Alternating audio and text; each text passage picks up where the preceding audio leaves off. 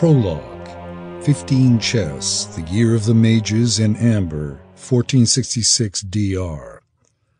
The shrill ring of steel on steel woke Geran Hulmaster in the dark hour before dawn. He rolled up onto one elbow in his bed, listening with his brow creased in the darkness of his room. He could hear cries of alarm spreading through the castle of Griffonwatch, his family's ancestral home. For a long moment he wondered if he were caught in one of those strange dreams that came with a delusion of wakefulness. Then the shouts and the commotion started again, and Geran came fully awake. He threw off his covers and jumped out of bed. The flagstones of the floor were cold under his bare feet. Fighting in Griffonwatch, he wondered. He'd lived in the castle of the Hulmasters all his seventeen years, and never had the castle come under any kind of attack. Oh, there were the occasional barracks room brawls down in the shield-sworn quarters, but that was down in the castle's lower bailey, where the soldiers and the servants had their lodgings, and he doubted that the fighting he heard was any kind of drunken brawl. It sounded serious and deadly. He tucked his nightshirt into the thin breeches he usually wore to sleep, and stepped into the boots standing by the foot of the bed.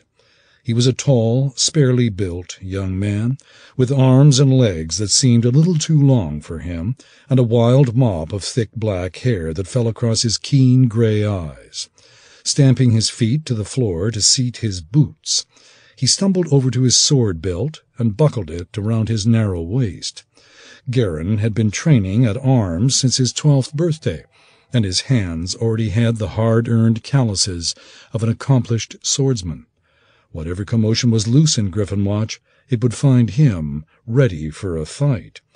Geran gave his boots one more stamp, then hurried to his chamber door and threw it open. The hallway outside was empty, but he could hear the sounds of fighting echoing from the lower parts of the castle. Who attacks us? he muttered to himself. Orcs or goblins from Thar? Brigands from the High Fells? How could they have gotten all the way into the castle? And why would they attack the Harmach's soldiers in their own fortress? He'd never heard of orc raiders or human bandits trying anything like that before. Since the Hulmaster family quarters seemed quiet for the moment, Geran headed down the stairs leading to the tower's lower room. There he found his cousin Kara, who stood by the door leading out to the upper court. The door was ajar, and she peered out cautiously with her eerie, spell-scarred eyes glowing faintly blue in the dim light, a short sword bared in her hand. She was a year younger than Geran, but she could use her blade almost as well as he could use the sword at his hip. Like him, she wore her night clothes, but she'd belted her gown tight around her waist so that it wouldn't hinder her. She spared him a quick look, then returned to watching the courtyard. What's going on? Geran asked in a low whisper. I don't know, but I heard fighting, she answered. What should we do? He frowned and peered out into the courtyard as well. A cold, steady rain pelted down in the night, and he shivered in his thin nightshirt. The shield-sworn guards who normally stood watch by the Hulmaster quarters weren't at their posts. All of a sudden, he found himself unwilling to answer Kara's question. His curiosity was rapidly giving way to dread. Something was terribly out of place in the house of the Hulmasters this night. Geran thought he knew what it was to be in a fight. After all, he'd held his own in a skirmish or two up in the high fells, riding against orcs and other such savages alongside the shield-sworn. But it was a different matter to wake up to a battle in his own home, wondering which of the soldiers or servants he knew were already lying dead in the halls. Several armored figures emerged from the doors leading down from the courtyard to the great hall. Geran tensed, dropping his hand to his sword hilt, but Kara shook her head. She could see as well as a cat in darkness, a gift of her spell scar. It's your Da, she said. Bernov Hulmaster strode across the courtyard with several shield-sworn at his back. Geran and Kara stepped back from the door as he and his guards entered. Geran's father was only an inch taller than Geran, but he was a thick-bodied bear of a man with a stout beard of gray-streaked brown. Geran got his black hair and his lean build from his mother's side of the family. Bernov wore his battle armor and a heavy cape against the weather, and he filled the doorway with his broad shoulders and pauldrons. His face was set in a grim scowl. Ah, you're awake, Bernov said. Are you two all right? Yes, Da, Geran answered. We're fine, but we heard fighting. I know. Bernov glanced around the family's hall, as if he expected enemies to burst out of the shadows at any moment. I want you and Kara to stay here. Bar the door when I leave, and admit no one to the Hulmaster quarters except the Harmach or myself. And no one's to leave either. Keep your mother, your aunt, and Sergen here until I tell you it's safe. Do you understand me? Geran did not understand at all, but he managed a weak nod. What's happening? Are we under attack? Bernov's scowl deepened again. It's your uncle Kamoth. He tried to murder the Harmach and seize Griffonwatch. The Harmach survived, but the castle is still in doubt. I fear some of the Shield-sworn are his, so you're not to trust anyone. Kamoth tried to kill the Harmach? Geran stared at his father. Kamoth Kastelmar was husband to Geran's aunt, Terina, Bernov's sister. Their older brother Grigor was Harmach of Hulburg, lord over the town and the surrounding lands. Geran knew that his father didn't think much of Kamoth and hadn't ever really trusted the man, but he couldn't believe that Kamoth was capable of the sort of treachery that was apparently afoot. He liked Kamoth. The Hillsfarian nobleman had married into the family only two years past, bringing with him his son Sergen, but even though Geran and Sergen didn't get along, Kamoth had never had a hard word for Geran. Kamoth had a wicked sense of humor and the charm of a born rogue, but the capacity for treason and murder? There must be some mistake, Geran said. There's no mistake. Kamoth and his men killed the guards by Grigor's door, but another shield-sworn happened by and caught them at it. They killed her, too, but not before her shouts raised the alarm. Bernov reached out to set a hand on Geran's shoulder, and his expression softened. I know you think highly of Kamoth Geran, but he's turned against us, and he means to kill every last Hulmaster and take Hulburg for his own. He's an enemy now. Another sharp exchange of swordplay came from lower in the castle, and Bernov glanced over his shoulder. I have to go. Stay here and keep the door barred. Wait! I'll come with you. Geran said. I can help. He wasn't a match for his father yet, or Kamoth either, but he could best many of the shield-sworn in the practice yard. Bernov smiled and squeezed Geran's shoulder with rough affection. I know it, son, but I'm worried for your mother and the rest of the family, and I'd feel a lot better if I knew that you and Kara were here to keep this door closed and make sure they all stay safe. Geran knew his father was simply putting a good face on ordering him to stay out of the fighting, but he acquiesced anyway. I understand, he replied. Bernov nodded and strode back out into the rainy courtyard. Kara shot the heavy iron bolt into place. They waited in silence for a quarter hour or more, straining their ears for a clue as to what was taking place in the castle outside the Harmach's tower. From time to time, new shouts echoed through the halls below, punctuated by sharp cries or the clatter of steel against steel. But the sounds of fighting steadily diminished. Geran thought that one side or the other must be getting the upper hand. He wished that he hadn't agreed to remain in the tower. If he'd gone with his father, he might have been able to tip the scales in some close skirmish. He was old enough and skilled enough to fight for the Harmach. The door to the tower rattled against its bolt. Geran and Kara both jumped at the sound and turned to look. The door, a sturdy construction of thick oak planks riveted together with bands of iron, shook again in its frame. In the tower! There! Open up! a man called from outside. It's Kamoth, Kara gasped. Geran nodded. Together they drew their blades and stood facing the door. Its bar was sturdy enough to stop anything short of a small battering ram. There was a small scratching sound, and the small spy hole in the door swung open, pushed by the blade of a dagger. The panel was only about the size of a hand, but it was enough for Geran to recognize his uncle's features peering through from outside. Kamoth's bright blue eyes fell on him, then crinkled at the corners in a warm smile. Ah, there you are. Geran, my boy, and Kara, my dear, open the door, will you? Geran glanced at Kara, but she did not move. Kamoth was her stepfather, but she'd known her Uncle Bernov all her life. Kamoth's brows knitted together. Hmm, perhaps I wasn't sufficiently clear. Draw back the bolt, if you please, because I'd like to come inside the tower. We can't do that, Geran answered. Oh? Why in the world not?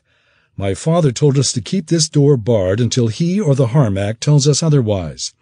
Kamoth glanced away and muttered something under his breath, but he returned to the spy hole a moment later, his eyes bright and kind.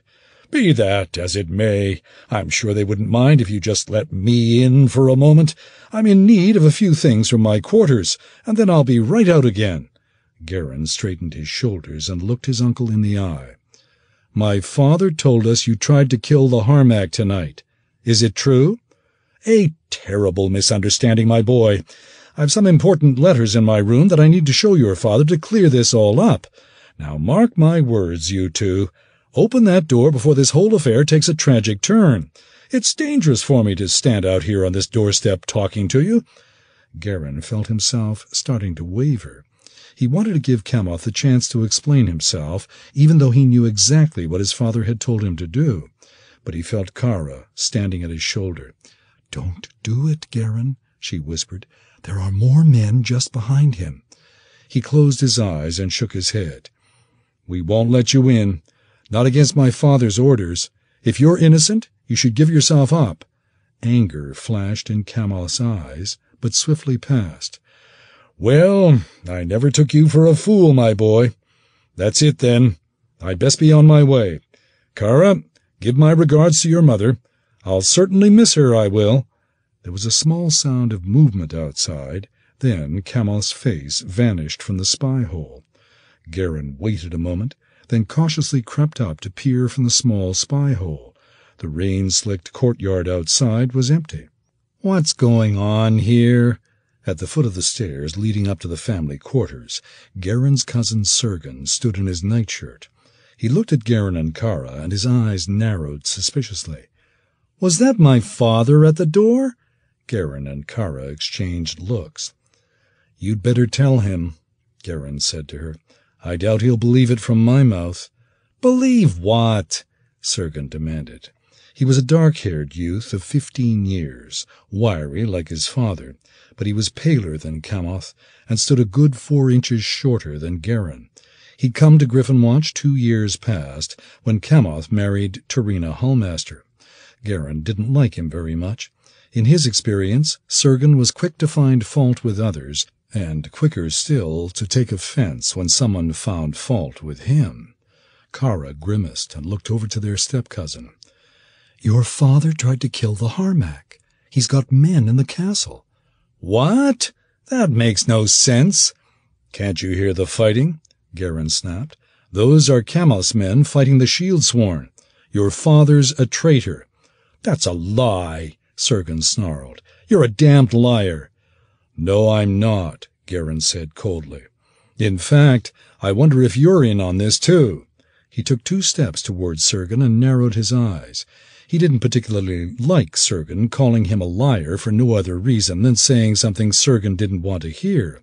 He'd earned more than a little trouble for teaching Sergen manners with his fists before, but that wouldn't stop him from doing so again if his step-cousin didn't mind his words. My father is no traitor, Sergen shouted. He balled his fists and refused to give ground. Geran frowned. He'd never known Sergen to challenge him so directly. And I'm not either. Say it again, and I'll knock your teeth out, you lying bastard. Geran started forward with the intention of extracting an apology from his step-cousin, but Kara reached out to set a hand on his arm. Wait, Geran, she said. He really does think you're lying. He doesn't know anything about this. Kamoth didn't tell him. Stop saying that! Tears of anger gathered in Sergen's eyes. My father is no traitor. Kara did not reply. Geran glared at his step-cousin, but to his surprise, a small measure of compassion for Sergen stopped him from another sharp retort. By sunrise, Sergen would know the truth of events. If Geran had been in his place, he knew he'd find the shame of his father's actions absolutely unbearable. He might as well allow Sergen to enjoy his ignorance for a few hours more. Very well, he said. I'll say nothing more on it. Sergen looked suspiciously from Geran to Kara. Where is my father, then? Kara sighed, and her voice softened. He's gone. I think he's leaving Hulburg. Leaving? Sergen stared at Kara for a moment.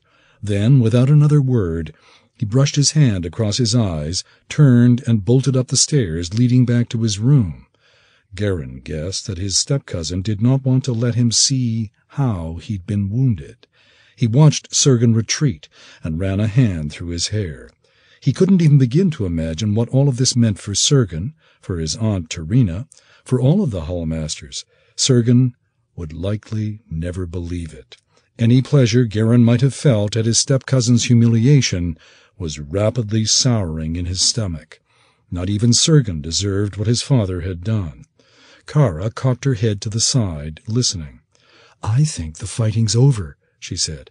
I don't hear any more swordplay. Kamoth's gone, then. Geran thought about his father's instructions and decided he'd better follow them to the letter. Go check on your mother, and you'd better keep an eye on Sergen just in case. Watch his door and make sure he doesn't leave. I'll stand guard here. All right, Kara agreed. She started up the stairs, but turned to look back at Geran at the bottom of the steps. Where do you think Kamoth will go now? Geran shook his head. Back to Hillsfar? Or maybe Mulmaster? Whatever Kamoth had done, Geran almost hoped that he did get away. He didn't like the idea of watching Kamoth try to answer for what had happened in Griffonwatch this night. I don't imagine we'll see him again. He can't very well come back after tonight. No, I suppose he can't, Kara agreed. She went up the steps, and Geran took up his vigil by the door. He glanced out the window. The rain was passing, and a clear, bright moon was setting over the waters of the moon sea. Sunrise was not far off, and he'd learn more about Kamoth's treachery soon enough. 1. Eleven the year of the Ageless One, 1479 D.R. Nearly fourteen years later, and twenty miles from Hulburg, Geran Hulmaster rode over a steep rise on the coastal trail and found pirates plundering a House Sokol merchant ship. He halted and stared down at the two ships drawn up on the beach of the nameless cove below him before he recovered from his surprise. Then he spurred his mount down from the ridge line to take cover behind an outcropping of rock. He was fortunate. The sun was setting behind him. Anyone looking up the hillside from the beach below would see nothing but an eyeful of bright sunshine. Geran patted his horse's neck and whispered soothingly to it. He was a tall, lean man, a little over thirty, dressed in a long, weather-beaten cloak over a leather jacket, breeches of dark green wool, and high leather boots. At his hip rode a long elven backsword with a hilt fashioned in the shape of a rose.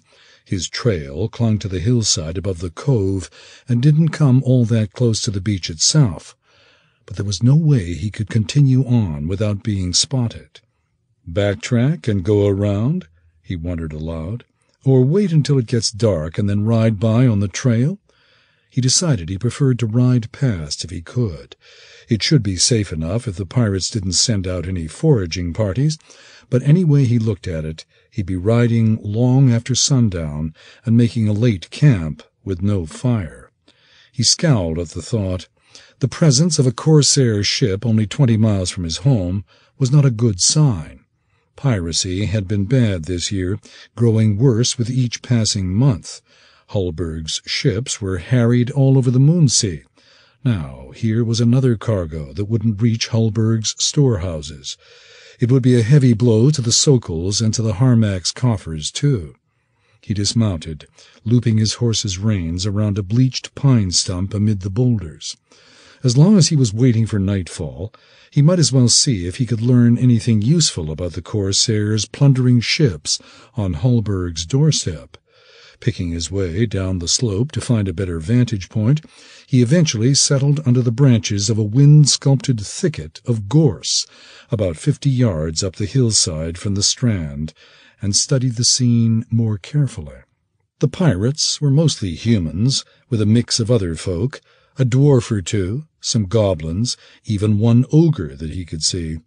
They had the Sokol ship's cargo scattered all over the beach, sorting out what was worth taking and what they'd leave behind. Geran couldn't see any of the merchant's crew, but that didn't surprise him. Most likely the pirates had killed them after capturing the ship and dumped the corpses over the side. He chewed his lower lip, thinking. He'd do something about it if he could, but for the moment it was no real business of his. It was only an accident of fate that he was in the vicinity at all. He spent the last few days visiting his mother, who resided in a Selûnite convent in Thentia, and was on his way back to Hulburg. It was usually an uneventful journey, since no one lived along the coastland between Thentia and Hulburg, and most traffic between the two cities went by sea. There wasn't even much reason for highwaymen or marauders from the wilds of Thar to come this way. They probably chose this cove just for that reason, he said to himself. They needed a quiet place where they could sort through their plunder, and they weren't likely to be troubled here. He couldn't do much about the Sokol ship now, but at least he could carry news of the attack to Hulburg and let the Sokols know what had happened to their ship. He settled in to study the pirates and their vessel closely, while he waited for the sun to set. The pirate vessel was a three-masted war galley, a ship that would be equally handy under sail or oar. Geran couldn't make out any name from where he was hiding, but the figurehead was clear, a mermaid-like creature whose fishy tail was instead a mass of kraken arms. He'd never seen anything like it. There couldn't be too many ships on the moon sea with that device. As the sun set, the pirates built a bonfire on the beach and broke out casks of wine taken from their prize.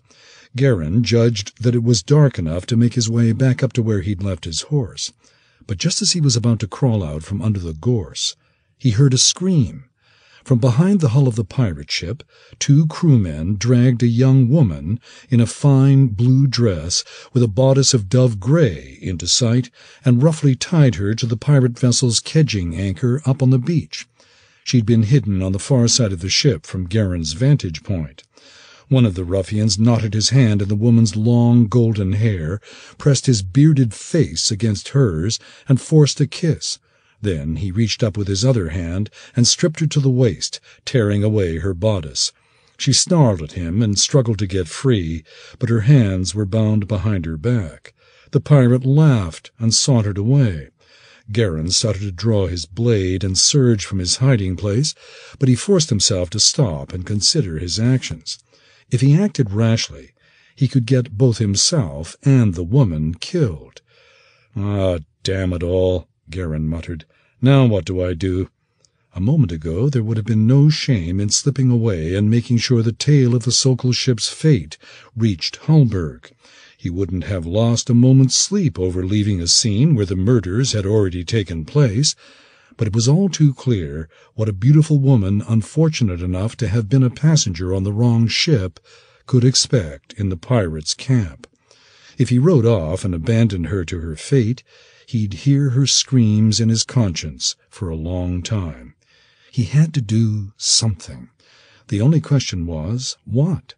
He might have considered attacking a handful of enemies who weren't expecting trouble, but there must have been sixty or seventy men on the beach, and likely more he just hadn't seen yet. Pirate vessels carried large crews so that they could overwhelm their victims through weight of numbers. It'll have to be stealth, he realized, or a diversion of some kind. I need something to take their attention away from her long enough to cut her free and spirit her away and the longer I wait, the better. They'll get themselves falling down drunk if I give them the chance, but how long will they wait before they turn their attention on the woman? And are there other captives I haven't seen yet? Geran waited impatiently, watching from his hiding place. The pirates tapped another cask and drank eagerly, roaring with laughter and admiring their spoils. Several times he tensed and prepared to burst out of his place of concealment when one or another of the crewmen approached the woman, but each time the pirate retreated. Finally, Geran decided that the master of the pirate ship must have been saving her for himself. She was certainly pretty enough. She slumped with her chin down, held upright by the lashings that bound her to the anchor. He wondered who she was and how she'd come to be on the ship. Finally, he judged that the moment was as right as it would ever be. It was possible that more of the pirates would drink themselves into a stupor if he waited longer, but the leader might appear and rape or kill the woman at any time. Besides, Geran could see a silver glimmer to the southeast that hinted at a big, bright moon. Scowling at the foolishness of his own conscience, he slipped out of the brush and darted down to the water's edge. There was no surf to speak of, just small wavelets less than a foot tall. Wading out into the cold darkness until he was thigh deep in water, he crouched down and began to creep toward the stern of the Sokol ship, which still jutted out a fair distance from the shore. The pirate vessel might be better for what he had in mind, but it was farther away, and he didn't want too many enemies between him and his horse if things went poorly. The moon sea was never warm even in the middle of summer. On a clear, dark autumn evening it was bitterly cold. Geran's teeth chattered, and he shivered from toe to crown. But the water provided the best avenue toward his goal without crossing the open, firelit beach. The pirates' shouts and coarse jests rang out over the water, filling the cove with their callousness. After wading a short distance, he reached the stern of the Sokol ship and paused to listen closely. He could hear muffled thumps, gruff voices, and planks creaking. At least a few of the pirates still searched the holds of the merchant ship, but he didn't think he heard anyone up on the deck. As stealthily as he could, Geran clambered up the ship's side toward the quarterdeck and risked a quick look. No one was in sight. He swung himself over the rail and moved back to the ship's stern lamp. It was a big lantern of wrought iron, suspended from a short pole fixed to the rail. He pulled it down and glanced inside. Oil sloshed in the reservoir. He poured it out on the deck, then splashed some on the rigging lines and the furled sail of the mizzenmast close by. From the caravel's quarterdeck he could see the pirates' bonfire on the beach. Several men were gathered around their captive, leering and pawing at her. She's almost out of time, he realized. Kneeling by the oil he'd poured out on the deck, Geran focused his mind into the clear, still calm necessary for spell casting. He whispered words in Elvish he'd learned years ago in Myth Drannor. Amar Gellera. In the palm of his upturned hand, a bright yellow flame the size of an apple appeared. He flicked it down to the oil-soaked deck. As the pool ignited and flames began to climb into the rigging, Geran quickly scrambled back over the side and dropped back into the water. Ruddy light blossomed on the quarterdeck behind him. "The prize!" someone shouted. "She's burning!" Geran glided away from the burning ship as quickly as he could, hoping that none of the pirates would think to look for an enemy creeping away in the water. He heard more shouts behind him and risked a quick look. Men on the beach leaped to their feet and dashed for the grounded Sokol ship. Others stood staring in dumb amazement until their officers cuffed them into action. Put it out, put it out, you dogs! they shouted. Fire was the one thing that sailors feared more than anything else, for there were a thousand things on a ship that burned well, given the chance. If there had been a strong wind blowing, Geran might have hoped for the flames to spread to the other vessel, but even without that, it seemed that the fire was doing its part in diverting the pirates. He floundered back to the wet sand and gravel fifty yards from the caravel, with no cover to speak of, but he was in the darkness, and the pirates' attention was fixed on the bright fire. Men were swarming over the rail to battle the blaze now, beating at the flames with wet blankets and old cloaks, or throwing buckets of water and sand as quickly as they could draw them. Several pirates still lingered near the place where the woman was tied up, but they were looking at the fire as well. Tymora, favor a fool, he said aloud. Then he drew his elven blade, locked his eyes on the place he wanted to be, and spoke another spell. Cyrock, he said. In a single, dark, dizzying instant, he vanished from where he was standing and appeared beside the golden-haired woman. She looked up, startled, and he saw that she had elf blood in her. Her violet eyes showed just the slightest tilt. Subtle points graced her ears, and her features had a fine, sharp cast to them. She was slender of build and tall, but her pale bosom had a human fullness, and her hips were well curved. He pressed his hand over her mouth before she could give him away with a startled cry, and quickly set the edge of his blade to her bonds. A dozen pirates were sprawled on the ground near by, too drunk to be roused by the fire. Three more stood within ten or fifteen feet, but they were watching their fellows fight the fire. Their backs were to Geran. Don't speak, Geran whispered into the half-elf's ear. I'm going to try to rescue you. The panic in her eyes faded, and she gave him a single quick nod. He took his hand from her mouth and turned his attention to slicing through the ropes binding her as quickly and quietly as he could. It was harder than he'd thought. The firelight cast dark, dancing shadows, and he didn't want to cut her by mistake. He finally found the right angle for his sword and sawed through the cords binding her wrists together. Behind you, the half-elf hissed urgently. Geran looked up and found that one of the pirates who'd had his back turned a moment ago was looking right at him. He was a burly fellow with a mop of straw-colored hair and a scarred jaw. Who the devil are you? And what do you think you're doing with our prisoner?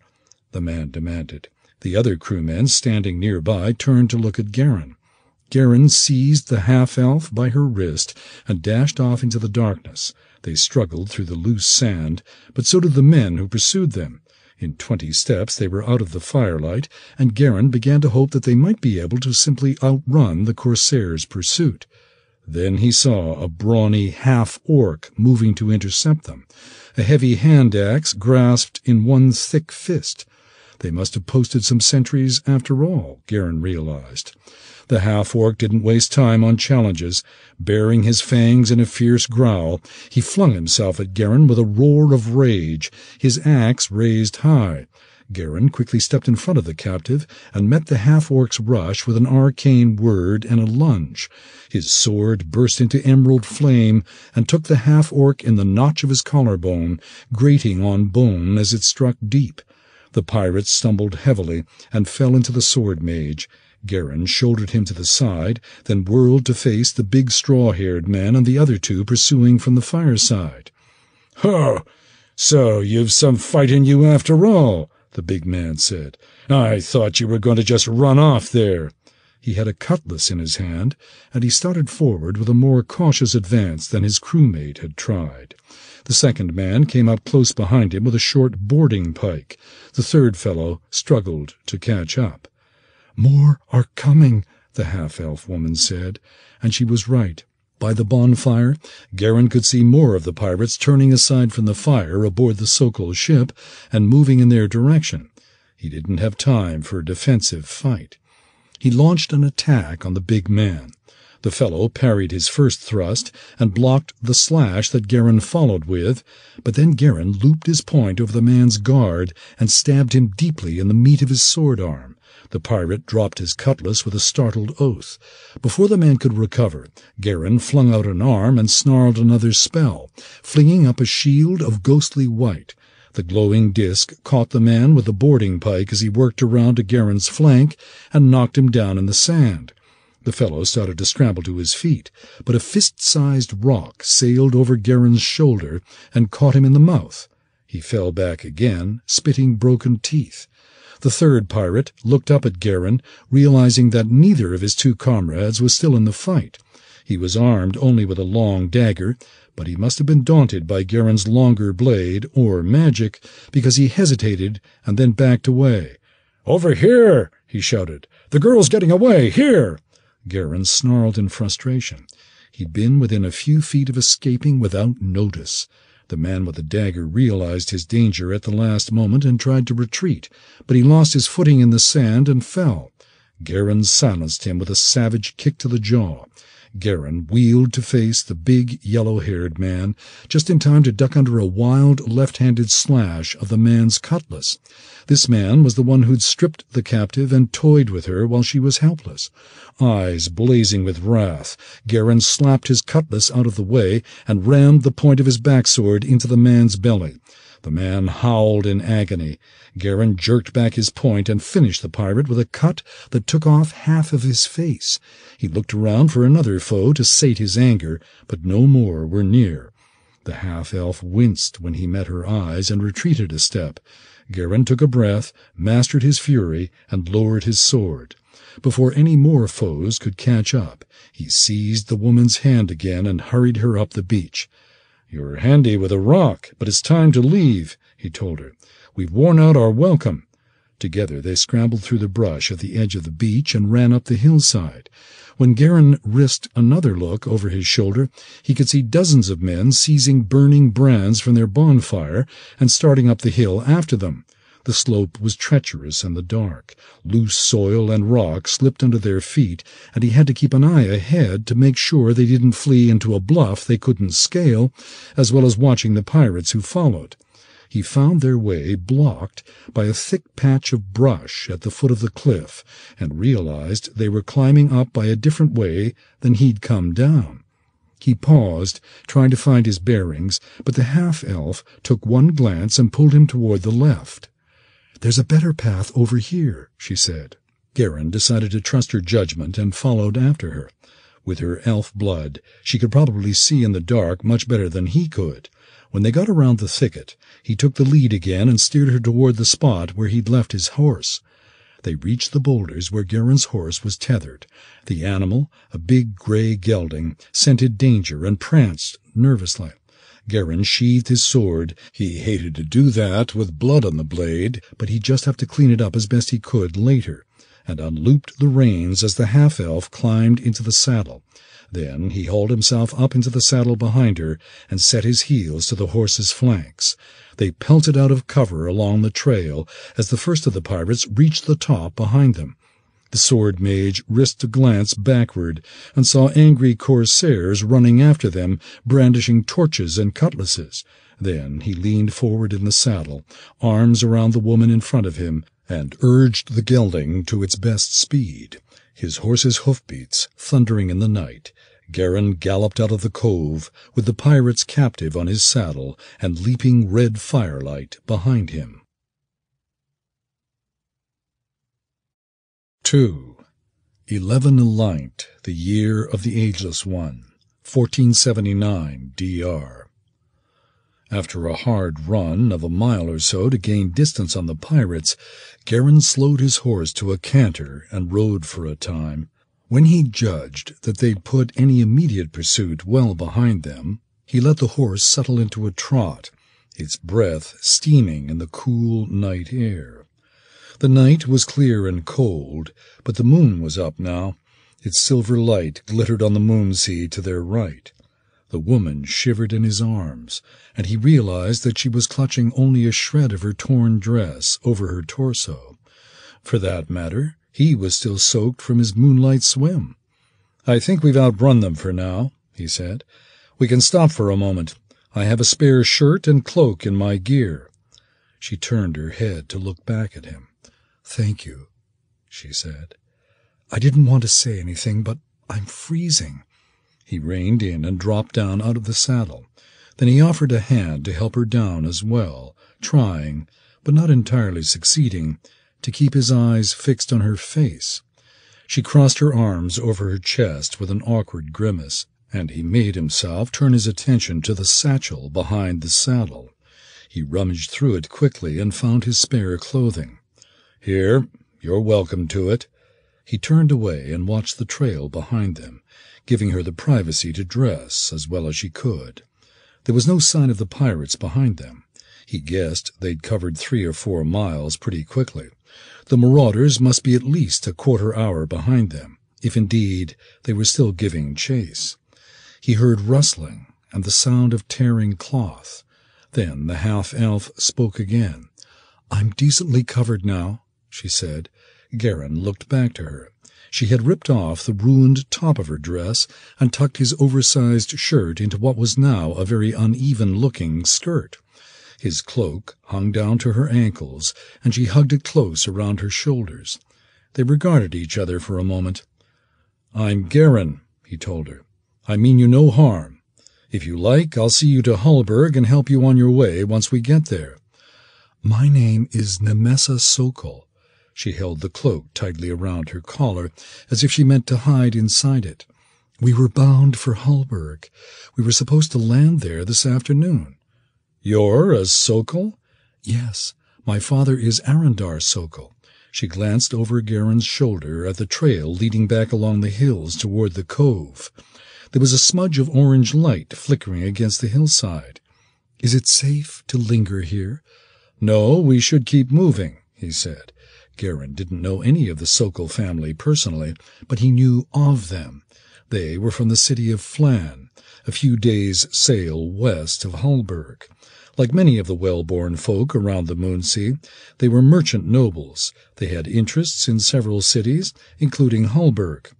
It's a little less than twenty miles to Hulburg, by my guess. Too far to ride tonight, but I think we can put the pirates well behind us. Then, yes, I'll be happy to let you see me to Hulburg, but you won't have to go to any more trouble on my account. My family's coster has a trading concession there. I'll be fine.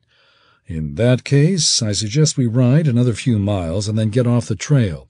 We'll be home by noon tomorrow. Home? Nimessa looked more closely at Geran. Of course. You're Geran Hulmaster, the Harmach's nephew. You're the one who fought the king in copper and killed Mhurren of the Bloodskulls. We heard the story. But what in the world were you doing by that beach? You must be mad to challenge so many enemies at once. Geran allowed himself a small smile. I'll answer, but let's ride while we talk. He helped Nimessa up into the saddle again, not that she really needed the assistance, then settled himself behind her. They rode eastward along the crest of the coastal hills, following the winding trail. The moon draped the dark landscape in silver and shadow. It was clear enough that the promontories and inlets for several miles ahead were visible, and the moon sea was a great gray plain stretching out of sight on their right with Nimessa's slim body in front of him and her golden curls just under his nose, it did not seem like such a bad night for a ride after all. How did you come to find me when you did? Nimessa asked. An accident. I left Thentia early this morning and was looking for a place to make camp for the evening when I stumbled across the pirates and your ship. I was about to ride off when they brought you out and tied you up. He shrugged awkwardly, even though she couldn't see him. I couldn't leave you in their hands without at least trying to help, but I had to wait until it was dark before I could move. You saw the rest. The fire on White Wing? Yes, I'm afraid that was my doing. I figured that she was a loss already, so I might as well deny the pirates their prize while making a distraction. They rode on for a short time, and then Geran sighed. He hated to ask what he asked next, but he thought he'd better. I watched for a while, Nimessa. I didn't see any other captives. Were you the only one they spared? Yes. She looked down. There was no one else left to save. Were you... he began, and then he stopped himself. He was going to ask if she'd been traveling alone, but he knew better. A young noblewoman of a good family would have been accompanied, most likely by a maid-in-waiting or a kinsman.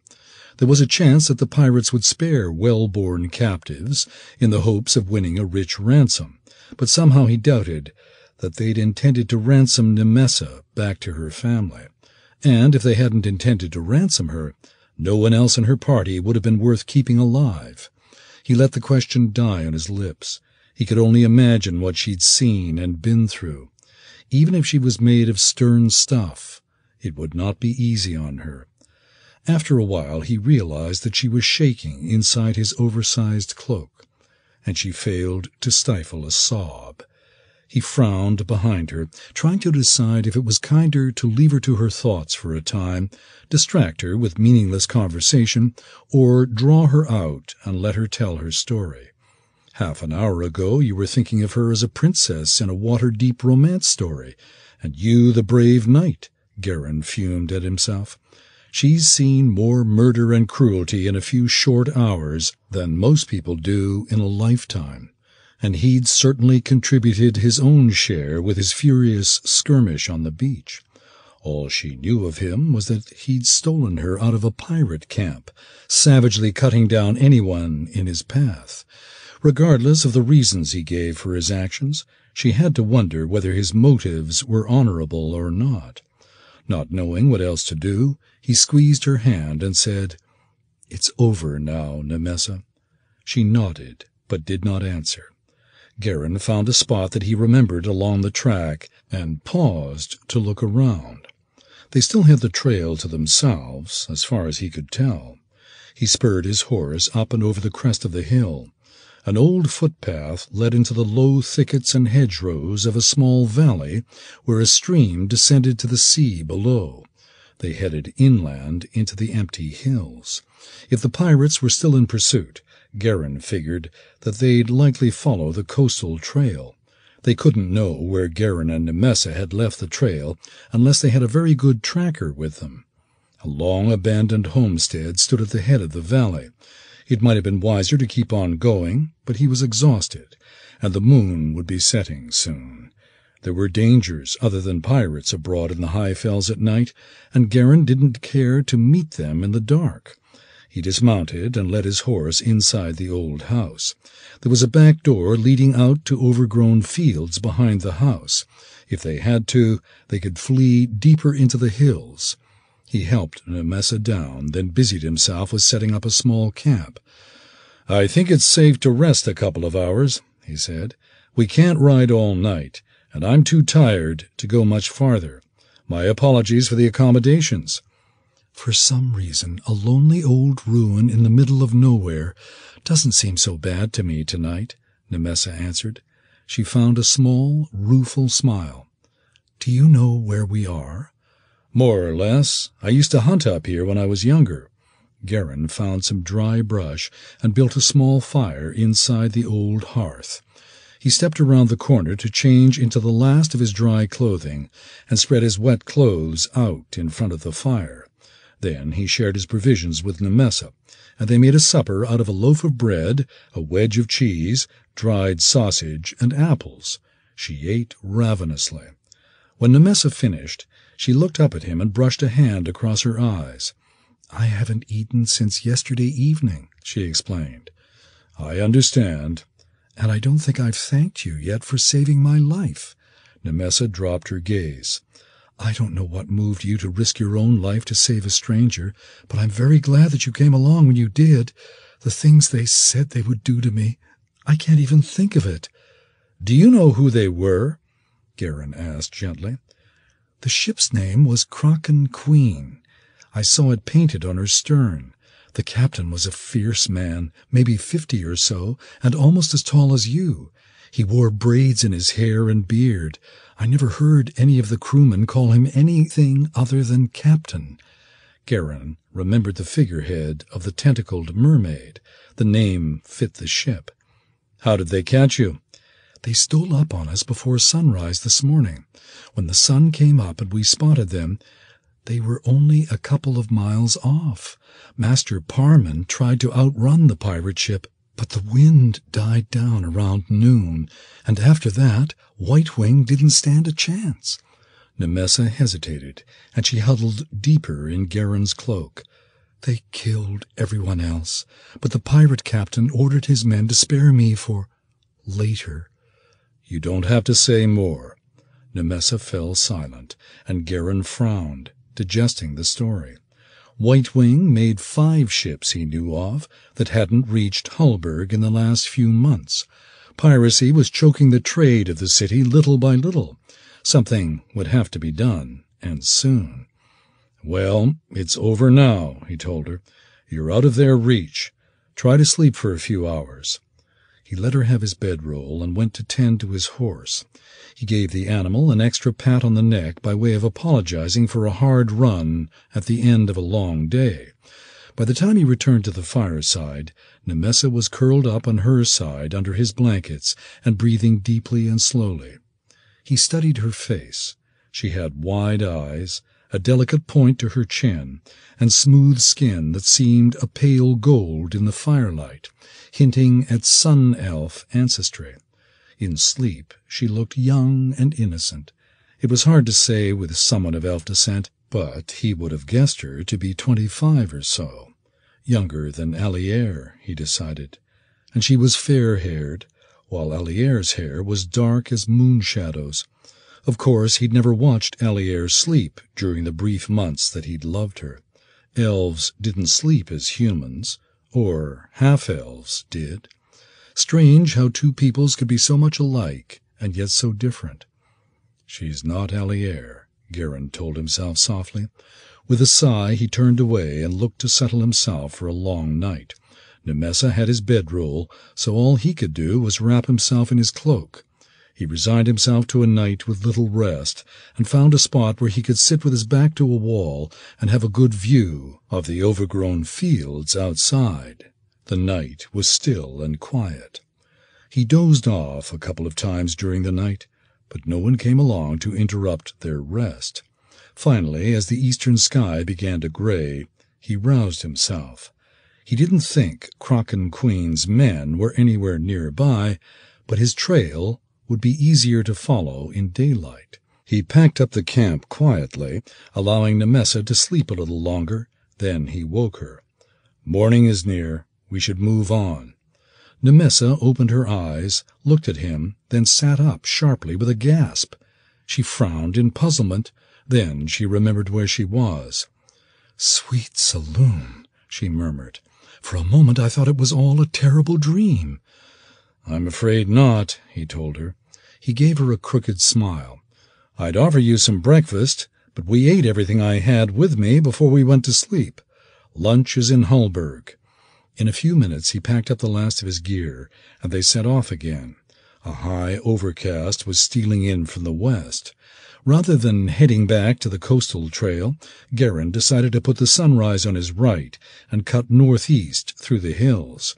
It would shave a couple of miles off their journey, even if it was more rugged country, and it was also much less likely to lead them into any pirates who might still be looking for them. These hills marked the rolling fall of the land from the high moors of Thar to the Moonsea. The folk of Hulburg called them the High Fells, and Geran knew them well. As a youth he'd explored every vale and hill for a day's ride around his home. They rode at an easy pace for several miles, slowly climbing higher into the hills and leaving the coast behind them.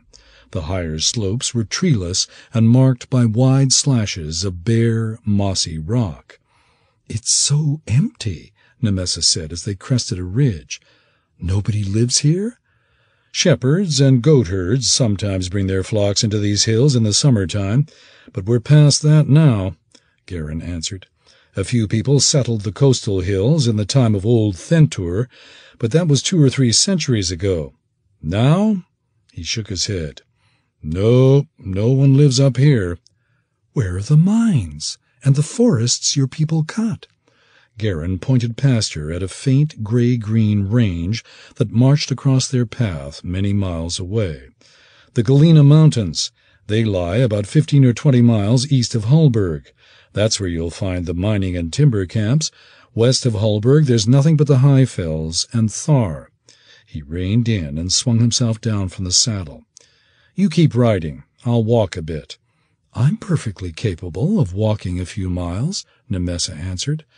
I don't doubt it, but I'd feel better if you rode. She looked at him with a skeptical expression. You don't have to impress me with your gallantry, you know. Would it make you feel better if I said I was mindful of the horse, not you? Nimessa laughed briefly and shook her head. She had a pleasant laugh, light and soft, much like many of the elves Geran had known in Myth-Drannor. He smiled and set off again, walking at her stirrup as they picked their way down a hillside. If he had his bearings right, they'd hit the inland trail from Thentia soon. So, what business do you have in Hulburg? It seems a fair distance from your home. I'm taking over the management of our house's trade yard.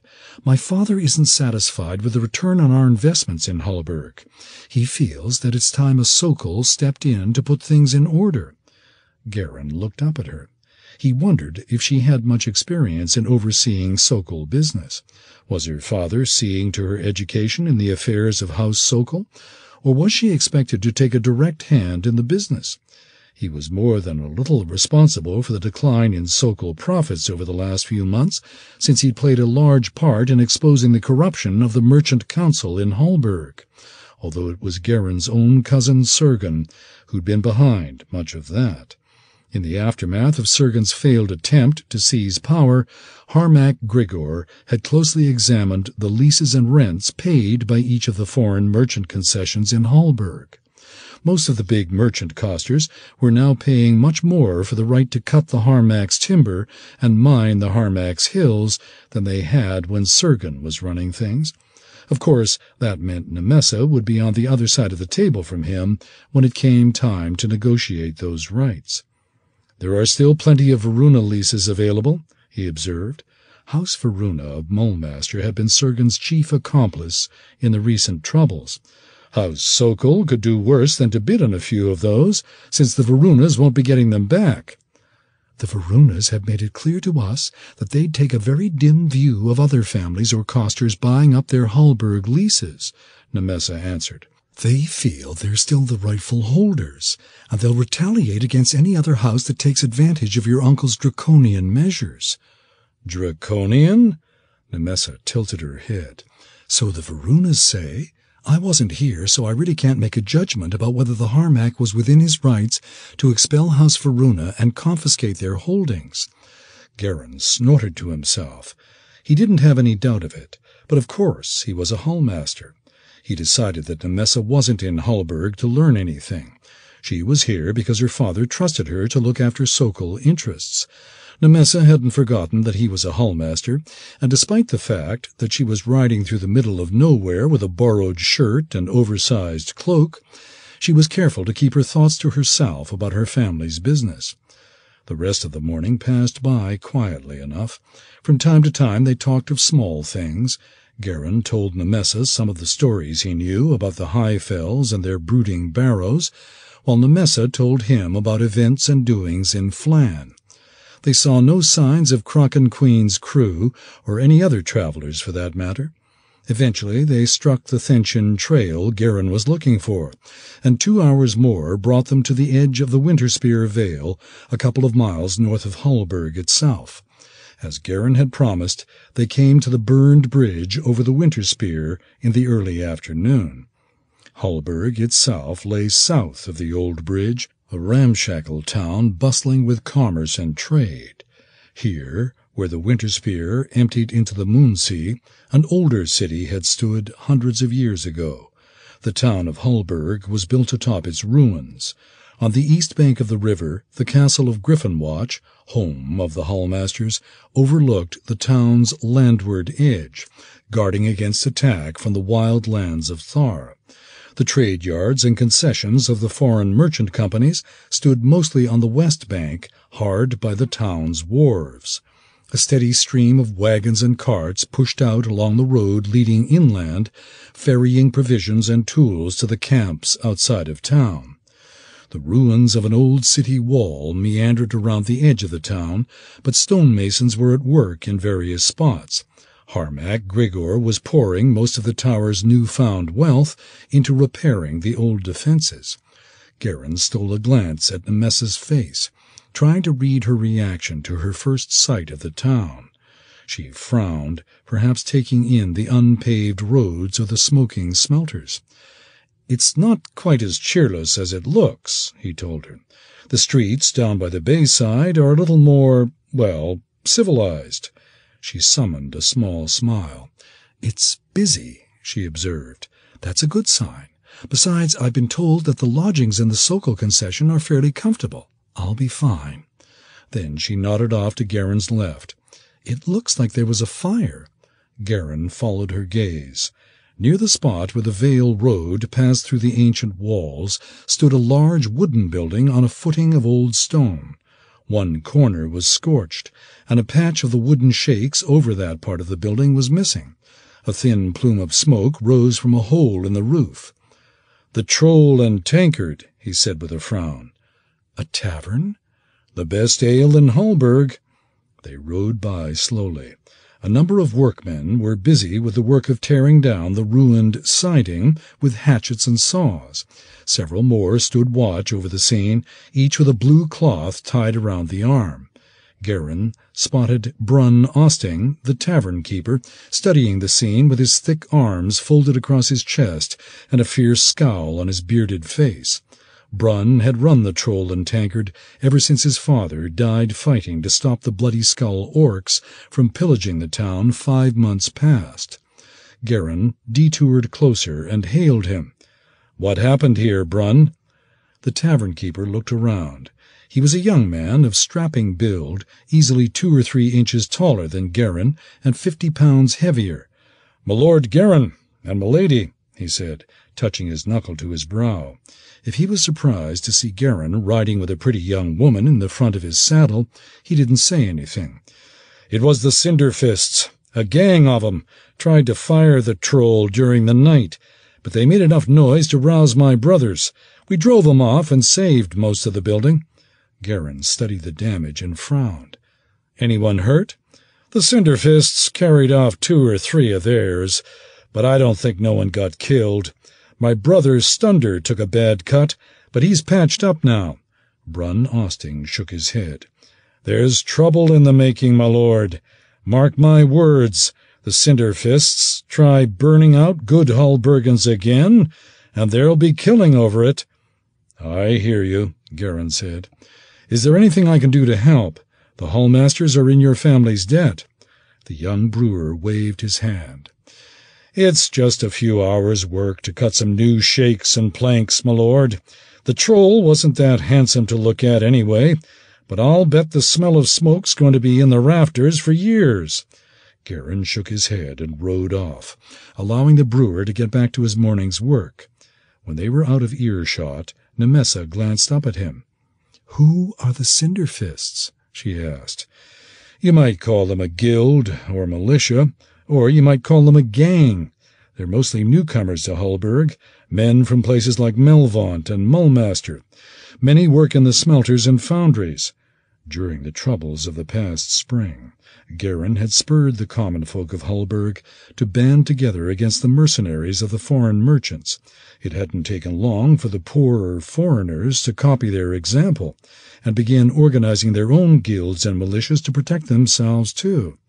The Moonshields, the native Hulburgan militia, were loyal to the Harmach. The Cinderfists, on the other hand, were largely dependent on foreign merchants for their livelihood. I can't prove anything, but I suspect House Janarsk and their Crimson Chain allies are behind them. Hulburg is full of poor men from other cities who just want a chance to do better for themselves, but there are a few that came here for different sorts of opportunities. Have they caused a lot of trouble? Some, Geran admitted. But Brun Osting's right. There's more on the way if things keep going on as they are. They rode into the small square at the foot of the causeway leading up to Griffonwatch. Geran reined in again and looked down at Nimessa. Can I offer you the hospitality of Griffonwatch? I'm sure that we can find you something better to wear. Or would you rather go to your family's holding now? The Sokol concession, please, Nimessa answered. I have to tell our people there about White Wing and send word to my father right away. But I thank you for the offer. As you wish. Consider it a standing invitation. Geran hid his disappointment behind a small nod. He found that he was reluctant to part company so soon. Once he escorted her to the Sokol compound, she would be back among the people and surroundings she was familiar with. He'd check on her in a few days, and if she recovered as well as he thought she might, then he'd leave her be. It would likely be for the best. Then again, he'd been haunted for almost two years now by the memories of Alliere. Maybe some part of him was hoping that Nimessa was not interested, simply so that he could go on dreaming about the elf princess he would never see again. Or was he afraid of what Mirya Erstenwold might think if he were to start courting again? He frowned behind Nimessa, unhappy with his musings. He'd never been one to puzzle out the workings of his own heart. All he knew was that he'd spent two years living like a cloistered monk because Alliere had broken his heart, and Nimessa Sokol reminded him that he wanted to be free of her ghost. He tapped his heels to the horse's flanks. The Sokol trade yard's not far off now. Allow me to see you home. 3. 14 Eleint, the year of the Ageless One. 1479 D.R. Rhovann Disarnnyl detested his human guise. He was mortified by the unkindnesses of age, the heaviness of his sagging features, the rough whiskers on his face, and the wiry gray hair on his chest and arms. Elves suffered none of those indignities, and in his natural shape Rhovann was a fine example of his graceful race. He consoled himself with the thought that his disguise was only a magical glamour he could end any time he chose with a few arcane words. But the difficulty was that crafting a persona as carefully thought out as Lestanor, middle-aged, balding, with a meticulously squared beard of iron gray and a coarse, dusky complexion, required hours of painstaking work.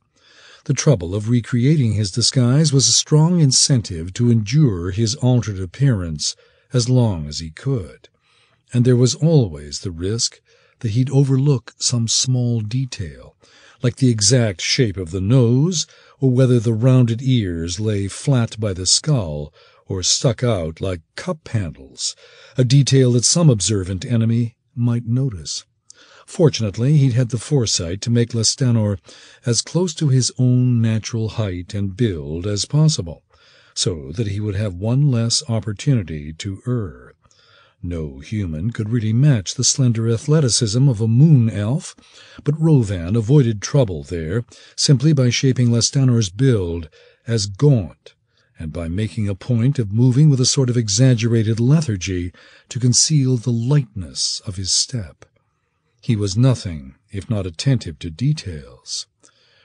"You have a sour look to you today, Lestanor," said Lord Maroth Marstel. The Hulburgan and his house mage rode in the human noble's carriage, rolling through the streets of Hulburg toward the castle of the Hulmasters. Marstel peered suspiciously at Rhovann with weak eyes in a red, heavy-featured face. He was a thick-bodied, white-jowled man of sixty-five years or so, with a thick mane of hair and a broad white moustache that was yellowed at the edges by his ridiculous habit of pipe-smoking. The old lord wore a scarlet tunic embroidered with his family coat of arms, which featured a leaping stag amid a whole field of gold embellishments. "What troubles you?" "Nothing of consequence. Rhovann lied, feigning a friendly grimace. Something disagrees with me, my lord. Of course, it was Marstel himself Rhovann found disagreeable. The man possessed a truly spectacular combination of loud bluster, ox-like wit, and ill-informed opinion. He seemed to crash through his days like a wagon rolling down a steep hill, completely insensitive to the damage he caused. If Rhovann hadn't given himself the task of elevating the man's fortunes, he might have looked on the whole affair with some small amusement. As matters stood, Rhovann had spent several months now soothing feathers Marstel ruffled every time he opened his mouth, and safeguarding the buffoon who sat in the carriage next to him from even greater disasters. "You're a scrawny fellow, and you hardly eat at all," Marstel observed. I can't imagine why your stomach should trouble you. I think it's a lack of exercise and fresh air, and not enough wine. Two good goblets a day would serve you well." The white-haired lord nodded to himself, satisfied that he had diagnosed the problem. Yes, that must be it. You should come hunting with me tomorrow. It's always a good, vigorous day. Rhovann sighed. I am afraid I have business to look after, my lord. But you should go ahead without me. As you say, the outings are good for you. Marstel's idea of a vigorous day of hunting was to be driven up some wild field and seated in a comfortable chair while his servants did their best to drive game in his general direction. The old lord would spend the day getting drunk and loosing quarrels at anything that moved. While one might naturally assume that Marstel rarely hit anything, the man was a far better shot than he had a right to be, and he often collected a fair assortment of game. He also occasionally feathered one of his own dogs or beaters, especially late in the day after he was well in his cups. Fortunately, Hulburg had no shortage of poor foreigners anxious to earn a few coins any way they could. Suit yourself, then, Marstel said with a sniff. Rhovann sighed. Now the old fool was going to be sore at him. Only a month or two more, he told himself. Endure this ox-brained fool just a little longer, and through him the fall of the Hulmasters will be encompassed. He flexed the cold metal of his silver hand, veiled under the illusion of human flesh and bone, and thought of Geran Hulmaster's destruction. To slay Geran for the injuries he'd inflicted would be simple justice. What Rhovann craved was vengeance. No, before Geran Hulmaster died, Rhovann meant for his enemy to see all that he loved torn away from him. Only then would the scales lie in balance between the two of them. For that worthy end, a few months of tedious and unpleasant work were a trifle. The carriage came to the causeway leading up to the castle of the Hulmasters and climbed up the roadway. In a few moments they rolled into the cobblestone courtyard inside Griffonwatch's front gate and halted. Liveried footmen hopped down from the carriage's running boards to open the door and set wooden steps for the passengers. Rhovann climbed out and settled into the shuffling gait that was almost second nature to him now.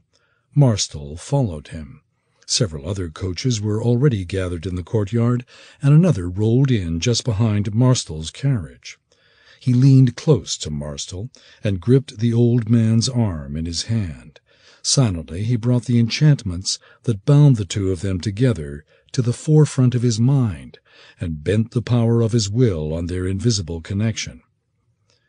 Speak only as I have instructed you, he whispered into Marstel's ear. If you do not know how to answer a question, stay silent and give an appearance of careful thought. I will tell you what to say. The old man murmured in protest and tried to resist the enchantment's power, but his will was no match for Rhovann's. The wizard crushed his brief resistance without even breaking stride. Marstel stared ahead and nodded. I understand. They entered the castle's great hall, which was already arranged for the meeting of the Harmach's council. A horseshoe-shaped table with nine chairs had been set up in the center of the draughty old hall, facing a low dais with a large, high-backed chair for the ruler of Hulburg. Rhovann steered Marstel toward the old lord's seat, then sat beside him. In his guise as Lestanor, Rhovann himself held the post of Master Mage of Hulburg. The former Master Mage, Ebane Ravenscar, had resigned his post shortly after House Varuna's expulsion from Hulburg and returned to his home in Mulmaster. Marstel, on Rhovann's right, was head of the town's merchant council, as well as one of Hulburg's few native lords, although Rhovann found Lord Maroth Marstel's claim to nobility dubious at best. Most of the other councillors were already present. Rhovann studied each surreptitiously.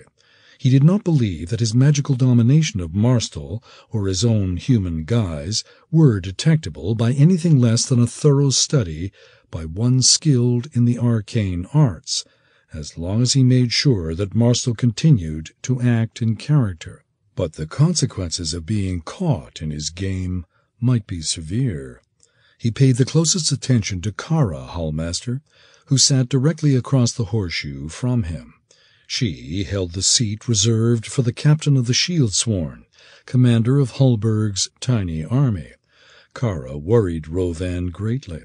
Despite her youth, she was quite perceptive. Kara carried a spell scar in the form of a serpent-like sigil on her left forearm and possessed eyes of an eerie, luminous azure hue. In many lands, the spell-scarred were looked on with distrust and resentment, but no one in Hulburg doubted Kara's loyalty or skill. She was a Hulmaster, and by all accounts a very formidable warrior, the hero of the Battle of Lendon's Dyke. Rhovann could never entirely convince himself that she did not see more than she let on with her spell-scarred eyes, and he did not care for that feeling at all. "The Harmach!" Called one of the shield-sworn guards in the room. All of the councillors dutifully rose to their feet and waited while Harmach Grigor Hulmaster, leaning on his cane, made his way down the grand staircase of the hall and took his seat in the large chair on the dais. Geran Hulmaster walked beside his uncle, dressed in a quilted doublet of grey and white. It did not escape Rhovann's attention that the sword with the mithril rose on its pommel rode at Geran's hip. His right wrist ached with a hot white pain.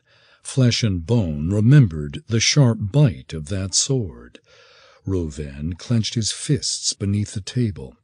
To have been maimed by the human sword mage was one thing.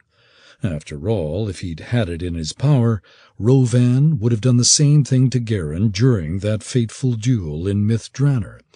But the offense that truly galled Rhovann was the fact that Geran's exile from the city of song had led to his own. The exquisite Alliere had not turned her heart to him, as she should have once the upstart human adventurer had been dealt with, and the Coronal's guard had found reason to pry into his arcane studies after his duel with Geran. They'd discovered books and ritual materials they considered unseemly for a mage of Myth Drannor, spurned by the woman he desired, chastised for studying dark arts. Rhovann had lost more than his hand to Geran Hulmaster's blade, and he meant to settle that account before the year was out. Rhovann realized that he was glaring at Geran, and quickly looked away. Geran had no reason to fear Lestanor, the master mage of Hulburg and wizard to House Marstel, but if he noticed that Lestanor glared hatefully at him, he would be a fool not to wonder why. Instead, Rhovann shifted his gaze to the Harmach. Grigor was a balding man of seventy-five, with weak eyes and frail health. With some care, he seated himself and leaned his cane against the side of his chair. As he sat, the councillors followed suit. "Welcome, my friends," Grigor said. "You may proceed." Geran Hulmaster walked over to one of the benches along the side of the hall and sat down alongside the scribes and clerks who were in attendance. Darren Ilker nodded and struck a small gavel to the table. "The Harmach's council is met," he said. He was the keeper of duties, the nominal head of the council since he directly represented the Harmach. Ilker was a newcomer to the Harmach's council and had held his seat for only two months, since that post had formerly belonged to Sergen Hulmaster, a common-born Hulburgan who ran his counting house with unflinching honesty. Ilker was a short, black-bearded man who wore a gold chain of office over his heart. First on the agenda, the construction of the city wall, he began. Rhovann leaned back in his seat and waited while Ilker efficiently ran through the various affairs of interest to the council. Most of the business was routine, and he paid little attention. In half an hour they covered brief reports about the state of the tower's treasury, the replacement of shield-sworn killed or crippled during the Bloodskull War, the continuing disposition of House Varuna assets, and the growing disorder between gangs of common-born Hulburgans and the poor foreigners who seemed to collect in the town's neglected districts. He sat up and listened more carefully to that last report. Kara Hulmaster described how several brawls had turned lethal in the last few ten days. I frankly don't know if I have enough shield sworn to keep the peace, she added. By my count, the Cinderfists might number as many as a hundred men, and I'd wager they could turn out two or three times that number if they put a call out to all the foreigners in the tailings or out on the east point. Something must be done, Lady Kara, said Burkle Tresterfin. A farmer of old Hulburgan stock and a captain of the Spearmeet, he was also new to the council. Cinderfists tried to burn down the Troll and Tankard the other day. The common folk of Hulburg are at the end of their patience. If you don't act soon, the moon shields will take matters into their own hands. It'll be a bloody riot. Enough, Harmach Grigor said. We certainly can't allow matters to go that far. Kara, find me someone who can speak for these Cinderfists, and I'll promise to hear him out. If they will forswear rioting and violence, perhaps we can find some way to answer their grievances. He pressed a hand to his forehead and leaned back in his seat. We have other matters that we must discuss today. Master Ilkur, my nephew has news for the council. The keeper of duties bowed slightly. As you wish, my Lord Harmach. Lord Geran, the floor is yours. Geran stood and walked around the table to stand in the open end of the horseshoe, clasping his hands behind his back. He looked around the table, brow creased, as if he were trying to decide where to start.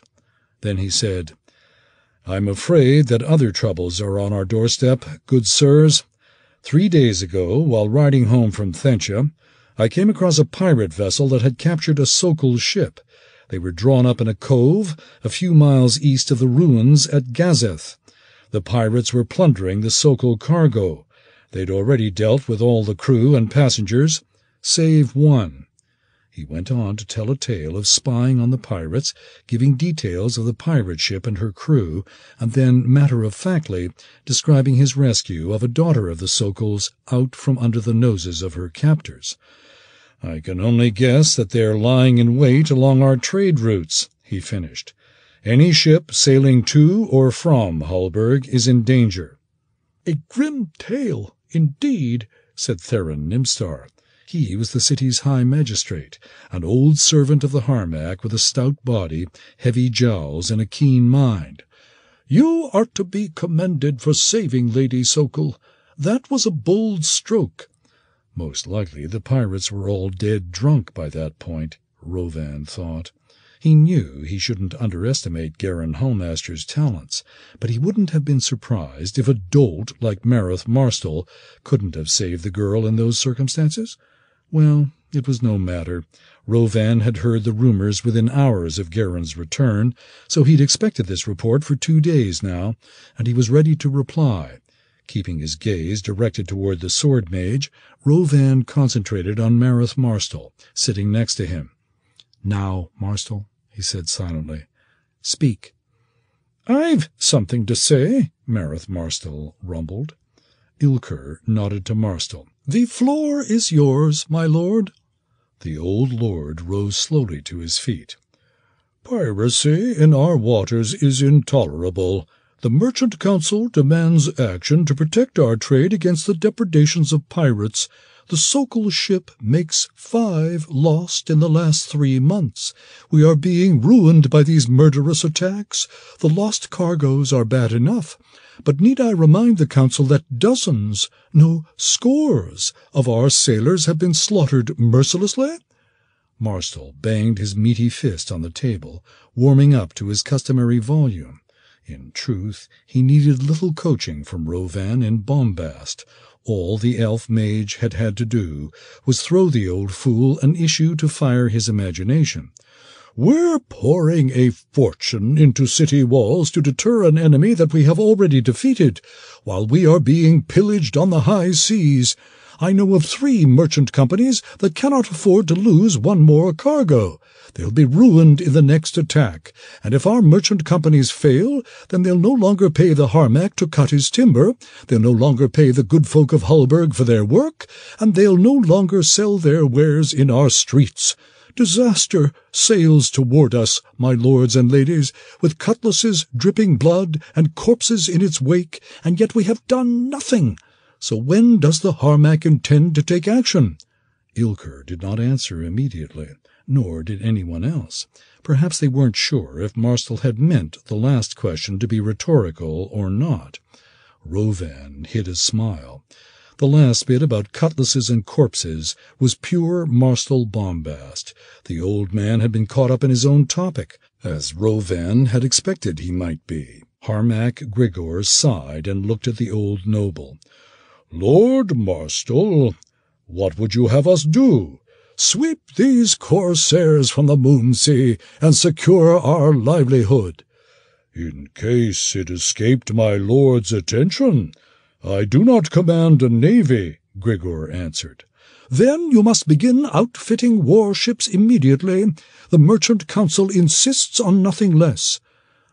Navies are expensive, Walrath Keltor objected. He was the keeper of keys, the official who looked after the Harmach's treasury. Rhovann found him a sour and querulous old man. We cannot simply wish one into existence, Lord Marstel. Nevertheless, if the Harmach will not see to the safety of our commerce, then the Merchant Council will take steps to do so under its own authority, said Marstel. It is a matter of self-defense. Grigor's eyes narrowed. Clearly he recognized the danger to his authority implicit in Marstel's threat.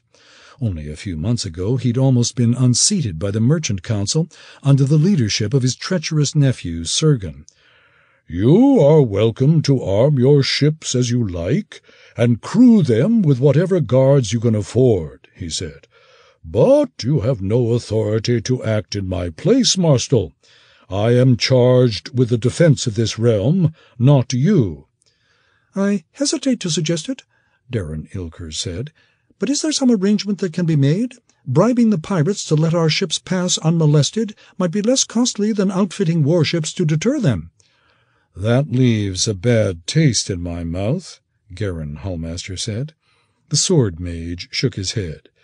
Forgive me for speaking out of turn, but those arrangements have a way of growing more expensive over time, and you'd still lose ships every so often because you can't bribe every pirate on the Moonsea. If bribery isn't an option, then how can we best defend our sea trade? Burkle Tresterfin asked. Can we guard the merchant coster ships with detachments of shieldsworn? Or do we do as Lord Marstel suggests and build warships? We don't have shieldsworn enough to man every ship sailing from Hulburg, Kara Hulmaster said. She leaned back in her chair, thinking. For that matter, even if we could afford to build warships, I don't know how we could crew them. It would take at least two or three well-armed vessels to secure the waters near Hulburg. We would need several hundred sailors and soldiers. Impossible, Walrath Keltor said. We haven't the treasury. So we can't afford a navy, and we don't believe bribery is the answer. What is left to us then? The magistrate Nimstar asked. No one spoke for a long moment. Rhovann nodded to himself. Even if the Hulburgans had settled on building a navy, it would take too long and cost too much to interfere with his designs. There are other cities on the Moon Sea that maintain fleets, he said into the silence. Perhaps we could ask Mulmaster or Hillsfar for protection? That may prove more costly than building our own fleet, Harmach Grigor said. If we surrender our sovereignty for the protection of a larger city, we will never recover it, I consider that the last alternative. Rhovann willed Marstel to silence. He'd intended to catch the Harmach in exactly this predicament, forcing him to choose between embarking on an expensive and most likely impractical scheme of fleet building, or weakening his authority by begging for another city's help. Either way, the Harmach opened himself to sharp criticism. The disguised elf leaned forward to speak. In that case, my Lord Harmach, I must add my concerns to Lord Marstel's. What do you intend to do? Grigor Hulmaster gazed at the squares of blue sky outside the great hall's tall windows. He might have been old and frail, but he was not stupid. He could see the dilemma confronting him. It must be a fleet, then, he finally said. We'll purchase a couple of suitable hulls in Hillsfar or Melvaunt and bring them back to Hulburg for fitting out. For the crew, I suppose we'll have to hire mercenaries. Two ships may not be enough to protect our sea trade, Kara said. Even if you assume that each can remain at sea half the time, it's only one ship on patrol on any given day. No, I expect it is not enough, Kara. But I hope that two warships are sufficient to serve as a deterrent, Grigor said. He looked around at the assembled council members. I hope you all understand that the tower must find funds for this somewhere. To begin with, I expect that rents must be raised on mining and logging concessions. Proceed with care, my lord Harmach, Marstel warned. It doesn't matter to the houses of the Merchant Council if they are ruined by piracy or taxation. Ruin is ruin. You demand the Harmach's protection for your shipping, but you balk at paying for the forces necessary to safeguard you? Kara snapped. You can't have it both ways, Lord Marstel. Where else should the Harmach obtain the funds to pay for a fleet, if not from the merchant costers that will profit by the protection a fleet offers?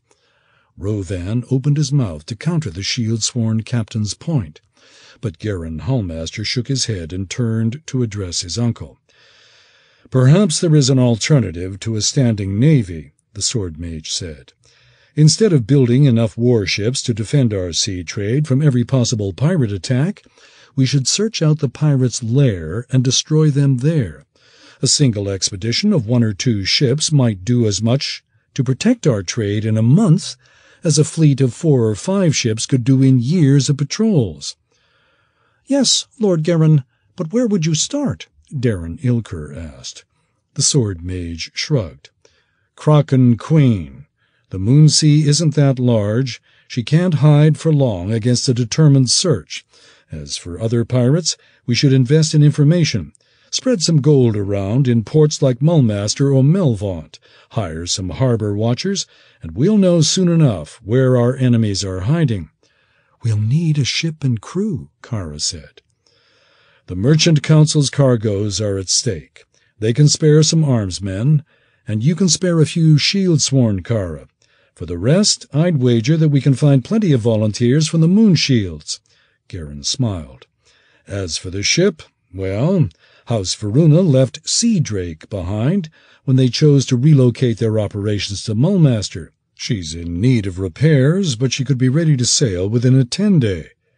You're willing to command her, Geran? Harmach Grigor asked. Geran thought for a moment. Yes, provided I get the funds I need to repair and crew the ship. I can't promise that I'll stop all the attacks, but if we catch a pirate or two, the rest might turn to easier prey. The Harmach glanced over to Marstel. Lord Marstel, does the Merchant Council find Geran's proposal acceptable? Rhovann directed the old lord to strike an attitude of thoughtful deliberation, while he quickly considered the question. Geran had stumbled upon a course of action that seemed reasonable, and certainly did not require the Harmach to beg help from another city, or levy ruinous taxes against his merchants or his people. That was irksome. But if Geran's search proved fruitless, he would be disgraced, and the Harmach could be attacked for failing to take effective action. It might be highly useful to allow Geran to chase his own tail around the moon sea for the next few ten days.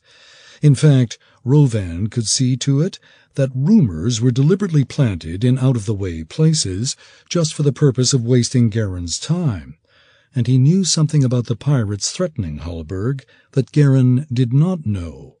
Once he considered the suggestion. It seemed that Geran had unwittingly proposed a scheme that Rhovann would have been hard-pressed to improve upon. Realizing that Maroth Marstel had been thinking things over just a little too long, Rhovann directed the old lord to reply. One ship is hardly a fleet, my lord Harmach. But we will withhold judgment on the merits of the plan until Geran puts an end to Kraken Queen, or we lose another ship to the depredations of those murderous sea wolves. Geran frowned, weighing the deadline Marstel had imposed on him. After all, he had no way of knowing how long he had before pirates took another Hulburgan ship. I'll do my best, Lord Marstel, he said. Darren Ilker looked around at the assembled councillors. Is there any other business before the council? he asked. No one spoke up. The keeper of duties took his gavel and rapped it sharply on the table. Then the council is adjourned. Once again everyone stood as Harmach Grigor rose and made his way up the stairs leading from the hall. Then half a dozen low conversations started as the councillors and their various advisers and assistants began filing from the hall. Rhovann watched Geran stride purposefully to the door, already speaking with Kara Hulmaster. Would it be better to help him along his way, or delay him? The elf wondered. Through the Merchant Council and Maroth Marstel, he could speed his enemy's efforts to outfit his expedition and get him out of Hulburg quickly, or he could throw obstacles in Geran's path, keeping him mired in the effort to gather armsmen and supplies for a month or more. If Geran sailed off with a strong detachment of Shieldsworn and Hulburgan loyalists, the Harmach's hand would be sorely weakened. That suggested several possibilities. The sooner the better, then, Rhovann murmured to himself. Eh? What did you say? Marstel asked. Nothing of import, my lord, he replied. I think House Marstel should generously support Geran Hulmaster's efforts to fit out his expedition. There is not a moment to lose, after all. Marstel nodded. Of course. The pirates must be dealt with firmly and immediately. Delay is intolerable. Just so, my lord. Rhovann gave Geran one more long look, wondering what the fool would do if he suspected that his old rival from Myth Drannor was standing only twenty feet away, planning the success or failure of his ill-conceived venture. Then he took Marstel by the elbow and guided the Hulburgan noble to his carriage. 4. 16 Eleint, the year of the Ageless One, 1479 D.R. Two days after the meeting of the Harmach's council, Geran spent the morning on the quarterdeck of Sea Drake, watching as a crew of carpenters worked to replace the ship's mainmast. The old mast had been badly cracked in a spring gale months ago, which was one reason why House Varuna's sellswords had left Sea Drake behind when they sailed away from Hulburg. She'd been stripped of stores, canvas, rigging, and other such things, of course, but that could be remedied easily enough. Replacing a mainmast, on the other hand, was a tedious piece of work. Over the last two days, the Hulburgan woodworkers had cut away the cracked mast and built a temporary hoist to raise the new mast, a tall, straight spruce cut in the Galena foothills and seasoned for several years in a pond owned by House Marstel. Several dozen workers sweated and swore at each other as they manhandled the long, creaking lines, carefully lowering the new mast into the socket of the old one. The clatter of wheels on the cobblestones of the street drew Geran's attention. He glanced down as an open carriage halted by the gangway leading to Sea Drake. A pair of armsmen in the black and sky blue of House Sokol hopped down from the running boards as Nimessa Sokol descended from her seat. She looked splendid in a dress of burgundy velvet embroidered with golden flowers. To Geran's surprise, an undistinguished dwarf with a bald pate and a forked beard of iron gray climbed down from the carriage after her, dressed in common workman's garb. Nimessa glanced up and caught him watching her. She gave him a warm smile and started up the gangway with her strange companion at her side. Geran dropped down the steps leading to the main deck and went to meet her at the rail. I thought I might find you here, she said. May we come aboard? Of course, but mind the work on the mast. Geran drew her past the working party and led her to a safe corner of the deck. This is an unexpected pleasure. What brings you down to Sea Drake? I heard that you're looking for a sailing master, said Nimessa. I think I may have found you one. May I present Master Anderth Galehand? Master Galehand, this is Lord Geran Hulmaster. Geran offered his hand, forearm to forearm, in the dwarf manner, and studied the fellow. Tattoos of dwarven runes spelled out indecipherable words on the dwarf's thick forearms, and like most dwarves, he didn't spare Geran the strength of his grip. My lord, the dwarf said. Master Galehand came to House Sokol this morning looking to sign on with us, Nimessa said. I thought you might need a sailing master for Seadrake. I do. Are you certain you can spare him? The half-elf nodded. We've already struck terms, but his first assignment for House Sokol is to take a post as your sailing master if you'll have him, and I'll send along seasoned deckhands and armsmen, as many as you need to fill out the ship's company. Geran raised an eyebrow. That's very generous of House Sokol. No, it's good common sense. The pirates are a problem, and Sokol ships aren't safe until they're defeated. Nimessa's eyes flashed. Besides, I have a personal interest in seeing Kraken Queen dealt with. Anything House Sokol can provide is yours for the asking. I've got Erstenwolds looking after our fittings and provisions, but I can certainly use your sailors and armsmen. He turned back to the dwarf. Are you willing to sail under the Harmach's flag, Master Galehand? Aye, I've no quarrel with it. The dwarf looked over to the crew working on the mast and nodded in grudging approval. Your carpenters seem to know what they're about. Her mast never was quite true afore. She ought to sail a sight better now. You've sailed on Sea Drake before? The dwarf gave him a fierce grin. I know this ship like me own beard. I was her sailing master for five years. I've been wanting to see a new mainmast for a long time now.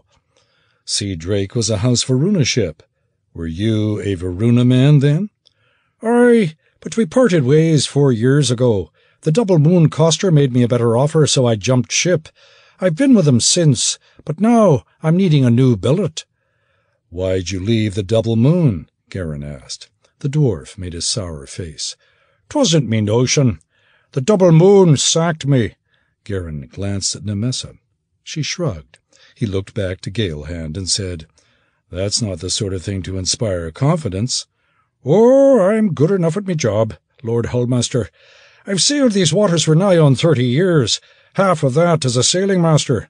No, the Double Moon decided to do without me services last month after I called one of the high gilders a dung-brained dunderhead and knocked him down. Geran frowned. The sea drake was in need of a sailing master, but he wasn't anxious to saddle himself with a surly officer inclined to argue orders. I can see you're a plain-spoken dwarf, he said carefully. What led you to do that? You might recall a wicked set of thunderstorms that blew through early in Flamerule. We were southbound out of Melvaunt, thirty miles from Hillsfar. I came up on deck for me watch, and found that instead of turning our stern to the squall line and reefing the topsails, the High Gilder had countermanded the captain and told the crew to crowd on all canvas and run across the wind. He'd some idea of trying to make Hillsfar before the storm caught up, I guess. The squall line was hard on us by then, and it nearly set us on our beam ends. Galehand shook his head. After we set out, a sea anchor, and reefed in, I told the High Gilder what I thought of him. He objected, and that's when I knocked him down. They paid me off the next day in Hillsfar. You're lucky the ship's captain didn't throw you in irons for striking one of the owners. Galehand snorted. Well, I think the captain would have liked to hit the High Gilder too, truth be told. Geran laughed. He didn't know a thing about Anderth Galehand, but the fellow had no fear of speaking his mind. And if he was telling the truth, then it wasn't any lack of competence that had brought him to grief. All right, Master Galehand. You're my sailing master. I'll have the papers drawn up. Your first job will be to see to the rigging and the sail locker. I mean to sail by the end of the ten-day, and I'll judge you by how quickly and how well you make Sea Drake ready for sea. Fair enough, Lord Hulmaster. If you can spare me for an hour, I'll fetch me kit and come back straight away. Very good, Master Galehand. The tattooed dwarf made his way back down the gangplank. Geran watched him depart, then glanced up at the sky. It was a little before noon, a fine, clear fall day with a light wind out of the west. You didn't have to bring him down here yourself, you know, he said to Nimessa. A word of introduction from you would have been fine. I suppose I'm still looking for a way to thank you for my life. Nimessa gave him a shy smile, then turned to run a hand over the gleaming wood of the ship's rail. You seem to be a man of many parts. Swordsman, wizard, and now sea captain, too. I've studied a few sword spells, I suppose, but that's all the wizardry I know. As far as sailing, well, before I came home this summer, I spent a year and a half with the Red Sail coster of Tantras, voyaging all over the sea of fallen stars. He laid his hand on Sea Drake's rail next to hers and imagined that he felt the ship growing restless under his palm, like a good horse that was eager to run. Nimessa waited for him to continue, a small smile playing across her face. He found himself speaking again before he knew what he was saying.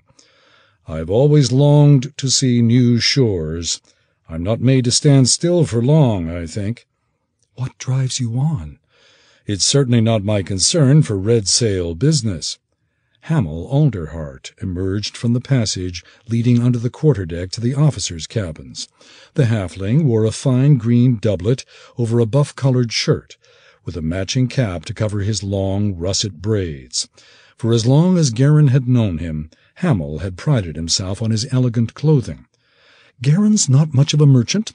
I did all the work, keeping the books and managing the buying and selling. He was really nothing more than a glorified wagon driver.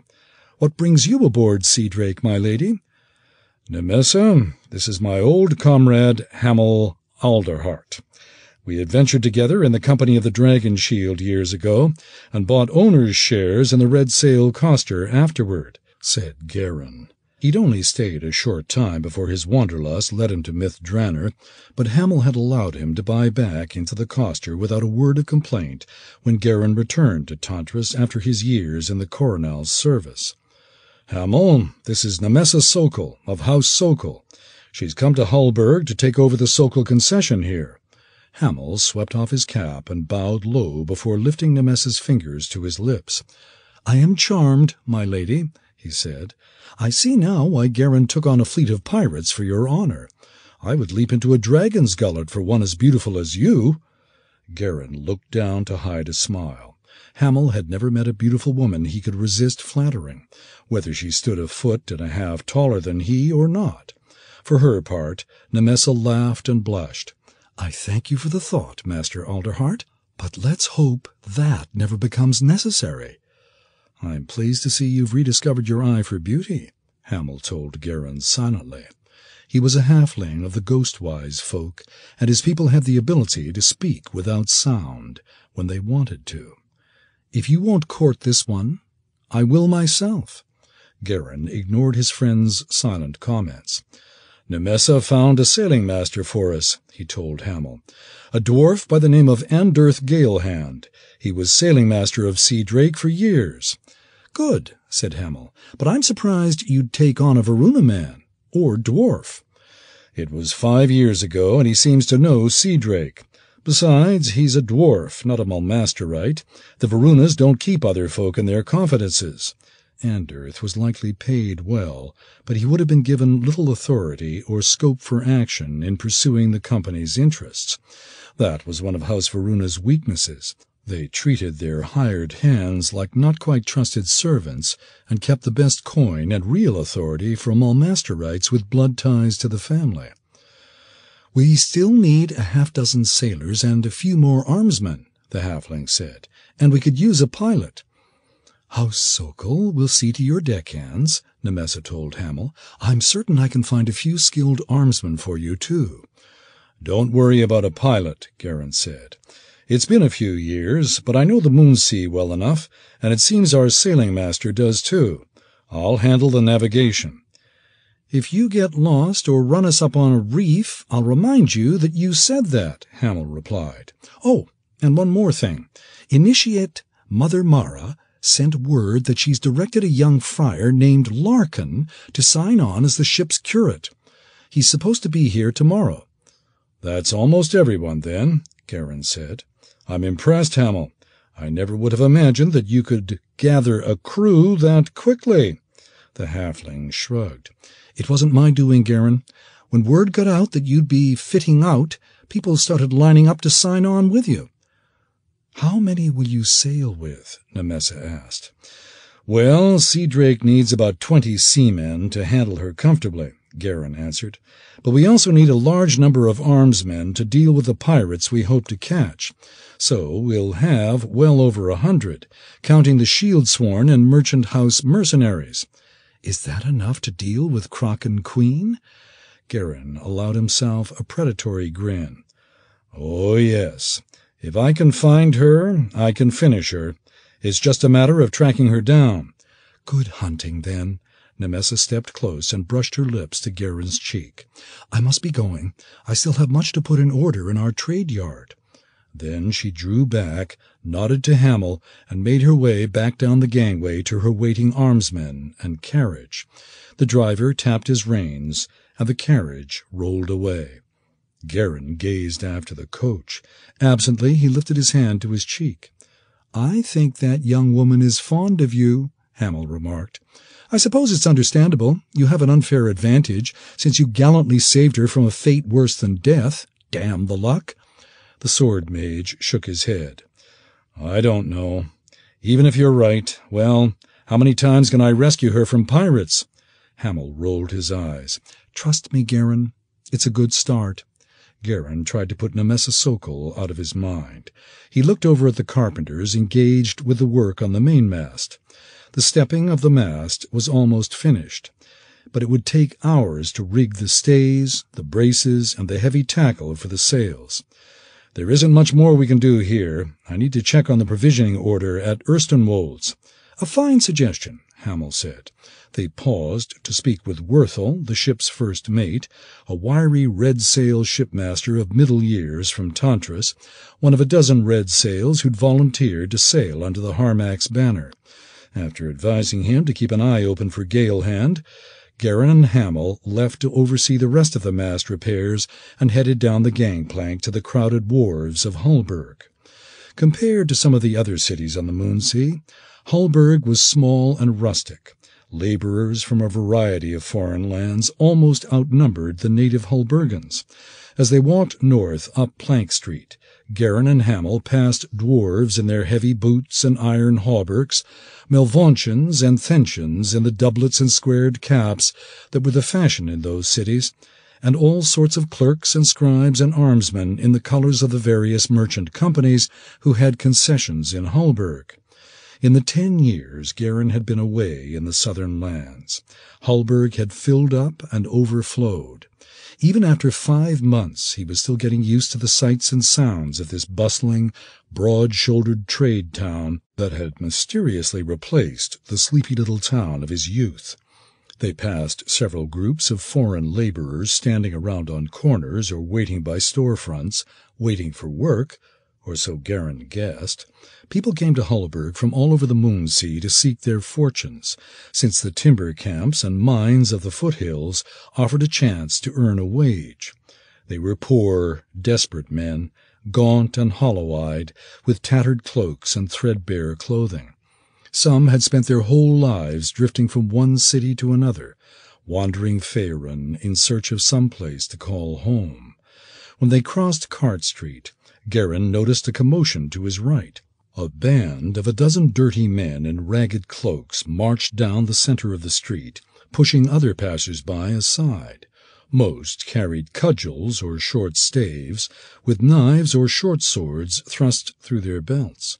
Their left hands were wrapped in grey strips of cloth with a broad, sooty smear across the back of the hand. Townsfolk muttered and glared at them as they shoved through the crowds, but the ruffians paid them no mind. Geran tapped Hamil's shoulder to get his attention. Cinderfists, he said in a low voice. I don't think I've seen them in the mercantile district before. What are they doing here? Looking for trouble as far as I can tell, Hamil answered. He looked around. Just as well there aren't any moonshields nearby. I think we'd have front row seats for a riot. The two paused and watched the gang members pass. Most of the other people in the street hurried on by, avoiding the eyes of the Cinderfists and steering well clear of their path. Geran stood his ground, which earned him a few hostile glares from the ruffians. But he and Hamil were both well armed, and their clothes marked them as men of high station. The Cinderfists either knew who Geran was, or weren't quite so bold as to accost gentlemen in the middle of Hulburg's trade district. Geran met the eyes of one Cinderfist, a tall, lank-haired fellow with bad teeth and a sallow cast. The man snorted as if amused by Geran's attention, and muttered something to his comrades as he sauntered past. Several snickered. I don't like the look of the tall one, Hamil said silently. I've got half a mind to teach him some manners. Leave him be for now, Geran answered. They're not breaking any law of the Harmachs. Not yet, at least. A technicality, Hamil answered, but he smiled pleasantly at the ruffians and allowed them to continue on their way. The gray-cloaked men wandered on down Cart Street, leaving the two companions behind. You'd think a dozen fellows like that ought to have some trade to practice in the middle of the day, Geran said. Hamil nodded. The Varunas employed hundreds. When the house pulled out of Hulburg, they just left their woodcutters and miners and drivers and the rest to fend for themselves. No wonder some of them have fallen in with the Cinderfist gang. What choice did the Harmach have? He couldn't let House Varuna stay after they helped Sergen in the attempt to unseat him. No, he couldn't. Hamil admitted. Your uncle did what Darcy Varuna forced him to do, but until some more trade costers or merchant houses take over Varuna camps, those Cinderfists won't have anything to do other than stand around on street corners and trouble passers-by. That isn't so easy as it seems. Nimessa told me that House Varuna threatened retaliation against any other Moonsea companies that buy up their former rights. Geran fell silent thinking over the Cinderfist situation. His friend was right about the unintended consequences of House Varuna's exile, but there was more to it than that. He'd also heard stories of Cinderfists threatening or beating other foreigners in search of work, pushing them to either join their movement or leave Hulburg and search for prospects elsewhere. A thought struck him, and he looked down at Hamil. Have the Varunas threatened the red sails anywhere? Us? Hamil shook his head. No, I would have told you if I'd heard anything like that. You're a stakeholder, after all. But if you want my guess, I'd say that the Varunas have already assumed we're no friends of theirs. True enough. Geran clapped Hamil on the shoulder. They walked on another half block and came to the sign for Erstenwold's Provisioners, which hung above a large, somewhat ramshackle old wooden building. Several clerks and customers counted, haggled, or carried goods in and out of the store. Business had been good for the Erstenwold store in the months since House Varuna's banishment from Hulmaster. No one was extorting native Hulburgan establishments any more. The wary truce between the large foreign merchant companies and native Hulburgan establishments was holding. Only now there was the Cinderfist situation to complicate matters, Geran reminded himself. Geran and Hamil took the steps up to the old wooden porch and pushed their way into the store proper. A long wooden counter ran the length of the room on the right side, with a familiar clutter of stocked shelves and various pieces of tack and harness hanging on the walls. The uneven floorboards were worn to a glossy polish by decades of foot traffic, and dust motes drifted in the sunlight slanting through the windows. Geran had always liked the place. The old wood, the fresh leather, and the pipe leaf all blended into a rich, comfortable aroma. Mirya, he called. A tall, dark-haired woman with her hair tied back in a long braid looked up from her ledger-keeping at a small standing desk behind the counter. She wore a plain dress of blue wool and a stern expression on her face, but she smiled when she caught sight of them. She closed her ledger and came over to the countertop. Here to see to your order? It's not even been two days, you know. The carpenters were about ready to throw Geran overboard, Hamil answered. We thought it might be best to let them oversee themselves for an hour or two. So you decided to trouble me instead, Mirya snorted. Well, you'll be glad to hear that I've almost all of your ship's goods laid aside in the storehouse. Provisions, canvas, plenty of line, bedding, lumber, casks of ale, spars, hand tools, oakum, pitch. Here, come around the counter and I'll show you. Geran and Hamil stepped around the long counter and followed Mirya into the storehouse that adjoined her shop. Large doors stood open to the street outside, allowing the afternoon light to stream in. Barrels and wooden crates lay stacked up in orderly rows on the dusty old floorboards. I fear the Harmachs to pay dearly for all of this, Mirya said. To fill Sea Drake's hold in the time you gave me, I had to pay half again what I should have. It was no help that all of Hulburg knew that I had to have your provisions as soon as they could be found. My uncle knows you wouldn't cheat him, Geran said. He paced down one of the aisles, glancing over the assembled material. It filled a substantial part of the Erstenwold storehouse, and Mirya's clerks were wheeling in more tubs and barrels as he watched. It seemed hard to believe that it would all fit below the decks of the ship, down by the old Varuna docks, but he knew from experience that ships could carry a lot more than one might expect. I'm amazed you found this much in Hulburg in just the last two days. Is there anything important you couldn't find? I've only half the canvas here that you should carry, Mirya said. I've sent word to provisioners in Thentia and Mulmaster, quietly, of course, to see if I can get my hands on more, but I doubt I'll have it before you mean to set out. You'll want to be careful of your sails. I hope your new sailing master knows his business, Hamil said. Geran nodded. The winter storms are still two months off. With good fortune, we won't see any bad gales until after we've had a chance to fill the sail locker. He looked over to Mirya. I'll have my crew send up a working party first thing in the morning. We'll have most of this cleared out of your storehouse by supper time tomorrow. We'll be ready. Mirya looked over the provisions and shook her head a little. Strange to do business with you, Geran. All the years I've known you, and I have never thought of you as the sort of man who'd take an interest in it. You always seem to be cut from a different sort of cloth. The indolent nobility? The brooding romantic? Hamil asked. I certainly don't trust him with anything important for the red sails. Geran laughed. It was true enough. My thanks, Hamil. I didn't mean I thought him too lazy for it, Mirya said. Too impatient, perhaps, too anxious to be off to the next thing, whatever that happened to be. He used to be a hard one to keep anchored for long. Four years in Myth Drannor taught me a few things, Geran said. He glanced down at the rose-shaped pommel and mithril wire of the sword hilt at his belt. He'd won it in the service of the Coronal. Somehow he doubted that many of Ilsevele Miritar's armathors had spent much time in storehouses such as Erstenwold's. I suppose I'm not the man I used to be. No, you're not. You're a better man. Mirya gave him a lopsided smile. Selsha and I mean to see you off when you set sail. Take care of yourself while you're chasing after pirates, Geran Hulmaster. I'm becoming used to having you around again. I will, he promised her. 5. 19 Eleint, the year of the Ageless One, 1479 DR. Sea Drake sailed on the morning tide three days after Geran's visit to the Erstenwold storehouse. As promised, Mirya and her daughter Selsha came down to the wharves to see them off, along with a couple hundred prominent Hulburgans and curious onlookers, including Nimessa Sokol and Harmach Grigor, who was driven down from Griffonwatch in an open carriage.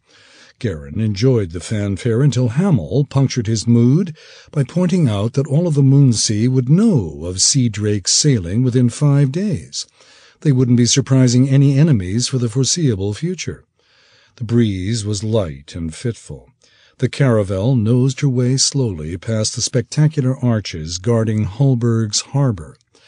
In the morning light, the soaring columns of stone seemed to glow with an emerald luminescence. As Hulburg receded behind them, the breeze freshened and Sea Drake began to throw back a small wave from her bow. Master Galehand, make your course south by southwest, Geran told the dwarf. Hold that for an hour or so, and then bring her around to a northwesterly course. We're going to keep in sight of land and work westward until we pass Thentia. I doubt Kraken Queen is still on this shore, but we might as well make sure she isn't. Aye, Lord Geran, the dwarf replied. He shouted orders at the sailors on deck, followed by colourful oaths in Dwarvish as the untried crew set about their work. Geran retreated to the lee side of the quarter-deck and left Galehand to supervise the watch, leaning against the rail to observe the crew at work while he considered his course. Sarth Khul Riizar climbed up onto the quarter-deck and glanced at the town falling into the distance behind them. The tiefling was an intimidating sight, with ruddy red skin and black horns sweeping back from his forehead. At his belt hung a long scepter of iron marked with golden glyphs. Geran knew they held powerful spells of battle and ruin. Sarth was a talented sorcerer.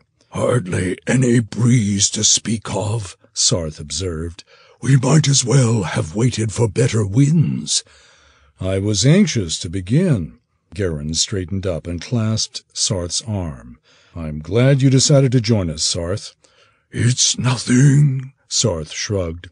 I am happy to be of service, but I fear that I have no spells to summon a more favorable wind. Five months ago, Sarth had emerged as one of the heroes of the Battle of Linden's Dyke.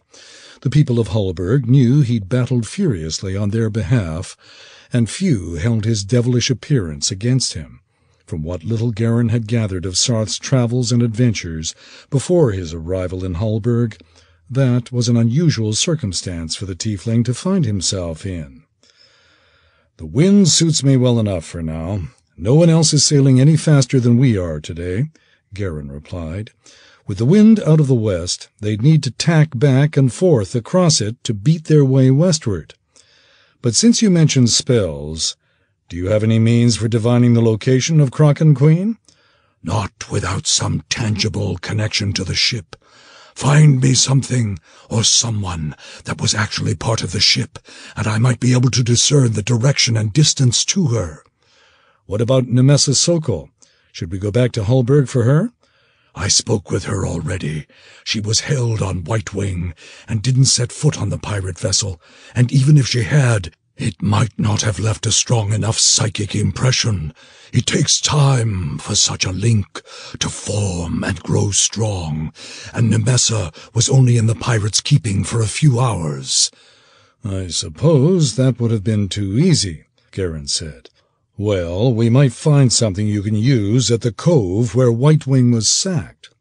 It took Sea Drake most of the day to work her way along the deserted coastlands between Hulburg and Thentia.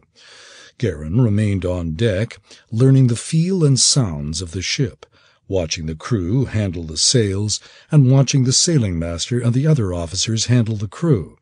Two hours before sunset, Sea Drake rounded the last cape and came within sight of White Wing's burned skeleton. There was no sign of the pirate ship. Damn, Geran muttered to himself. He hadn't really expected to find Kraken Queen here after eight days, but it certainly would have been convenient. He looked over to Worthel, who'd replaced Galehand on watch. Drop anchor here and lower a boat, Master Worthel. I'm going to have a look ashore. Aye, Lord Geran, Worthel said. He frowned under his broad mustache of red-streaked grey. But I don't think there's much to see there. She's burned down to her keel. A quarter hour later, Geran, Sarth, Hamil, and Kara waded ashore from the ship's boat. They inspected the burned wreck of White Wing and the scattered remains of the Sokol ship's cargo still strewn across the pebbled shore. Kara carefully studied the tracks and refuse left behind by the pirate crew, pacing back and forth across the cove as she followed the story she read there. Geran knew of no better tracker on the north side of the Moon Sea, and he waited for her to finish. If there was anything to be found in the cove, she would find it. After a time, Kara brushed her hands off against the mail aprons of her armor and rejoined him.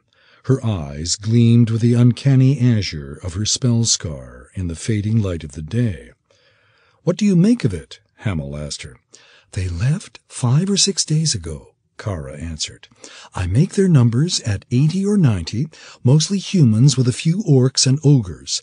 Most of the crew slept on the beach for the two or three days they stayed here. That was not unusual. Most captains, pirate or merchant, preferred to make camp ashore if conditions permitted. As long as the crew posted a few sentries, it was undoubtedly safer than continuing to sail through the hours of darkness, and most vessels plying the waters of the Moon Sea or the Sea of Fallen Stars offered very little in the way of accommodations for their crews. Did you find anything that might have belonged to Kraken Queen? Sarth asked. A scrap of canvas, some discarded rope, an empty water cask? Not very much, I'm afraid, Kara answered. She held up a battered old wooden baton about two feet in length, a belaying pin. I did find this near where they had their ship drawn up. It's the best I could do for something that was part of the pirate ship. But there are several fresh graves over there in the brush above the high water mark. Geran nodded. I killed at least two men when I fought my way out of the camp. He didn't think he'd mortally wounded anyone else, but perhaps the pirate captain had decided to settle some question of discipline during Kraken Queen's stay in the cove. The bodies might serve Sarth's requirement, but he kept that thought to himself. They were too near the high fells and the domain of the Lich Iceperus to unearth corpses, regardless of what they intended to do with the remains. Better to leave the pirates dead in peace. Let me have a look. Sarth held out his hand for the pin and examined it closely. The tiefling murmured the words of a spell and then closed his eyes in concentration. After a moment he snorted and shook his head. It belonged to Kraken Queen, but the aura is weak or the ship is far away, he said. I cannot discern her direction. It was worth a try, Geran said. He sighed and looked out over the purple-hued waters lapping against the pebbled shore. Very well, then. We'll have to search out Kraken Queen the hard way. We'll stay here for the night and begin in the morning. Over the next five days, Geran steered Sea Drake westward along the Moonsea's northern coast, past Thentia and Melvaunt, as far as the river Stojanow and the small city of Phlan, with no luck. The weather worsened as cool gray skies settled in with sheets of cold rain every night. By day, Sea Drake crashed through heavy swells, throwing white spray over the bow and running across the wind with a strong heel to her decks. They crossed the Moon Sea to the southern shore near Hillsfar and spent another five days working eastward as they searched the numberless islets and forested coves that crowded the shore between that city and the river Lis. Still, they had no sign of the ship they sought, and Geran decided that his quarry was not in the southern Moon Sea either. That left only the two far corners of the Moon Sea unvisited the west end by the river Tesh and the Galanar, the wild eastern reaches of the Moonsea, where the mountains ringing Vasa met the coast in mile after mile of spectacular cliffs. But Geran hesitated before ordering Galehand to set his course for either end. Both were desolate and unsettled, with no merchant shipping to speak of. Pirates would find no prey, no safe harbors, and no markets for their stolen goods at either end of the Moonsea. Geran worried at the puzzle for most of a rain-soaked afternoon, then decided to call at the port of Mulmaster before he settled on his next move. If he heard nothing of Kraken Queen in the crowded city, he'd venture into the desolate Galanar. It was only a few hours' sail from the list to Mulmaster. Sea Drake sculled slowly into Mulmaster's narrow, fortified harbor at the end of the cool, rain-misted autumn day. Beetling ramparts and dark towers loomed over the harbor. Mulmaster climbed steeply toward the barren mountains at its back, a sprawling, grim-faced city. Under the city's ruling nobles, or blades as they styled themselves, Mulmaster was a city where those with gold did anything they wanted, and those who didn't have gold did anything they could to get it. The harbor was crowded with round ships and galleys from many different cities and trading houses, but Kraken Queen was not among them. I never much cared for Mulmaster, Hamil remarked as Galehand steered the ship toward an open anchorage. The first time I came here, I had to bribe someone just to find out the proper way to bribe someone. Hardly a friendly or forthcoming people, these Mulmasterites. That's been my experience of Mulmaster. Geran agreed. Kara nodded toward the stone quays as they came abreast of them. Several merchant ships rocked gently alongside, their decks illuminated with lanterns. Even at the end of the day, porters still worked to unload one of the ships, carrying casks and bundles up out of her hold in a steady stream. The Varuna Yards, Kara said. She looked at Geran. Sea Drake may be recognized here, you know. Geran nodded. He was a little nervous about bringing the ship into House Varuna's home waters, too. I doubt the Varunas would try to seize Sea Drake by force, he said. We have enough fighting power on board to resist a merchant company's armsmen. True, but the Varunas might convince a magistrate or the High Blade to order the ship impounded. We can't outfight Mulmaster's navy or escape the port if they raise the harbor chain behind us. We'll choose an inconspicuous mooring, Geran decided. Master Galehand, steer for that one there. It's not very close to shore. With darkness falling, any Varuna retainers ashore who might recognize Sea Drake wouldn't see much more than one more dark hull riding at anchor out in the harbor. Aye, Lord Geran. The dwarf took the helm himself and steered for the spot Geran had pointed out. Sea Drake was no galley. She was slow and ungainly under oars. Geran couldn't shake the impression that the whole city was silently watching their tedious progress to the empty mooring spot he'd selected. Finally, Galehand brought the ship to a stop and ordered the crew to drop anchor. Master Galehand, put the longboat in the water, Geran said. Keep the crew at the sweeps and be ready to slip the cable and make for the open sea if anything goes amiss. Hamil and I are going ashore to see what we can learn. Kara, take command here.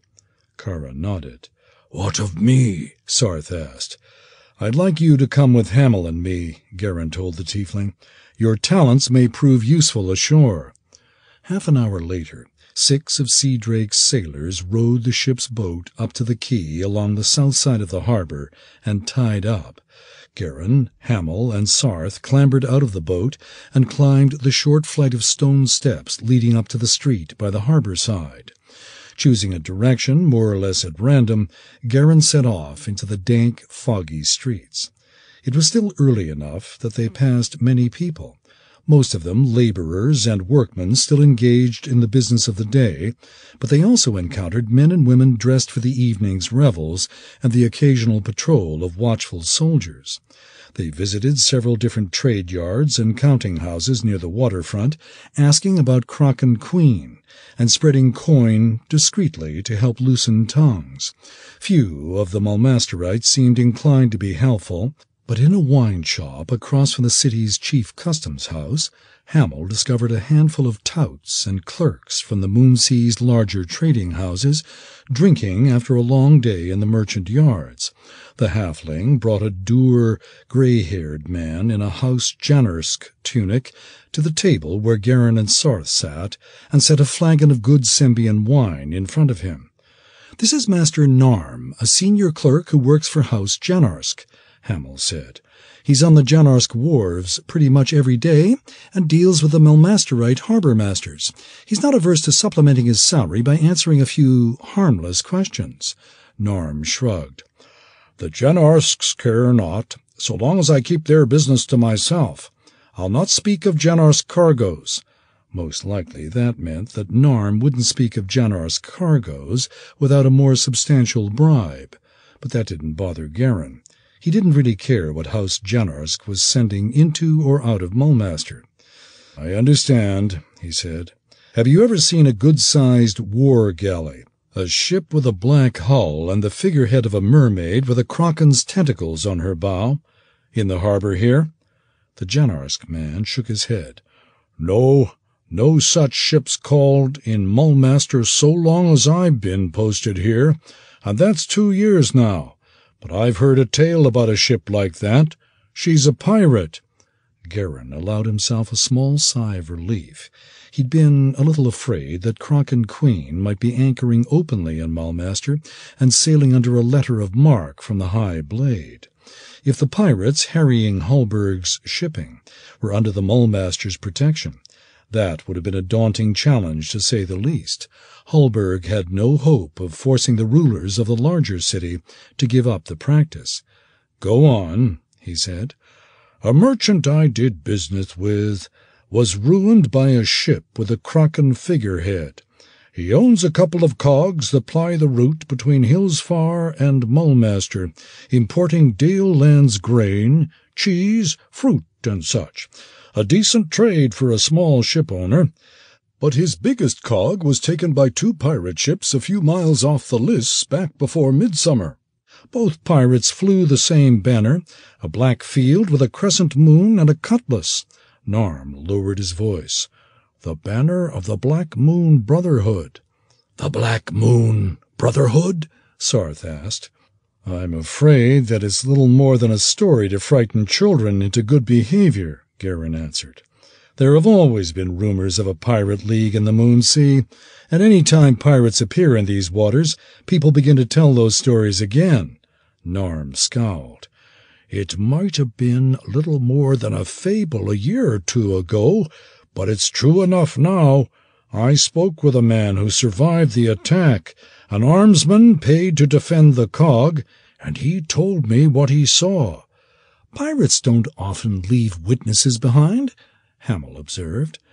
The armsman went over the side during the fight, but was lucky enough to find a bit of flotsam to cling to until another ship picked him up. Narm shrugged. Believe me or not, as you will, the shipowner's cog was certainly taken. Of that I have no doubt. I don't doubt you about the pirate attack on the cog. It's the Pirate League I wonder about. Geran rubbed his jaw, thinking. You're certain you haven't seen the Black Galley with the Kraken maid under her bowsprit here? You haven't heard anyone speaking of a ship named Kraken Queen? No, she's never called in Mulmaster.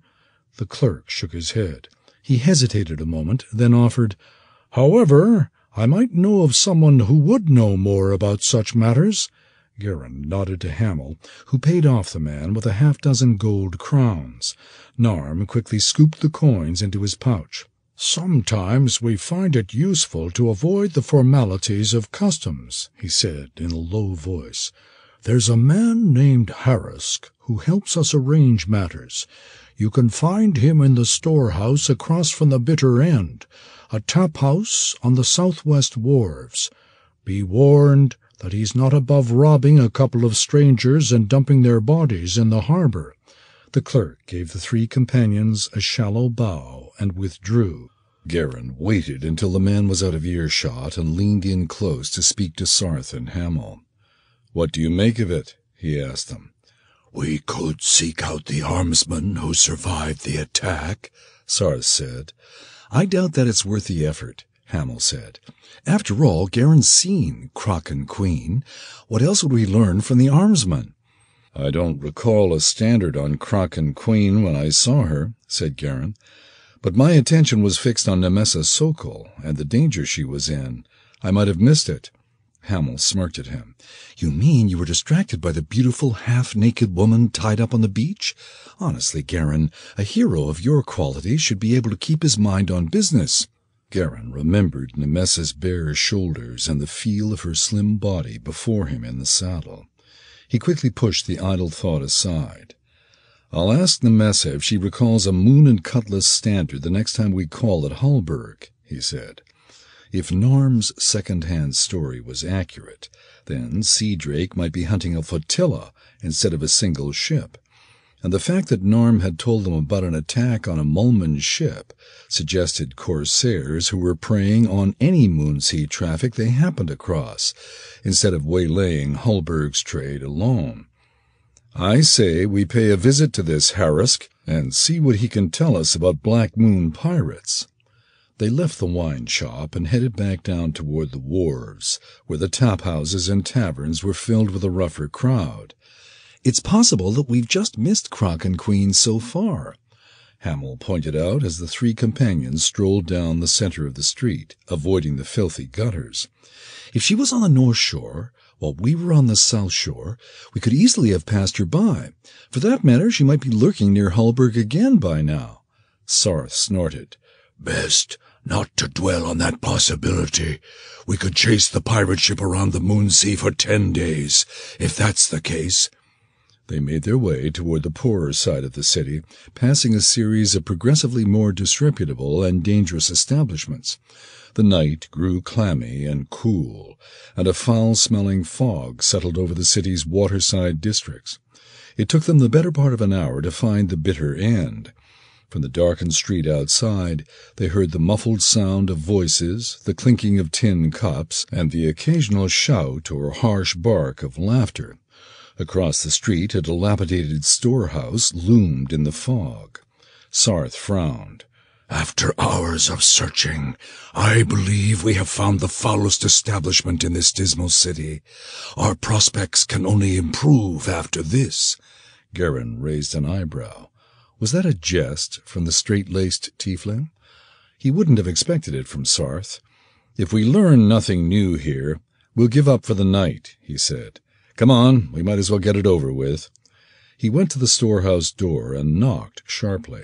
There was no answer at first, but then voices muttered and floorboards creaked inside. Someone drew back a bolt with a rasp of metal, and Geran found himself looking at a pair of sullen Mulmasterites in dirty workman's garb, standing in a small clear space at the front of cluttered stacks of crates and casks. Both men wore long knives at their belts. What do you want? one growled. We're here to speak with Harrisk. Is he here? The two men looked at each other, then stepped back from the door. He's here. Come in. The three companions entered. Their sullen guides led them through the leaning stacks of cargo to a clear space near the back of the storehouse, where a small crowd of dirty humans and half-orcs lounged on rough-hewn benches or sat on old barrels. The ruffians glared at the three of them suspiciously. In the middle of the room stood a ham-fisted, round-bodied, black-bearded man who wore an ill-fitting jerkin of leather studded with steel rivets.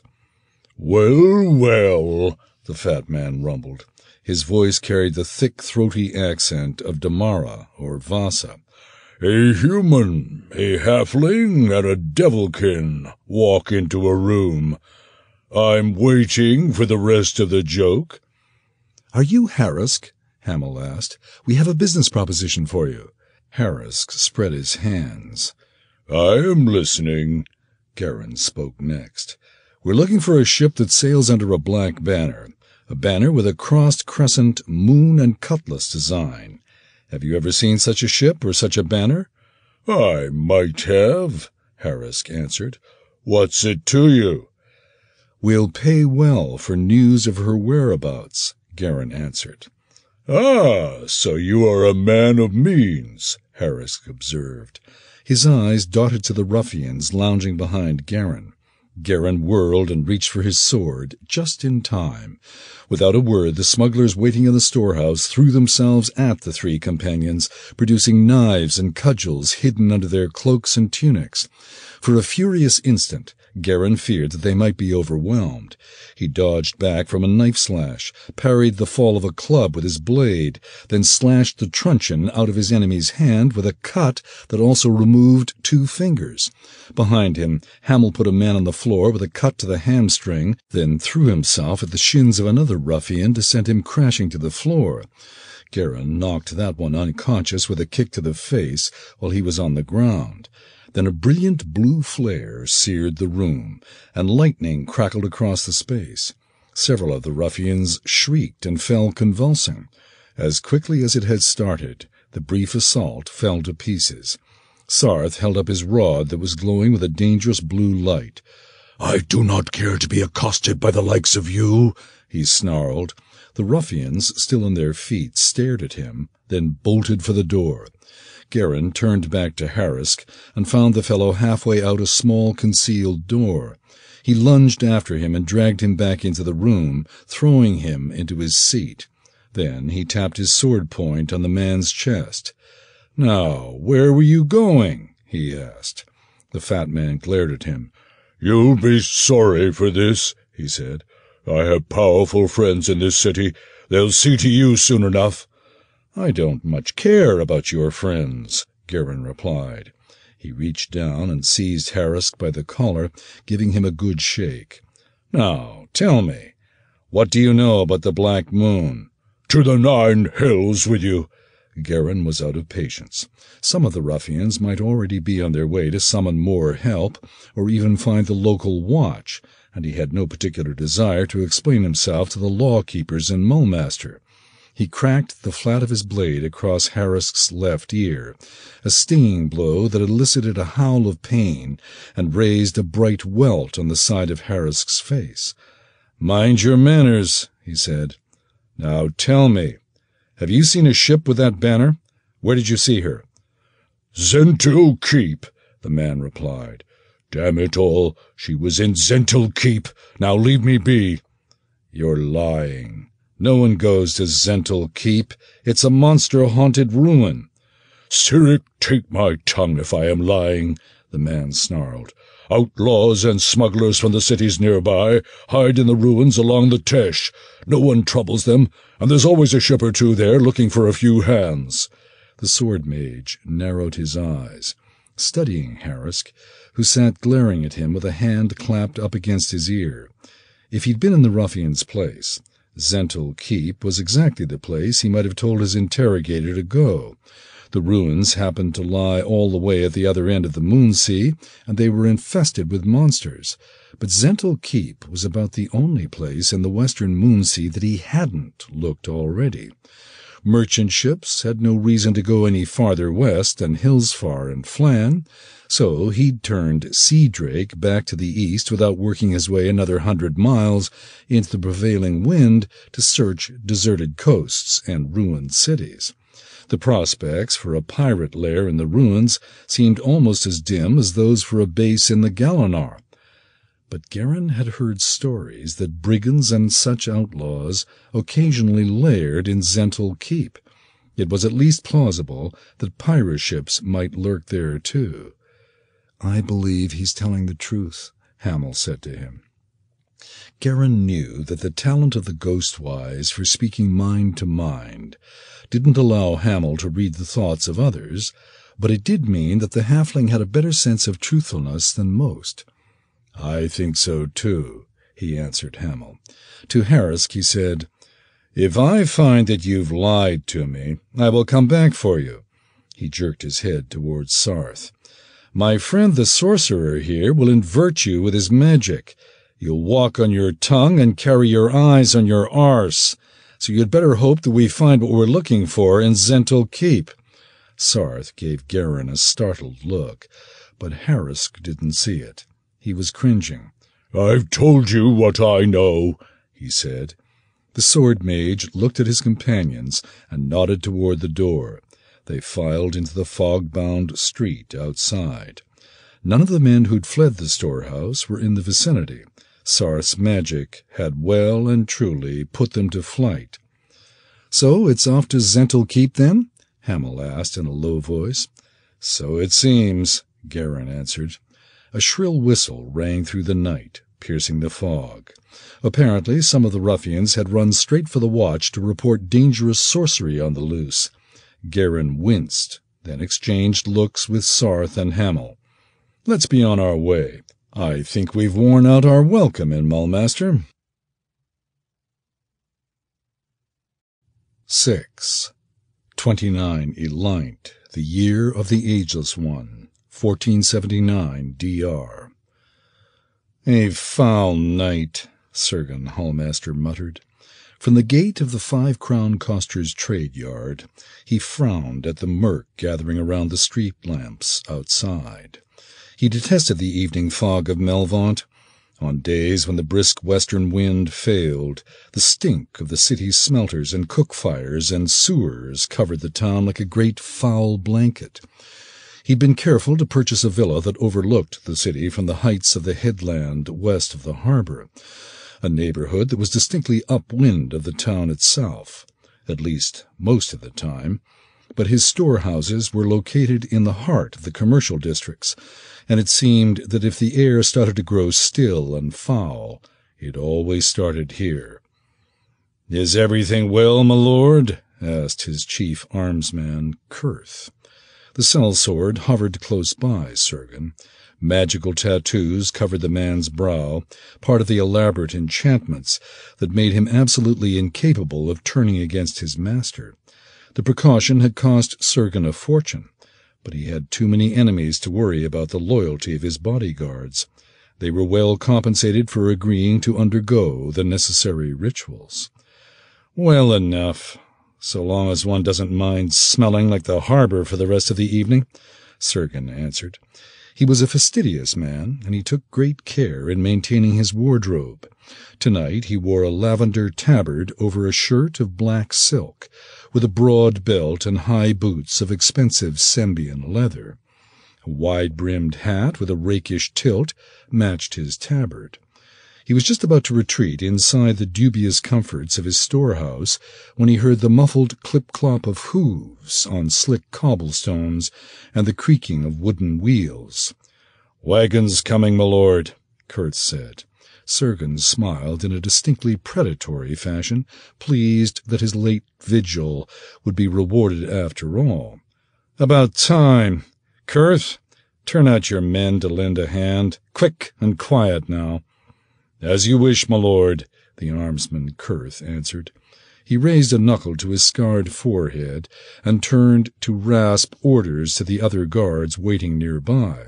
Sergen stood aside from the doorway as his armsmen unbarred the gate leading into the narrow alleyway between his storehouses and hurried out to guide several large wagons inside. This was not the sort of work he liked to give his highly paid guards, but he was certain of their loyalty. Unfortunately, the small army of clerks, scribes, and porters who worked in the Five Crowns trade yard during the customary hours of business was not under any sort of magical compulsion to serve with unquestioned loyalty. Oh, some of them were trustworthy enough, but Sergen knew that clerks and porters tended to gossip with their colleagues in other trading houses when the day was done. When he caught Five Crowns men making that mistake, he punished them severely, but it was impossible to stop all such talk. Better to keep the night's work to those he could trust to keep it to themselves. Sergen unlocked a door leading to a rarely used storeroom. In here, he told his men. The drivers of the wagons weren't in his employ, but they knew better than to ask questions or look too closely at the cargo they were hired to carry. They set their brakes and climbed down to undo the ties that held each wagon's canvas cover in place. Beneath the canvas, the wagons were laden with heavy crates, casks, barrels, and chests. Each had been seared with the black mark of the Five Crowns brand, conveniently covering the former owner's marks. Over the next ten day or so, Sergen would arrange to dispose of the stolen cargo, a few parcels at a time which would turn a tidy little profit for his merchant company. It irked him that he had to attend to such details, but that was the nature of his circumstances. As much as he affected the habits of the nobility, he was simply one more merchant in Melvaunt, and his fortune was not so substantial or secure that he could leave it in the hands of underlings. A few months ago he'd entertained dreams of making himself lord over Hulburg, but his so-called family had somehow survived his carefully planned acquisition of power, largely through the interference of his thrice-damned step-cousin, Geran Hulmaster. Instead of ruling from the throne of Griffonwatch, he was reduced to skulking about in dark storehouses in the middle of the night, with spellbound sellswords, the only minions he could trust. Kurth interrupted his brooding. That's all of it, my lord the tattooed swordsman said. The wagon master is asking after his coin. He is, is he? Sergen answered. He looked into the storeroom, studying the merchandise with a practiced eye. He'd been expecting at least another wagonful or two, but apparently it wasn't coming tonight. With a shrug, he closed and locked the storeroom. Very well, then. Bring him into my office.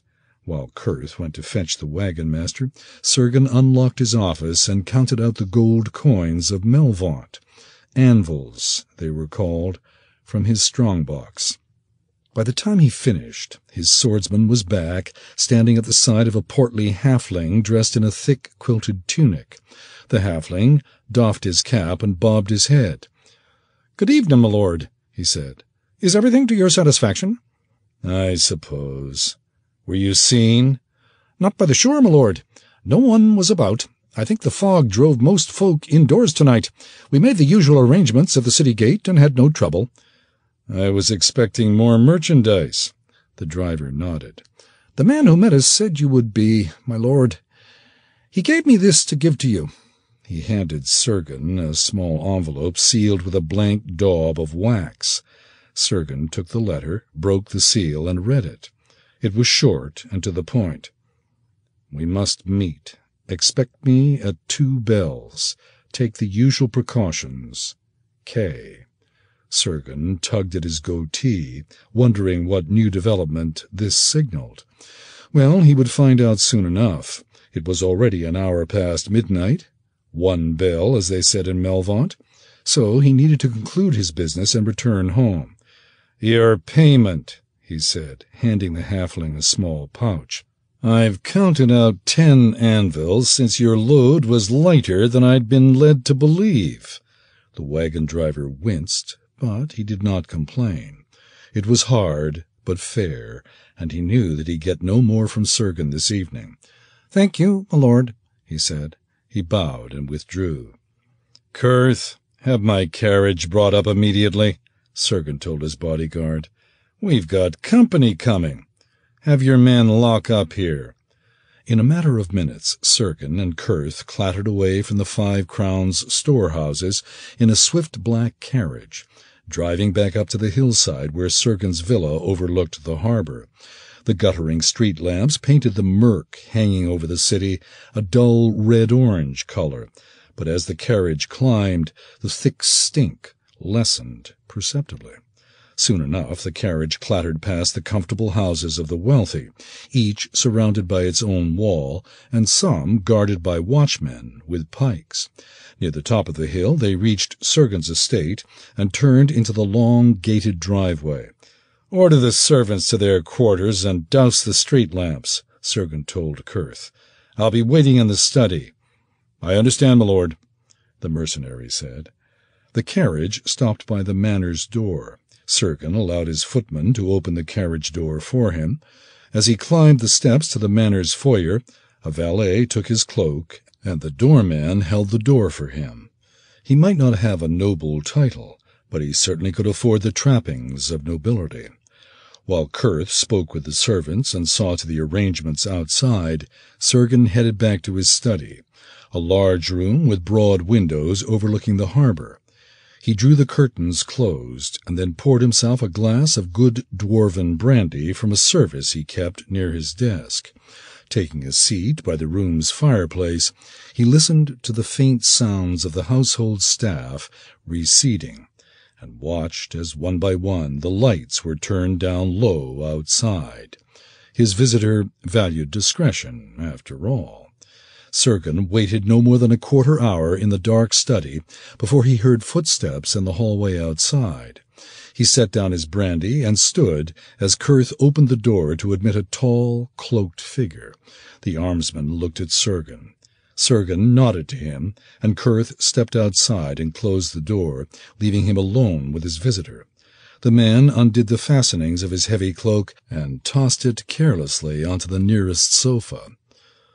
This is a fine house, my boy, he said, but living here is making you soft, mark my words. It's all for show, Sergen answered. Hello, father. He stepped forward for a quick embrace and a hearty thump on the back. Kamoth Kastelmar was a lean, well-weathered man of fifty-five years, a little taller than his son. A gray-streaked beard of black framed his square face, and his eyes smoldered beneath craggy brows. He wore a knee-length black coat with gold embroidery at the cuff and collar, and a fine saber rode at his hip in a scabbard of Termitian leather. Once upon a time he'd been the scion of a minor noble family of Hillsfar, but he'd put his home behind him at an early age, seeking better opportunities.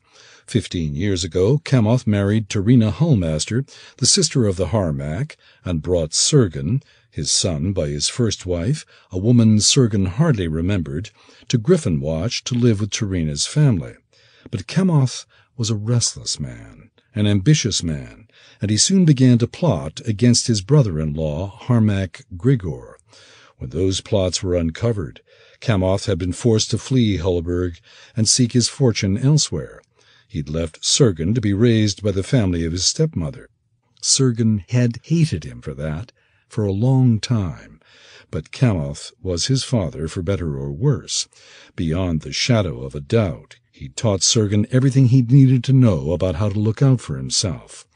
Kamoth thumped his back one more time and stepped back. I don't suppose you have something worth drinking in here? he asked. Sergen nodded at the brandy service.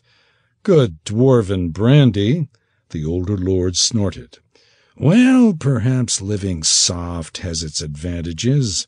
He poured himself a tall glass and actually took a moment to inhale the aroma. Did that fat little halfling get my cargo to your storehouse? He did, although it was only three and a half wagons worth, Sergen replied. Was that all of it? I lost almost a third of the cargo after I beached the Sokol ship, Kamoth said. He scowled fiercely. Some madman spied out my landing and crept down after dark to set fire to my prize. What's more, he cut the Sokol lass free of her bonds and fought his way out of my camp, while my lads were busy fighting the fire. Killed two men and crippled another. Sergen grimaced. Your madman was named Geran Hulmaster. Geran? He was the one that fired my prize? Kamoth turned away with a muttered oath. He glared into the fireplace for a long moment before he composed himself and turned back to Sergen. All right, then. How did you find out about Geran's little visit to my encampment? Geran told his uncle about it the hour he returned to Hulburg. Grigor called the Harmach's council together to discuss the matter, and my ally on the council heard Geran's story for himself. He keeps me informed of the council's business. I heard the tale several days ago. Kamoth looked past Sergen, his eyes fixed on old memories. Bernov's son, he murmured. I saw him from a distance before he fled the beach, fighting his way past my lads. I thought he seemed familiar, and now I know why. He shook his head and seated himself in one of the chairs by the fireplace. Nine years now that Bernov Hulmaster's been dead and his wander-footed son shows up to ruin the best part of a prize I took with my own two hands. Damn that man! Even from the grave he's finding ways to hinder me. The fire ruined that much of the Sokol cargo? No, not that. The lass. She was a splendid sight, my boy. I had designs upon her, I did. Sergen grimaced. Kamoth was a man of violent appetites. When he said he had designs on a woman, those designs often ended in the most heinous sort of murder. It was one of the reasons his father had never bothered to establish himself in civilized society again after fleeing Hulburg years ago. His proclivities would have soon enough earned him a death sentence in all but the most lawless of settings. Sergen considered himself a pragmatic, unsentimental man, and he did not shy from the idea of taking what he wanted, but he'd never been able to understand the demonic urges that moved Kamoth. At its best, Kamoth's cruelty was simply wasteful. At its worst, it was the very soul of wickedness, something so spiteful and nihilistic that even Sergen shrank from it. I'm sure she was, he temporized. How in the world did Geran know to lie in wait for me on that deserted shore? Kamoth mused aloud. I didn't know myself where I'd put in until I saw the cove and decided it would serve. Sheer accident. According to what my man on the council heard, Geran was off visiting his mother in Thentia. He was on his way home to Hulburg when he stumbled across your camp. A day or two to either side, and he never would have seen you. By all the misfortunes of Beshaba, what did I do to deserve that? If ill fortune followed the guilty, Sergen thought, then his father had certainly earned his share and more. He decided not to voice that sentiment. He hesitated for a moment, then he said, I'm afraid there is something more to Geran's involvement. The Harmach's council ordered Geran to fit out a warship to deal with Kraken Queen. Geran is likely at sea by now, searching for you. By all nine of the screaming hells! Kamoth leaned forward, his eyes fierce. Warship? What warship? Apparently, the Verunas left a serviceable caravel named Sea Drake behind when they abandoned the city. They've got a large detachment of shield-sworn and mercenaries aboard. Sergen smiled. They believe it will be easier to track you to your lair than to patrol the sea lanes near Hulburg, awaiting the next attack. The pirate lord stifled a snort of derision. Grigor Hulmaster thinks one impressed ship is a match for the Black Moon Brotherhood? I should go burn Hulburg to teach the Harmach some respect. Sergen shrugged. So far, events were proceeding more or less as he'd expected. His father's pirate flotilla had virtually strangled trade going to Hulburg by sea over the summer, creating no small amount of difficulties for the Hulmasters. He'd originally planned for Kamoth's corsairs to slowly tighten their grip over the next few months, bringing the Harmach to his knees. We expected that the Hulmasters would take steps to protect their shipping, he said. They have no choice. If Grigor does nothing, the Merchant Council has to act in his place. I expected that they'd arm their merchantmen Perhaps send a few soldiers to sea, or maybe strike a deal with Hillsfar or Mulmaster for protection, Kamoth said. I didn't think they'd fit out a warship so quickly. Why in the world did House Veruna leave anything that useful behind? She couldn't sail, and they didn't have enough hands for the oars. Sergen frowned. He'd spent his last few days in Hulburg, hiding in the Veruna compound, and he remembered the Mulmasterites' retreat all too well. I told them to burn anything they couldn't carry off, but Darcy chose not to listen to me. She thought she'd be able to convince the High Blade of Mulmaster to demand the return of the storehouses and Sea Drake from the Harmach. Kamoth waved his hand. Bah! If you can't protect your own, you deserve to lose it. I don't blame the High Blade for ignoring her complaints. So, what do we do about Geran and his ship? Let him chase his own tail all around the Moonsea, as far as I care, or set a trap for him. Kamoth grinned fiercely and set a hand to the pommel of his dagger. Yes, I like the thought of that.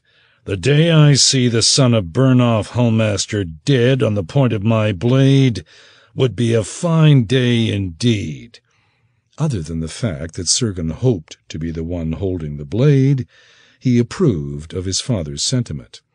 If my source is correct, there are close to a hundred of Hulburg's soldiers and militia aboard Sea Drake, along with Geran and Kara Hulmaster. Geran is little more than a reckless adventurer, but he is a formidable swordsman and Kara is far and away the best commander in the Harmach's service. Can you defeat him? So many, eh? Then I'd need two ships or a ruse of some kind. Kamoth frowned. his eyes fixed on some distant vision of mayhem as he considered the problem. Damn, but it might be better with three ships at that. I know Geran can fight, and those shield sworn will be tough bastards. It makes you wonder who's left in Hulburg. Sergen looked sharply at his father and laughed. A bold idea had just occurred to him. In fact, that is exactly what I'm wondering. With both Geran and Kara away from Hulburg, and a ship full of shield sworn absent from the town's defenders, I think a bold stroke might be called for. The pirate lord raised his eyebrows and sat back in his chair. Raid the town? Now that is a bold idea, my boy. If I summon the Black Moon together, we could land better than six hundred men. Would that be enough to take Hulburg? Take it? No, you'd never be able to fight your way into all the merchant compounds or storm Griffonwatch. But with even a little bit of surprise, you could pillage the harbor district and fire as much of the town as you liked. That would in fact serve Sergen's plans even better than slowly choking off the town's trade. The Harmach's weakness in the wake of such an attack would demand action, and it would wound Geran to the heart if Hulburg suffered while he was wandering aimlessly hundreds of miles away. Sergen had much to repay Geran after the Sword Mage's interference in his plans. A bold stroke, none the less, Kamoth mused. Ah, the stories they tell about the Black Moon Brotherhood after a feat like that. I like the thought of it, my boy. You might be worth something after all. Sergen allowed himself a small smile. It wasn't often that he found a way to earn his father's approbation. Kamoth was quick to praise one of his cutthroats or laugh at the coarse humor his crewmen enjoyed, but Sergen had always had to come up with something exceptional to earn that fierce grin. He took a deep sip of the brandy and said, In that case, when does the Black Moon sail against Hulburg?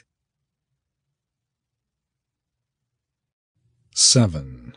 29 Eleint the year of the Ageless One, 1479 D.R. A cold, steady rain fell as Geran and Sarth rowed Seadrake's skiff toward the broken towers of the ruined city. Hamil sat in the stern of the small boat, his hand on the rudder. It was a dark and dreary night, the sort of weather that would persist over the Moonsea lands until the bitter winds of winter arrived sometime in early Nightal. The steady hiss of rain falling into the sea masked the creaking of the oars in their locks and the soft slap of water under the small boat's hull. They'd only been rowing for half an hour, but they were already soaked. Geran didn't mind. The foul weather meant that fewer unfriendly eyes would be watching them. Sea Drake was a mile behind them, invisible in the darkness. She showed no lights, since Geran hoped that their landing in Zhentil Keep would go unnoticed. As an additional precaution, they wore the same sort of common garb that any deckhands might wear on a sodden Moonsea evening. Instead of a fine jacket and jaunty cap, Hamil glowered under a drenched hood.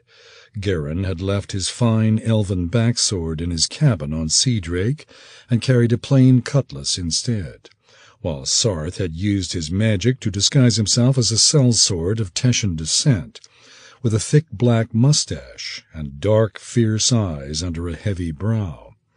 Hamil surveyed the crumbling buildings of the ruined city with a dubious expression. That looks like the sort of place you venture into when you've a mind to feed yourself to some horrible monster, he said. Are you sure of this plan, Geran? Sure of it? No, but I think it's worth a try. Geran paused to glance over his shoulder as the city's ramshackle docks drew closer. Zhentil Keep sprawled on either side of the mouth of the river Tesh. In better times it had been the busiest harbor on the Moon Sea. On both banks of the river, as well as some of the lakefront too, had been lined with broad stone quays that could accommodate scores of ships at a time. He would have liked to bring Sea Drake into the Tesh and drop anchor in the river mouth, but he guessed that the sort of brigands and outlaws he was looking for would have vanished into the rain and rubble at the first sight of a hostile warship. We'll find the sort of cutthroats we're looking for soon enough. Or they'll find us. Sarth frowned as he pulled at his oar. Are you not concerned that the sort of villains we seek might rob and murder three strangers the moment they catch sight of us? A fate easily avoided. We have to appear too poor to rob and too dangerous to pick a fight with. Geran smiled humorlessly. Trust me, we should fit right in. Hamil looked past his larger companions and shifted in his seat. We're getting close. Steer for the docks on the north bank here, or do you want to tie up on the other side of the river? The first spot you see. If the fellow in Mulmaster was right, there may be a ship or two moored up the Tesh, and I don't want to run into them. Geran paused in his rowing and turned around to get a better look at the looming shadows around him. A hundred years ago, Zhentil Keep had been the most powerful city in the Moonsea lands. Its soldiers held the Tesh Vale, the mighty citadel of the Raven in the Dragonspine Mountains, and the ruins of Yûlash. Hillsfar they subdued in Mithrannor's War of Restoration. Gold flowed into Zhentil Keep's coffers from a dozen far lands, intimidated by Zhentarim sellswords or inveigled by Zhentarim spies. But the Zhents, for all their ruthlessness and might, had inevitably aroused the wrath of an enemy beyond their strength. The unliving archwizards of the newly reborn Empire of Netheril did not look kindly on such an aggressive neighbor, and they'd turned their fearsome sorcery against Zhentil Keep. In the years before the spell plague, the Netherese razed the city and scattered its lords, its priests, and its wizards to the four winds. Zhentarim expatriates dotted the lands of the inner sea, but their native city was now a shadow-haunted ruin that all decent folk gave a wide berth. Except, of course, for Geran and his companions. Geran's eye fell on a dark quay that seemed like a safe spot to leave their boat. There, that will do, he said. He and Sarth resumed pulling, and in a few minutes the skiff bumped up alongside the old landing. Hamil scrambled out and looped the skiff's bowline around a rusted bollard. Then the sword mage and the tiefling followed. Geran paused on the cobblestone street to gain his bearings, hand on his sword hilt.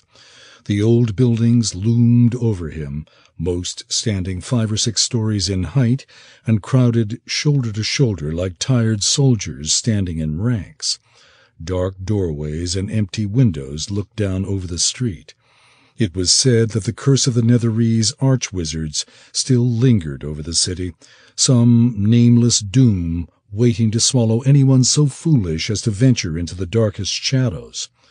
Geran had no idea if that was true or not, but he sensed brooding menace just beyond his sight. This is an accursed place, Sarth said. Terrible spells were spoken here. We'll keep to the river bank. The stories I've heard about this place claim that whatever lingers here doesn't like the water, or that the Tesh has washed away some of the curse, Geran said. Either way, I don't think it would be a good idea to explore any of these buildings. Hamil stopped and looked up at him. It's also a bad idea to leave a fire untended, speak a demon's name, or run while you've got a knife in your hand. Is there anything else we should go over?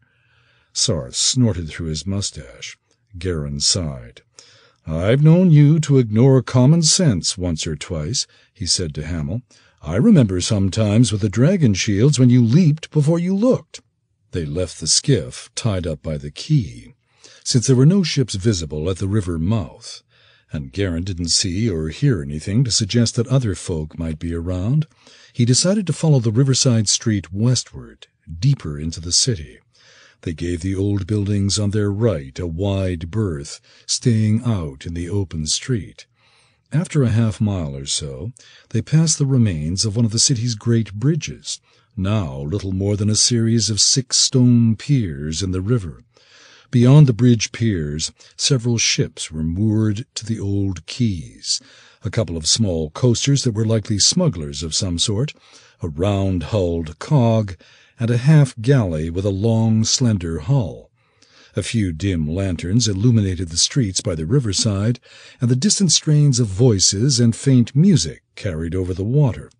Geran and his friends exchanged looks, then they continued. Along the river banks, above the first of the bridges, a dismal little town of sorts had grown up in the city ruins.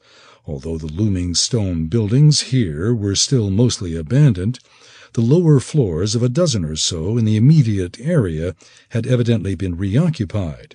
Lanterns hanging from posts outside marked the locations of taverns, fest halls, boarding houses, provisioners, fences, armorers, sailmakers, and others who did business with the sort of brigands and pirates who lurked in the ruins. Despite the late hour, dozens of men and a few women loitered out in the street, staggered drunkenly from one place to the next, or simply lay sprawled on the cobblestones wherever they'd fallen asleep or passed out. More than a few seemed to be half-orcs, goblins, hobgoblins, and other such creatures, but the humans seemed to pay them no special attention. We'll try the taverns first and keep our ears open, Geran said.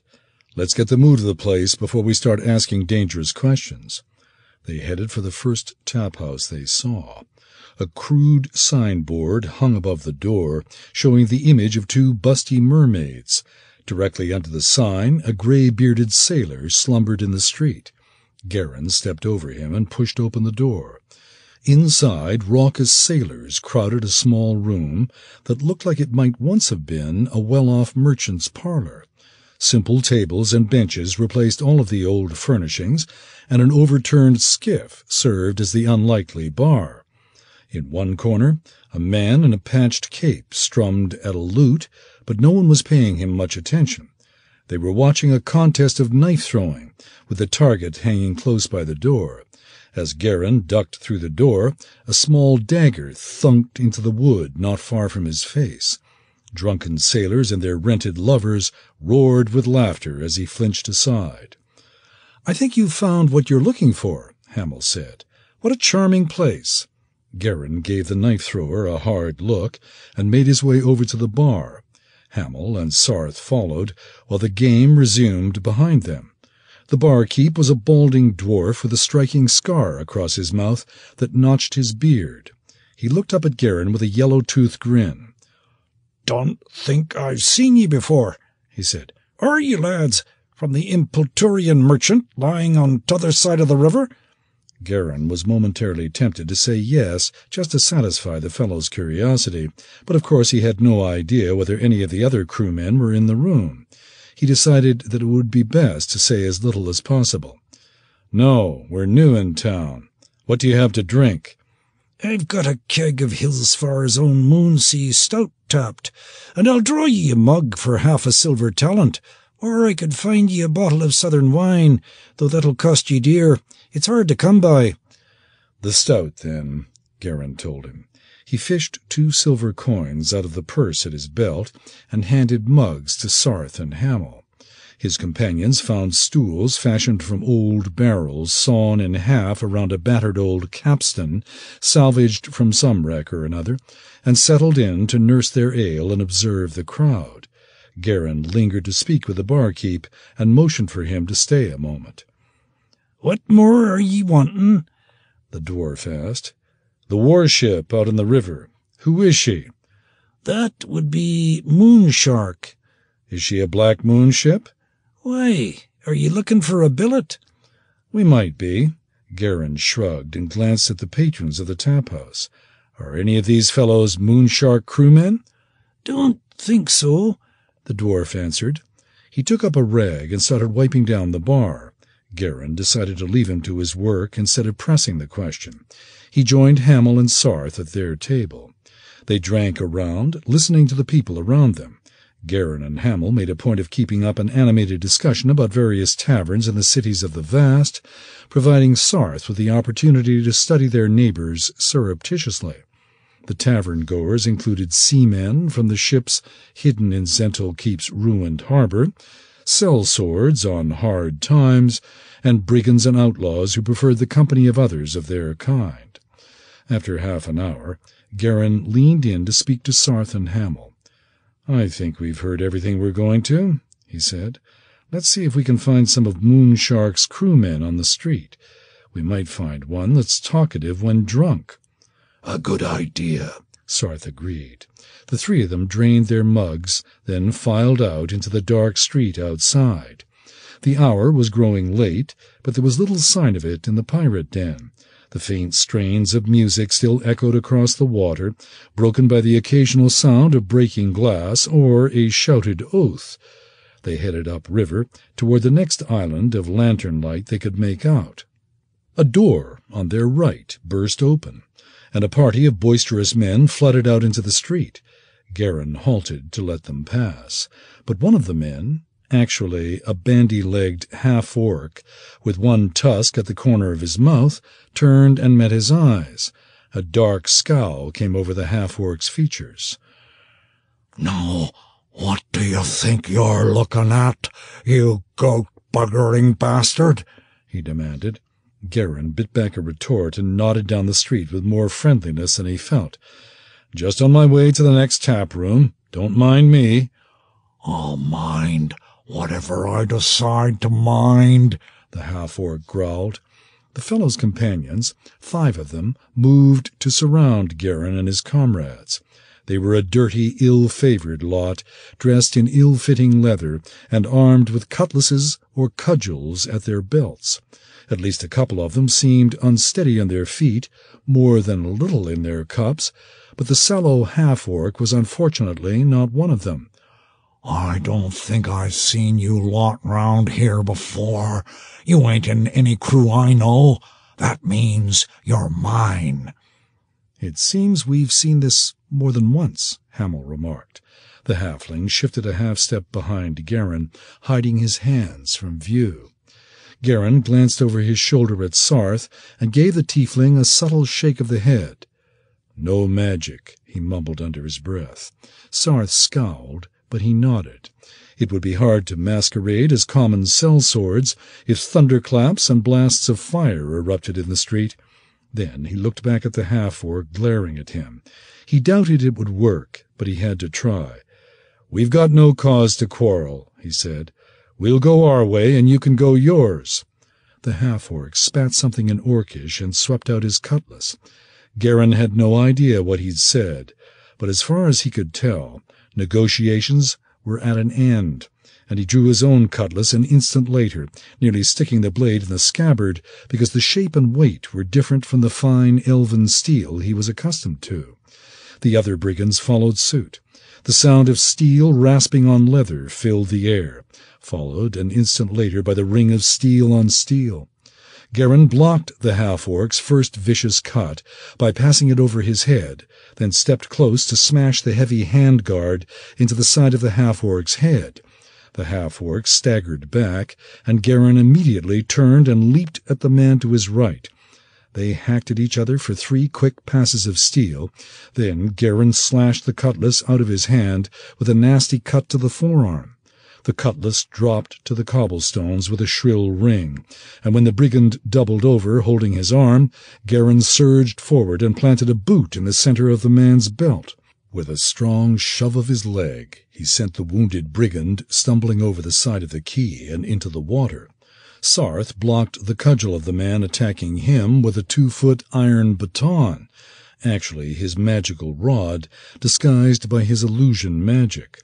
Then the tiefling bludgeoned his foe to the ground with a rain of blows to the head and shoulders. Meanwhile, Hamil efficiently hamstrung the swordsman moving in to attack Sarth from the side and kicked the man unconscious when he fell to the cobblestones. Behind you, he called to Geran.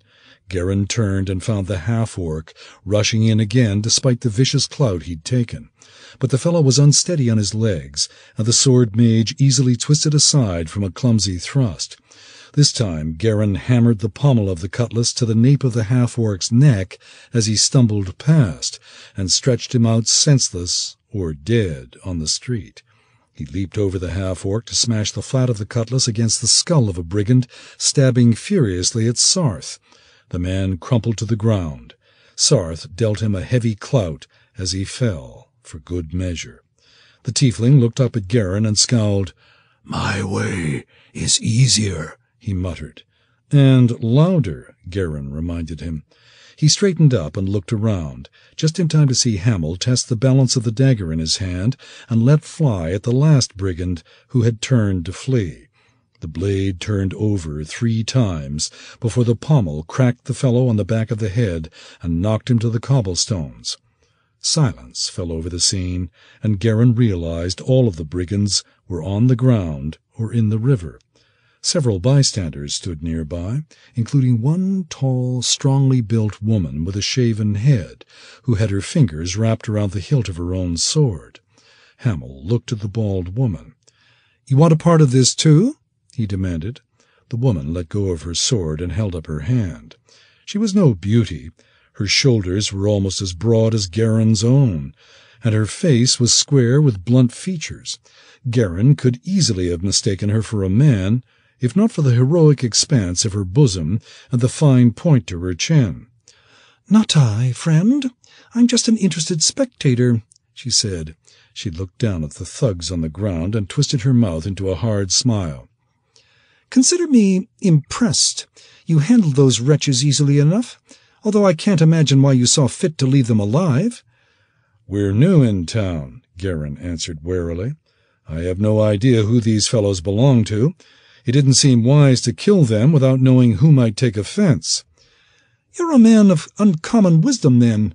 The woman nodded toward a ramshackle establishment on the other side of the river. Those fellows work for Robidar.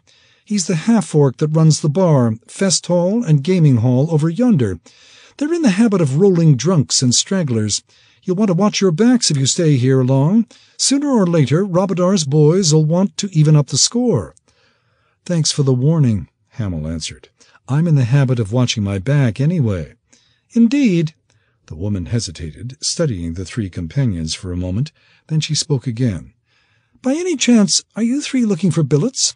I could use a few more sharp fellows who can fight like you can, and have a good share of common sense, too. What sort of billets? Geran asked. Deckhands on Moonshark. She's the half galley tied up by the bridge. A good ship, and swift. My name is Sorcel. I'm her first mate. Geran glanced toward the shadowed outline of Sorcel's ship to hide his quick grin. It seemed that fortune had smiled on him. To conceal his interest, he rubbed at his jaw as if in thought. As I said, we're new in town. We intended to weigh a few opportunities before making any decisions. Sorcel gave a short laugh. You won't find many better opportunities, no matter how long you stay moored here. We sail under the Black Moon's flag, my friends. Things are going well for us these days. A deckhand's share will make a wealthy man of you after three prizes, maybe just one or two if they're rich, and for men of ability there's even more to be had. Geran made a show of thinking over Sorcel's offer, while he considered his next step. He'd hoped to catch a rumor of the Black Moon by visiting Zhentil Keep, but it seemed he'd caught a pirate ship. Now that he confirmed that the Black Moon Brotherhood had more than one ship at their command, he found himself wondering how many more vessels belonged to the pirate flotilla and where they might be found. He had the woman he wanted to talk to right here in front of him. The question was how to engage her without making Sorcel suspicious. Tell her we're interested in signing on, Hamil said silently. It can't hurt to see what more she'll tell us. That's an interesting offer, Geran said slowly. But, truth be told, we'd sort of hoped to sign on with Kraken Queen. The bald mate looked at him oddly. Really? Why? Hamil glanced up at him. You put your foot in it now. Why indeed, Geran? Geran affected a small shrug, thinking furiously. I haven't heard of Moonshark before, but I know Kraken Queen took a Sokol cog just a couple of ten days ago, and it wasn't her first. Sorcel shrugged. Well, you'll have a long wait if you hope to catch Kraken Queen in port. But she's a Black Moon ship also, and we see her from time to time. If you can convince the captain to let you cross deck, you might get your wish. Moonshark's your best bet for now. All right, then. I guess we're in, Geran said. When do we sail, and where are we bound? Good, the mate said. We're sailing tomorrow morning. As far as where we're going, that's the captain's business for now, and none of yours until we're at sea. Come on with me, and I'll introduce you to him. Sorcel indicated the shadowed quay with a wave of her well-muscled arm, and they set off toward the slender warship lying by the ruined bridge. Geran studied the ship as they approached. Moonshark was a half galley, built for sailing instead of rowing. She was smaller than Kraken Queen, a two-master instead of a three-master, but she looked like she'd be swift and handy under oars or sail. Geran decided that Sea Drake would have a hard time catching her on the open sea unless she gained the weather gauge on the pirate. Sorcel led them up the narrow gangplank and gruffly acknowledged the greeting of the deck watch a pair of dispirited-looking men who evidently wished they were free to spend the night in the ruined port's taverns. The mate went aft to a companionway beneath the quarterdeck and knocked. "Captain," she called in a low voice, "new hands." "What have you got there, Sorcel?" The voice was not quite human, wetter and more throaty, with a hint of a growl deep in the chest. A tall but curiously hunched figure appeared in the small companionway, ducking beneath the doorway as it stepped onto the main deck. The creature stood almost seven feet tall despite its posture, and as it moved into the lantern light by the head of the gangplank, Geran saw that it was a gnoll, a savage beast man with a hyena-like muzzle and a short coat of mangy yellow-gray fur. It wore a shirt of black mail and carried a curving scimitar at its belt. Three hands as say they want to sign on, Captain Narsk, the bald woman answered. They handled a gang of Robidar's lads well enough, and I thought you might want to meet them. Robidar's men aren't worth a cup of warm piss. Still, we need the crew, don't we, Sorcel? The gnoll, Narsk, Geran reminded himself, said. The mate remained silent, and Narsk paced closer, looking over the three companions. The sword mage did his best to look surly, violent, and desperate without challenging the gnoll by holding his gaze too long. Narsk twisted his lips away from his fangs and then looked down at Hamil. The other two might do, but I don't need a little rat like this one on my ship. I need fighters. Hamil planted his feet and looked up at the gnoll. I'll try any man on this ship, you included, Captain. The gnoll scowled at that, but Sorcel spoke up.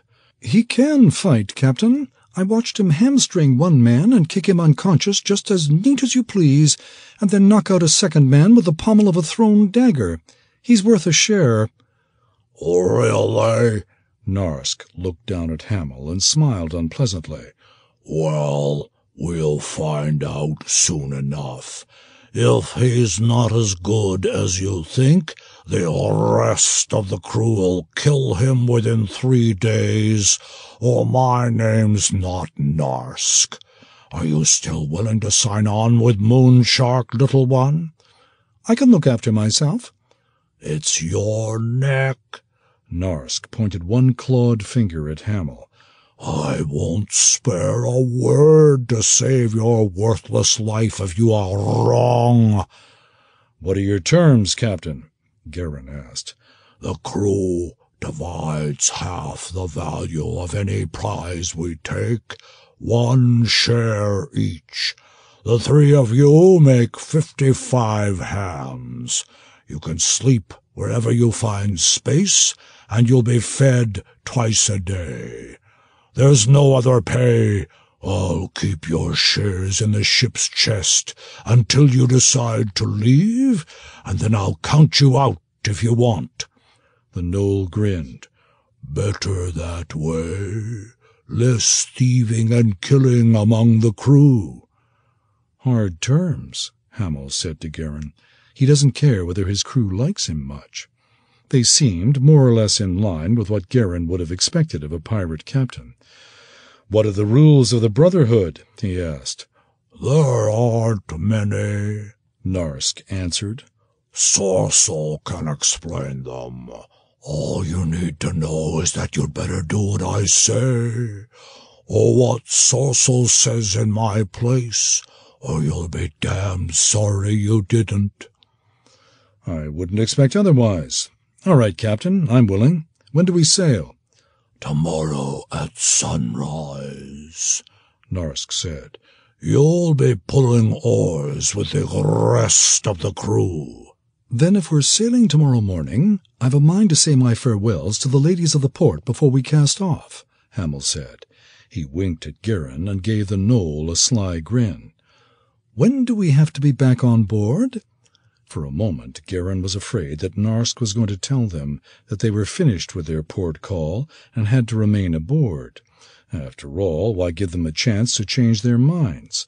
But a sly look stole over the gnoll's face, and he bared his fangs in what Geran supposed was meant to be a friendly grin. Go, say your farewells, then. Geran relaxed. He judged the gnoll well. Sailors with full purses were all too likely to jump ship at the first opportunity, but penniless sailors were more or less at the captain's mercy.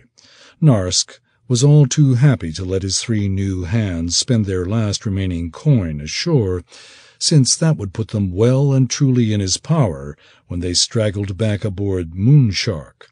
Chances were he had no intention of paying them at all, or at least not until it suited him to do so. Back, wise son up, or I'll leave you, the gnoll warned. Then he ducked back through the small door leading to the aft cabin, shutting it behind him. Sorcel looked over the three companions and shrugged. Well, you heard the captain, she said. You can go back ashore, or I can show you where to sling your hammocks now, but I'll warn you that the best spots are taken. The night's still young, Geran answered. We'll be back before dawn. Then he trotted back down the gangplank, with Sarth and Hamil a few steps behind. He turned back toward the yellow lanterns marking the location of the taverns along the ruined quay, and walked away from Moonshark without a backward glance. Well, what now? Sarth asked quietly. I think that a bold opportunity is before us, Hamil replied. The question is, should we take it? Do you mean to attack Moonshark before she sails? Sarth asked.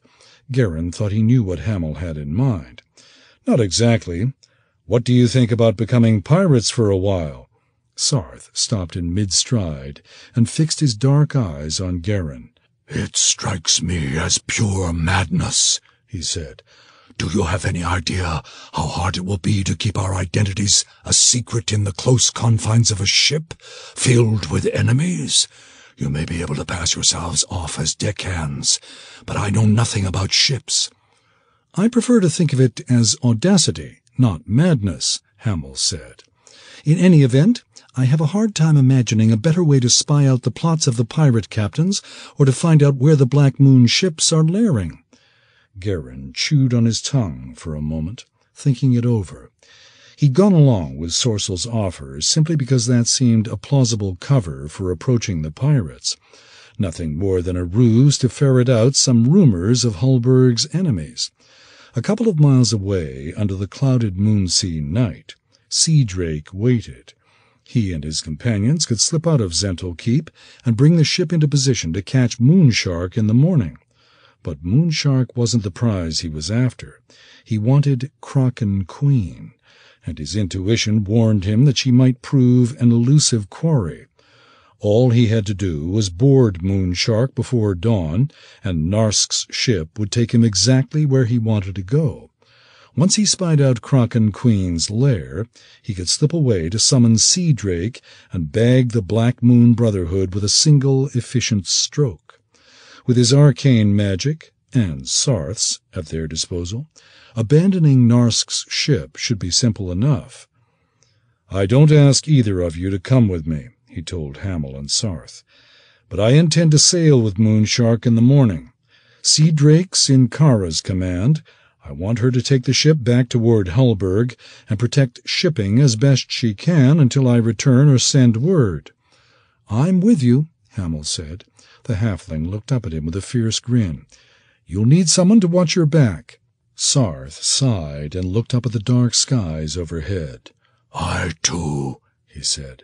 There is an excellent chance that you will have to fight your way off that ship. If so, my magic may be of some small use, but I am going to be a very inept deckhand. Hamil and I can help you with that, Geran told him. Besides, there'll be plenty of men on that ship who know just as little as you do. Narsk needs fighters even more than he needs sailors. Very well, Sarth said. He frowned unhappily. I will trust your judgment. Good. That brings up two more things. First, Sarth, you have a spell of flying. Can you return to Sea Drake, explain to Kara what we're doing, and come back swiftly? Sarth nodded. Of course, but we should get out of sight before I take to the air. The place where we left the skiff should do. I don't think many of the people here are in the habit of roaming the ruins at night. What else? Hamil asked. Geran smiled. He knew it was a foolish thing, but it amused him none the less. We'll need to come up with good pirate names. 8. Thirty Eleint, the year of the Ageless One, 1479 D.R. Moonshark sailed at dawn, as Narsk had promised. Before the lower limb of the sun had cleared the horizon, the half-galley hauled in her lines and sculled slowly eastward with the current of the Tesh. By daylight, the taverns and dens huddled in the ruins of Zhentil Keep struck Geran as squalid and small. None of the people living there showed themselves as the pirate ship set sail. As he bent his back to one of the oars and pulled, Geran began to second-guess his strategy. The moment the ship got under way, Narsk and Sorcel dropped any pretense of civility. The burly first mate armed herself with a small cudgel and roamed the main deck freely employing the weapon against anyone who seemed to be shirking.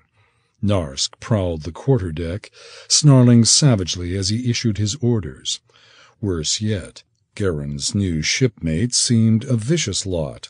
Most of the crewmen were humans from a wide variety of lands but some were dwarves, some were half-orcs, some were goblins or kin to goblins, and there was even one ogre, a strapping, dim-witted creature called Kron, who manned one of the ship's oars by himself.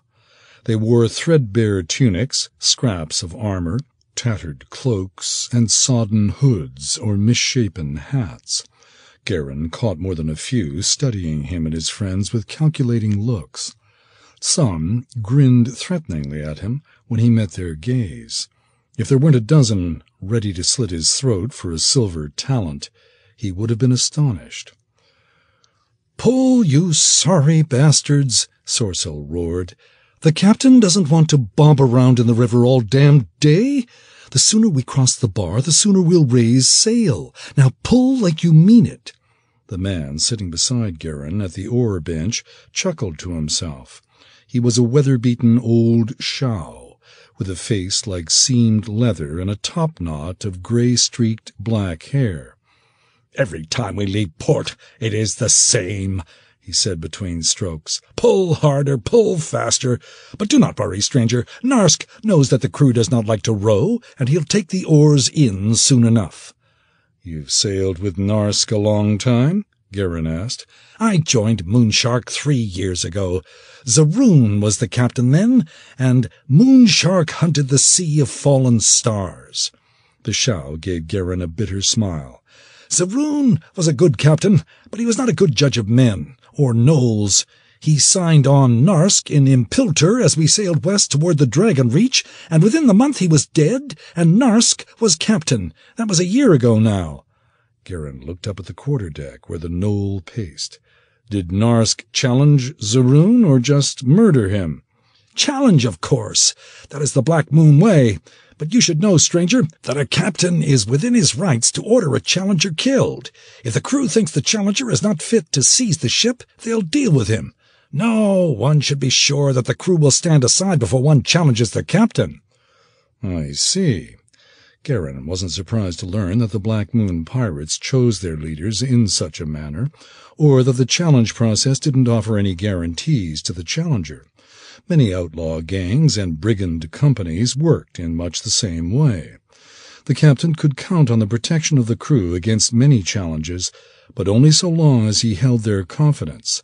Has Narsk faced many challenges? Some.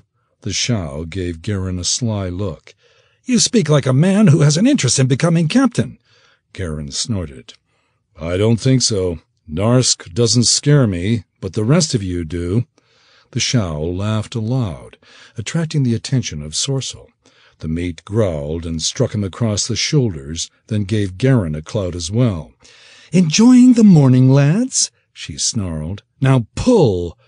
Geran saw stars. He started to surge up from his bench, but he stopped himself short. It was far too early to think about fighting anyone, and he knew that the mate had meant the blow as a sharp warning and nothing more. Instead, the sword mage clenched his jaw and chose to endure the blow with a hard look at the mate. Hamil and Sarth, sitting at the bench in front of him, hesitated half a moment in their sweep, and Hamil glanced back to meet his eyes. Are you certain you want to continue? He asked silently. We can dispatch a few of these villains and make our escape any time you like. Geran shook his head slightly and went back to his rowing as Sorcel moved on to shout at a different crewman. He was here to learn more about the Black Moon Corsairs, and if he drew blade the first time he met with something he didn't like, he would never get far. Hamil shrugged and returned his attention to his own oar. You were wise to hold your anger, the Shou said in a low voice. If you had struck back at Sorcel, Narsk would have ordered her to beat you or kill you. He paused and then added, I am Tao Jie. I am the ship's cook. Call me Aram. Those two ahead of us are Vor and Dagger. Geran nodded at Sarth and Hamil. What else should I know about sailing under the Black Moon? It would be wise to find a fist soon. A fist? A band, a gang. They call them fists here, the Shou answered. One man alone is in for a difficult time aboard a Black Moon ship. Your shipmates will rob you, bully you, give you the worst jobs to do. The best protection you have is a strong fist. If your fist is strong enough, even the first mate and the captain must think twice before dealing harshly with you. After all, you might challenge the captain, and if your fist is very strong, the crew will stand aside. I see that you have a small fist already, you and your comrades here, but that is not enough. No one has reason to be wary of such a small fist. How many fists are there on Moonshark? Geran asked. Four that matter. Skamang and his Impulturians, the dwarves and Teshans, the Mulmasterites, they follow Kefin, the second mate, and the goblins and their kin. Remember, if you pick a fight, you're taking on the whole of your foe's fist. Up oars! Sorcel shouted. Geran and Tao Jie pushed down on their end of the heavy oar, raising its blade up out of the water, as the other pairs of oarsmen along the ship's side did the same. The mate waited a moment to make sure that all of the rowers had obeyed, then called, Take in and secure your oars. They pulled the oars inboard and set them in chocks bolted to the deck, making them fast with iron pins that held the oars in place. The rest of the crew stood up and pushed their way clear of the oar sweeps. Sorcel ordered crew to set Moonshark's sails. I must go and see to our stores before I prepare the midday meal, Tao Jie said. He studied Geran for a moment. You may not need any advice from me, but I offer it anyway. Sorcel is no one's friend, and watch your back around Skamang there. The cook nodded at a tall, stoop-shouldered Northman with blue whorls tattooed on his face. He's got a fist that not even Sorcel wants to cross, and he's the one man on this ship, other than Narsk, that you do not want for an enemy. I'll remember what you've told me, Geran answered. The cook nodded and went forward to the ship's galley. Geran went to lend a hand with the job of raising sail. Some galleys carried masts that could be unstepped and laid down flat inside the hull. But Moonshark was made for sailing first. Her two masts were fixed in place and carried a typical fore and aft rig. The pirate crew managed the task with a fair bit of fumbling and plenty of cudgel blows from the first mate. Many of the deckhands were no more familiar with the work of sailing a ship than Sarth was. Moonshark might be able to outsail a round-bellied cog, or outrow a coaster in a light wind, but her crew needed more practice to handle her well under sail. Geran decided that Narsk had manned her with whatever fighters and outlaws he could scrape together in the most wretched tap rooms of the Moonsea, whether they knew a thing about sailing or not. They passed the rest of the day working through the dozens of tasks that kept a deckhand busy. Geran quietly related to Sarth and Hamil everything Tao Jie had told him, and the three made a point of watching out for each other. The weather was fair and cool, with a steady light wind out of the west that drove Moonshark at a slow-footed, rolling pace. The pirate ship carried many more deckhands than she needed. The sailing watch could have been handled by four or five men, but a big crew was needed for rowing and fighting. Consequently, most of the crew worked little while the ship was under sail and undertook routine tasks only when unable to pass them off to some more luckless hand. For example, the three new hands signed in Zhentil Keep. The sullen Northman Skamang held court by the foremast for most of the day, surrounded by his fist of seven or eight deckhands who did nothing at all the whole day as far as Geran could tell. At one point, Skamang called Geran over when Geran was carrying fresh water from the ship's casks up to the galley for Tao Jie. Ho there, new man, he said in a rasping voice. What do you call yourself? Geran sat down his yoked buckets with care before answering. Aram. I heard that you and your friends cut up a couple of Robidar's lads back at the keep. Is that right? That's what happened. Skamang smiled without humor. Six of them, they say. You, the C6 sellsword with the mustache, and the little fellow. I find that hard to believe. The three of you must be some fighters. Geran shrugged. Ask Sorcel if you don't believe me. She watched the whole thing. He picked up his yoke and continued on his way. He could hope that Skamang would decide that he and his friends were likely more trouble than they were worth, but somehow he doubted they'd be that lucky. He didn't need Tao Jie's warning to sense that the tattooed Northman intended trouble for them sooner or later. The rest of the day passed peacefully enough, and the night as well. Late in the afternoon of their second day out, Moonshark came in sight of a group of black, jagged rocks jutting up out of the moon sea. Geran recognized them. They were spear-like towers of Changeland known as Umberlee's Talons, and they served as a useful landmark to ships navigating in the western reaches of the Moonsea. Most ships gave them a wide berth. Not only did the jagged rocks offer plenty of chances to rip out a ship's bottom, but the place had an evil reputation. They were haunted or cursed or concealed the lair of a mighty sea monster, or some combination of the three, depending on which tavern tale one favored. Narsk steered a course straight toward the menacing islets, and none of the other deckhands seemed very concerned when he did so. Sarth stood by the rail next to Geran, gazing at the sinister rocks. Hamil was below, sleeping after staying up most of the night on watch. Some of the rocks rose well over two hundred feet out of the water, but no seabirds hovered around them or roosted on their steep sides. Is this the secret Black Moon refuge? the tiefling asked in a low voice. I doubt it, Geran answered. The talons are well known in these waters. If there was anything here but empty rocks, I think the story would have got out. Could there be some hidden anchorage here? Something hiding in plain sight? Your guess is as good as mine. The sword mage shrugged. He peered more closely at the talons as Moonshark drew near. If there was some sort of stronghold or secret harbor hidden in their midst, he couldn't see it. Soon enough, Sorcel ordered the sails to be taken in and called the crew to the ship's oars. She prowled the narrow walkway between the oar benches, truncheon in hand, while Narsk carefully piloted the ship between the looming rocks to a reach of clear water he liked. They dropped anchor and settled in to wait. At sunset, the wind shifted to the east and strengthened.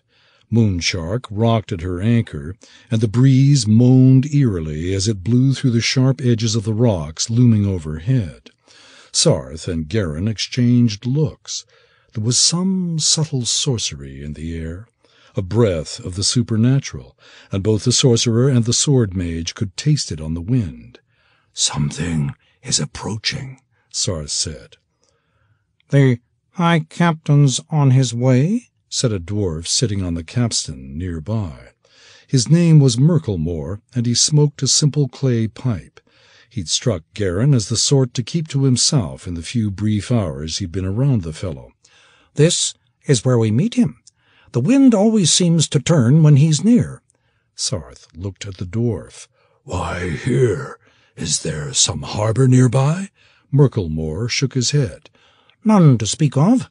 No, as I've heard it told, there's a black isle that only the High Captain knows how to find. This easterly wind is the wind he needs to put to sea. A black island? Geran asked. Clearly the Black Moon ships had some way of staying out of sight when they wanted to.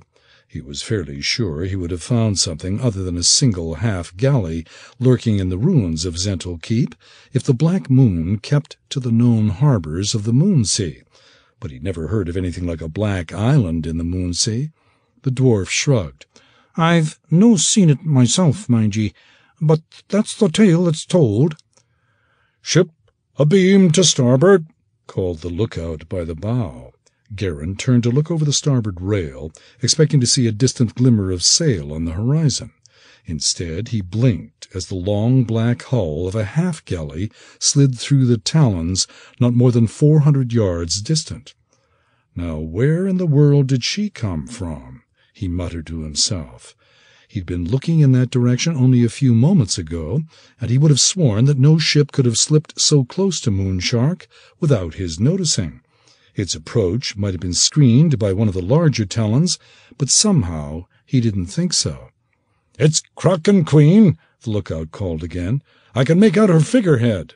Merkelmore smiled and tapped the ashes out of his pipe. See, the High Captain, as I told ye. Geran leaned over the rail, staring into the gloaming. Sure enough, the mermaid-like device with the twining tentacles in place of its fishy tail glimmered in the light of the rising moon. This is an interesting development, he murmured to Sarth. Now we know what Narsk was waiting for. The Gnoll climbed up from his cabin to the quarter-deck. Put the longboat in water, Sorcel, he snarled. He turned to pace the quarter-deck, eyes narrowed as he stared at Kraken Queen lying amid the talons. Aye, Captain, Sorcel answered. She turned and snarled at every hand who happened to be on deck at the moment. You heard the captain, you miserable dogs! Quickly now, or I'll peel the hide off the lot of you.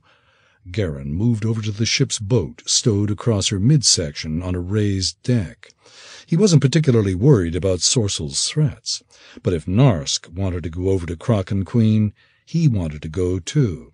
There was a chance that someone from the other pirate ship might recognize him from the skirmish on the beach, but the last time they'd seen him, it was by firelight and he hadn't been dressed like a common seaman with a thickly stubbled chin, and he sincerely doubted that any of the deckhands on the other ship would be expecting to see him again in the crew of another Black Moon ship.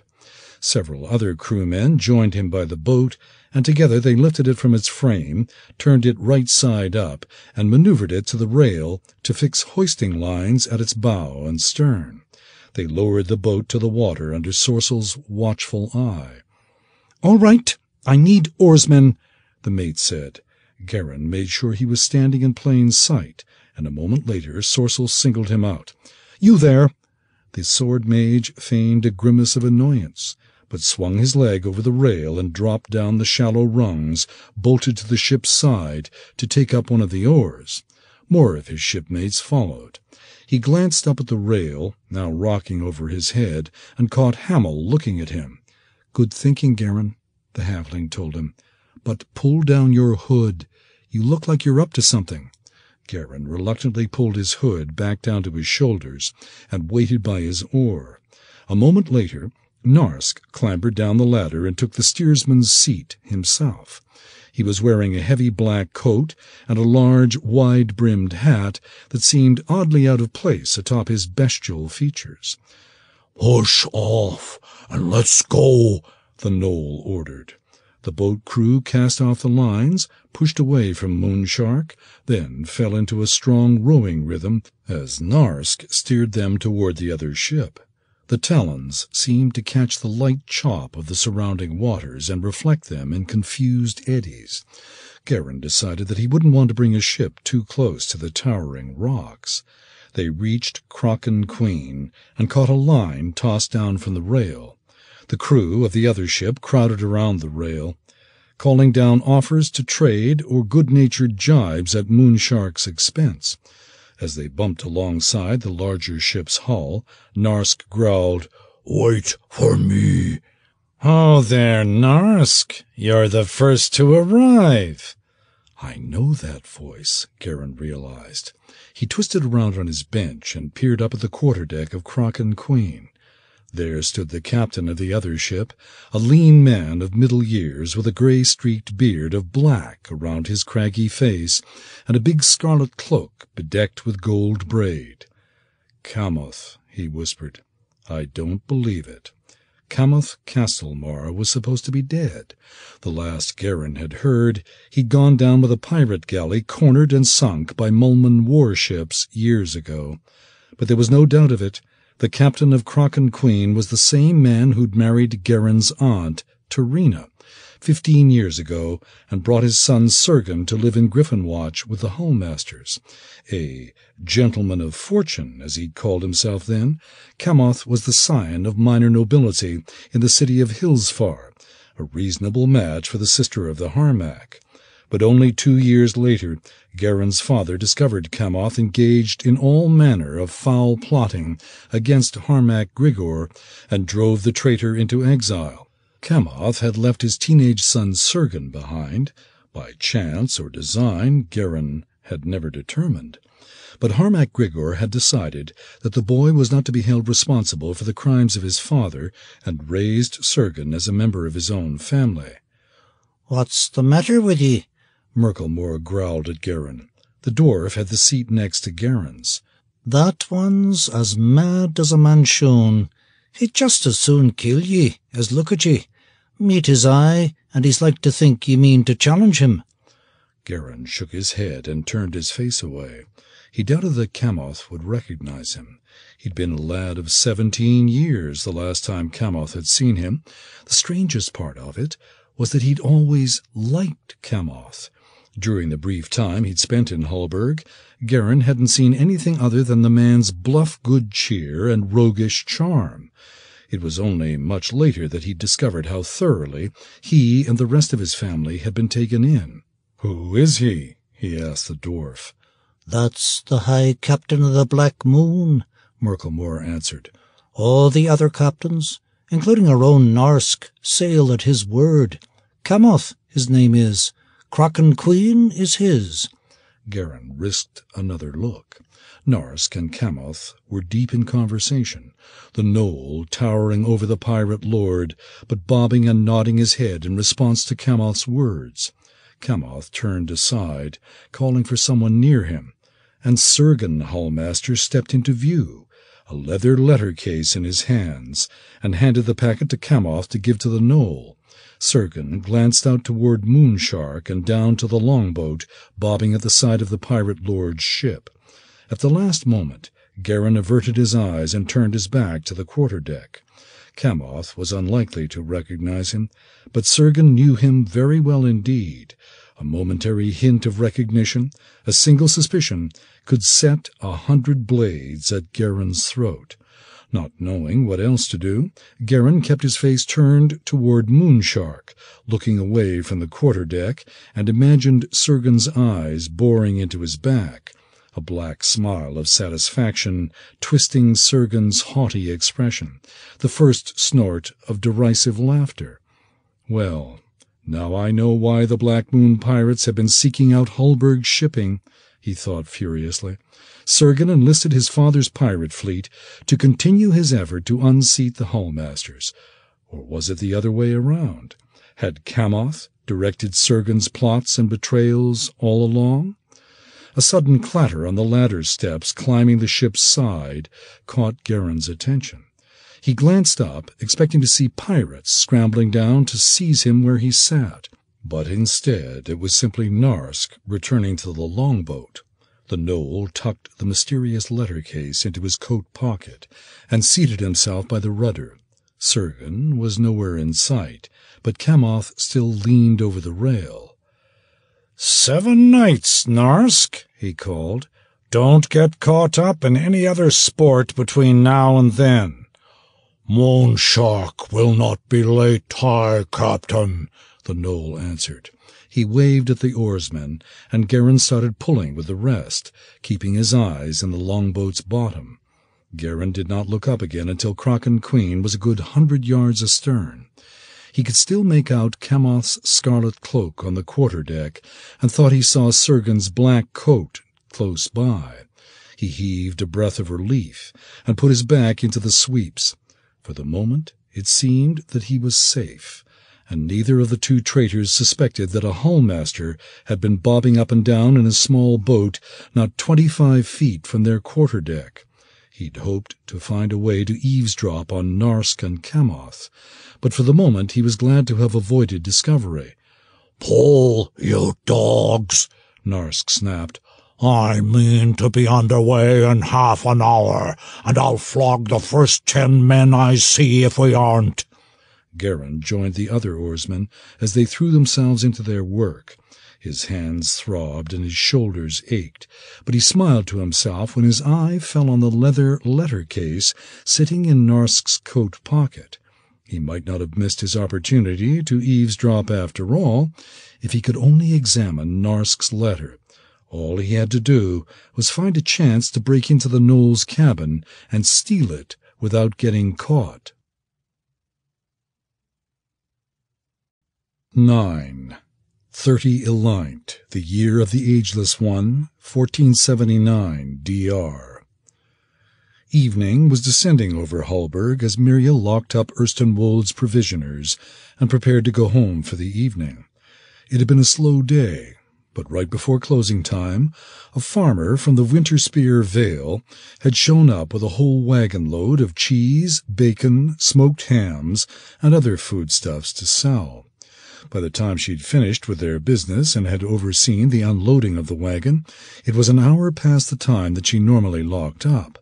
Most of Hulburg's shopkeepers lived above or behind their places of business, but the Erstenwolds were a family that had been in Hulburg for a long time, and Mirya's house was a comfortable cottage surrounded by a small apple orchard on the river's west bank, a little less than a mile distant. Anxious to start for home, she went to the store's back door, the one that led out into the alleyway behind Plank Street, and looked up and down the narrow way for any sign of Selsha. Selsha, she called into the gloaming. Her daughter was nowhere in sight, but Mirya knew that she was rarely out of earshot. She could remember her own mother calling for her at the end of the day when she was a child, and supposed that she probably sounded a lot like that to Selsha's ears. A mother's voice carried a long way, as she recalled. Selsha, it's time to go home. She heard nothing at first, and peered up and down the alleyway behind the storehouse. She rarely stayed at the shop this late into the evening, and the shadows were long and dark in Hulburg's streets. The buildings surrounding Erstenwolds did not seem so friendly or familiar as night descended over the town. During the day these streets were busy with scores of neighbors that Mirya knew well, the cooper across the alley, the tinsmith next to him, old Mother Gresha and her laundry tub two doors down, and Auntie Tilsey, who sold scores of simple meals to the town's porters and drivers every day from her kitchen around the corner from that. All of them doted on Selsha and were happy to let her pester them during the day, but they were all closing up or indoors now. After sunset, Hulburg's tap houses and taverns filled up, and instead of watchful neighbors, the streets would be left to strangers, searching for a place to drink themselves into a stupor. Mirya frowned at that thought and raised her voice. Selsha, where are you? I'm coming, Mama. Selsha appeared at the end of the alleyway and ran to the door. She was a slip of a girl, just nine years old, with wide blue eyes that had a way of disarming Mirya's most furious moments, and with silky black hair just like her own. Where were you? Did you not hear me calling? Mirya scolded her. She bustled Selsha into the store and pulled the door closed behind her. I was worried about you, Selsha. I'm sorry, Mamma, Selsha replied. Then she held out her hand. But look, I found something. Mirya looked down into her daughter's hand. It was an amulet of some kind on a silver chain. She could see at once that it was valuable, and she reached down to gently lift it from Selsha's grasp. What is this? she murmured, and she looked closer. The amulet was formed in the shape of a sunburst, but the rays were jet, and in the center gleamed a jawless skull of silver. She stared at it in growing horror realizing that what she held in her hand was a holy symbol of Cyric, the black sun, the god of lies and murder. With a small cry, she let it drop to the floor. What? What is it? Selsha asked. Something that we are not to handle lightly, Mirya answered. She rubbed her hand briskly against her skirt, unable to stop herself. Selsha, where did you find this? Selsha looked down, and her lips started to quiver. Mirya realized that her own sudden alarm had frightened the girl. I'm sorry, Mamma. I'm sorry. I didn't mean I didn't know. Mirya took a deep breath and kneeled down by Selsha, wrapping her arms around her daughter and stroking her hair. No, no, Selsha, all is well, she said softly. I am not angry with you. I was only surprised. Now tell me, how did you find the amulet? Kinda and I were playing in the empty storehouse on Fish Street. I know we're not supposed to, but no one was around. Anyway, I found it on the floor. See, the chain's broken. I think someone dropped it and didn't even know. Kinda and I were looking at it when we heard some men come in. They sounded angry, and we were afraid we would get into trouble, so we hid until they left. Did the men see you? The girl shook her head. Mirya picked up the amulet from the floor, suppressing a shudder of distaste. Do you think they were looking for this? This time Selsha nodded slowly. I heard one man say he thought it might have fallen through the floorboards, and the other man told him to go get a crowbar so they could pry up the floor and look for it. You shouldn't have been in someone else's storehouse, abandoned or not, and well you know it. She gave Selsha a stern look and stood up, slipping the amulet into a pocket of her dress as she turned away, thinking about what to do with the thing. A token of Cyric was not prohibited by any law she knew of, nor was it an evil thing in and of itself. The Black Sun was not a god that she cared to honor, but then again few people truly revered such things as murder or strife. Most people either gave Cyric his due in order to avert his attention, or looked past the darker aspects of his doctrines and instead saw him as a deity of ambition and determination, the sort of god who encouraged his followers in their desire to fight their way up out of their circumstances, no matter what it took.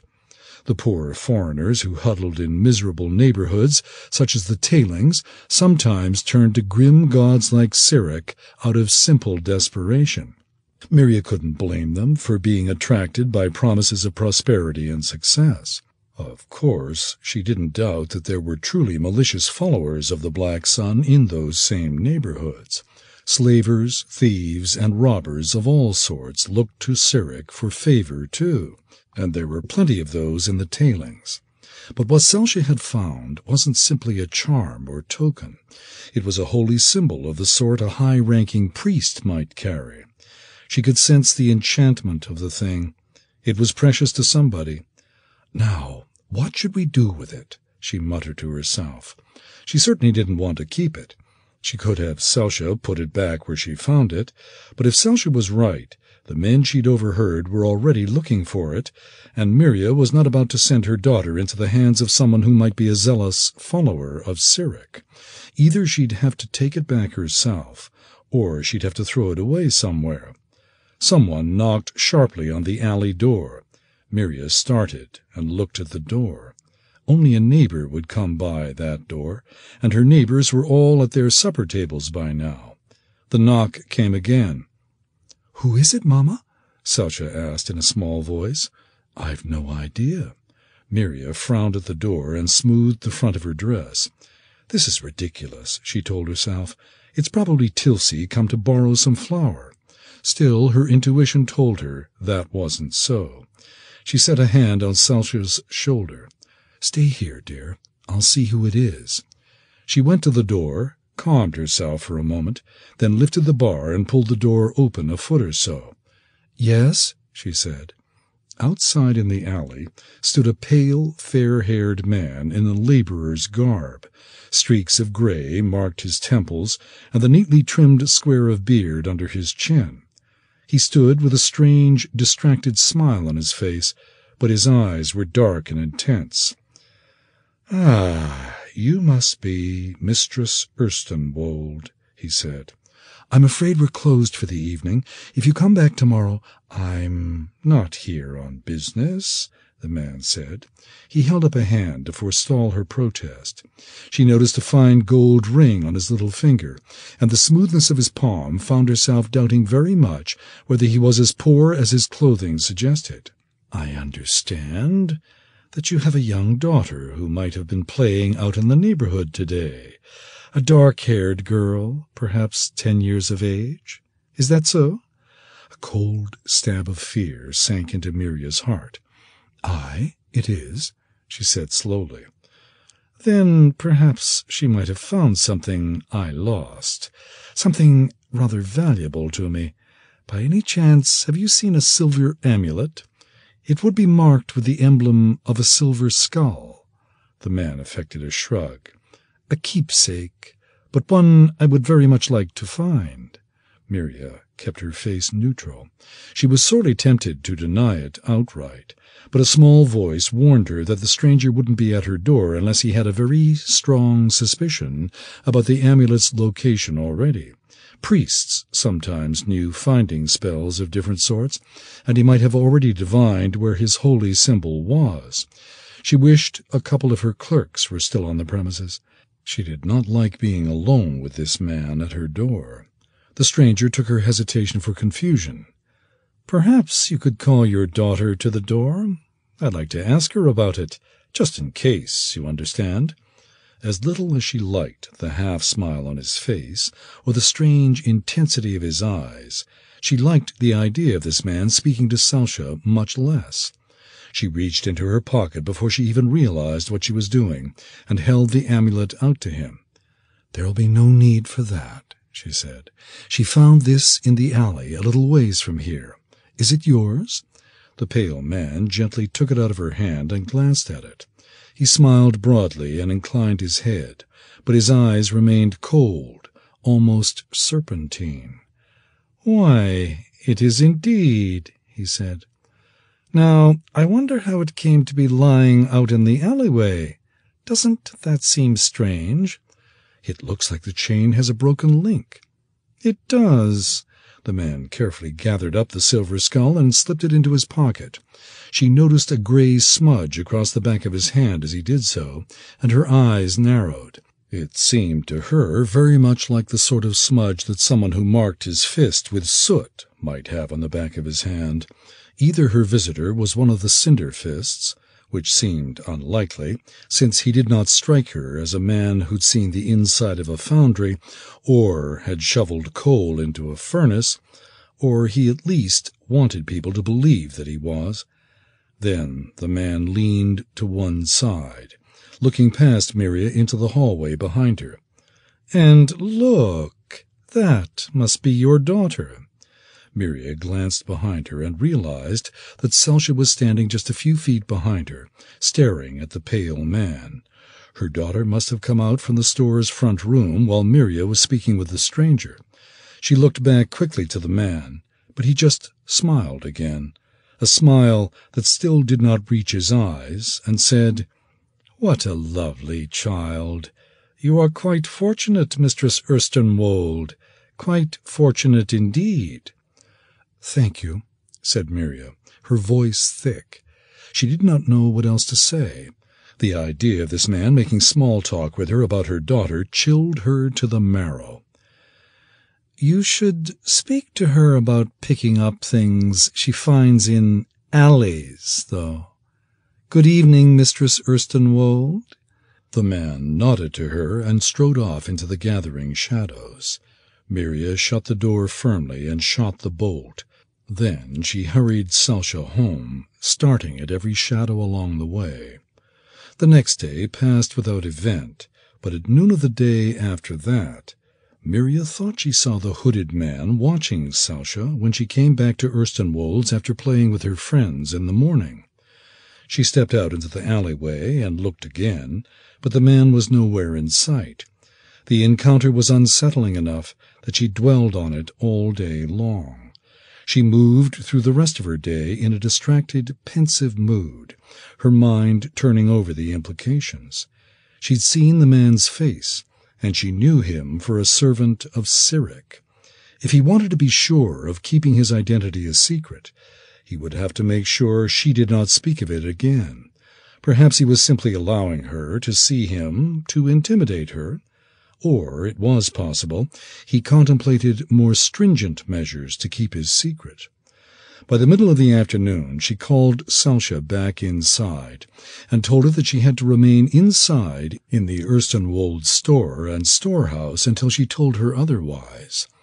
The next morning she slipped away from Erstenwold's for an hour, hurrying up to Griffonwatch to speak to the Shieldsworn. Geran and Kara were both away at sea, but her brother Jared had served as the captain of the Harmach soldiers for years before his death, and they'd thought the world of him. She met with Sergeant Colton and told her story, but the veteran had little he could offer her. We've not found out much at all about who runs the Cinderfists, he told her. They're a close-mouthed lot, they are. Mostly men from Impiltur, and they know their own. There's not a single native-born Hulburgan who works in the foundries. I might have guessed that an outlander priest of Cyric is mixed up in it. So you've no idea who he is or what he might be up to? she asked. Colton shook his head. You know as much as we do, Mistress Erstenwold. I can make sure the Shieldsworn check on Erstenwold's regularly, at least for a few days.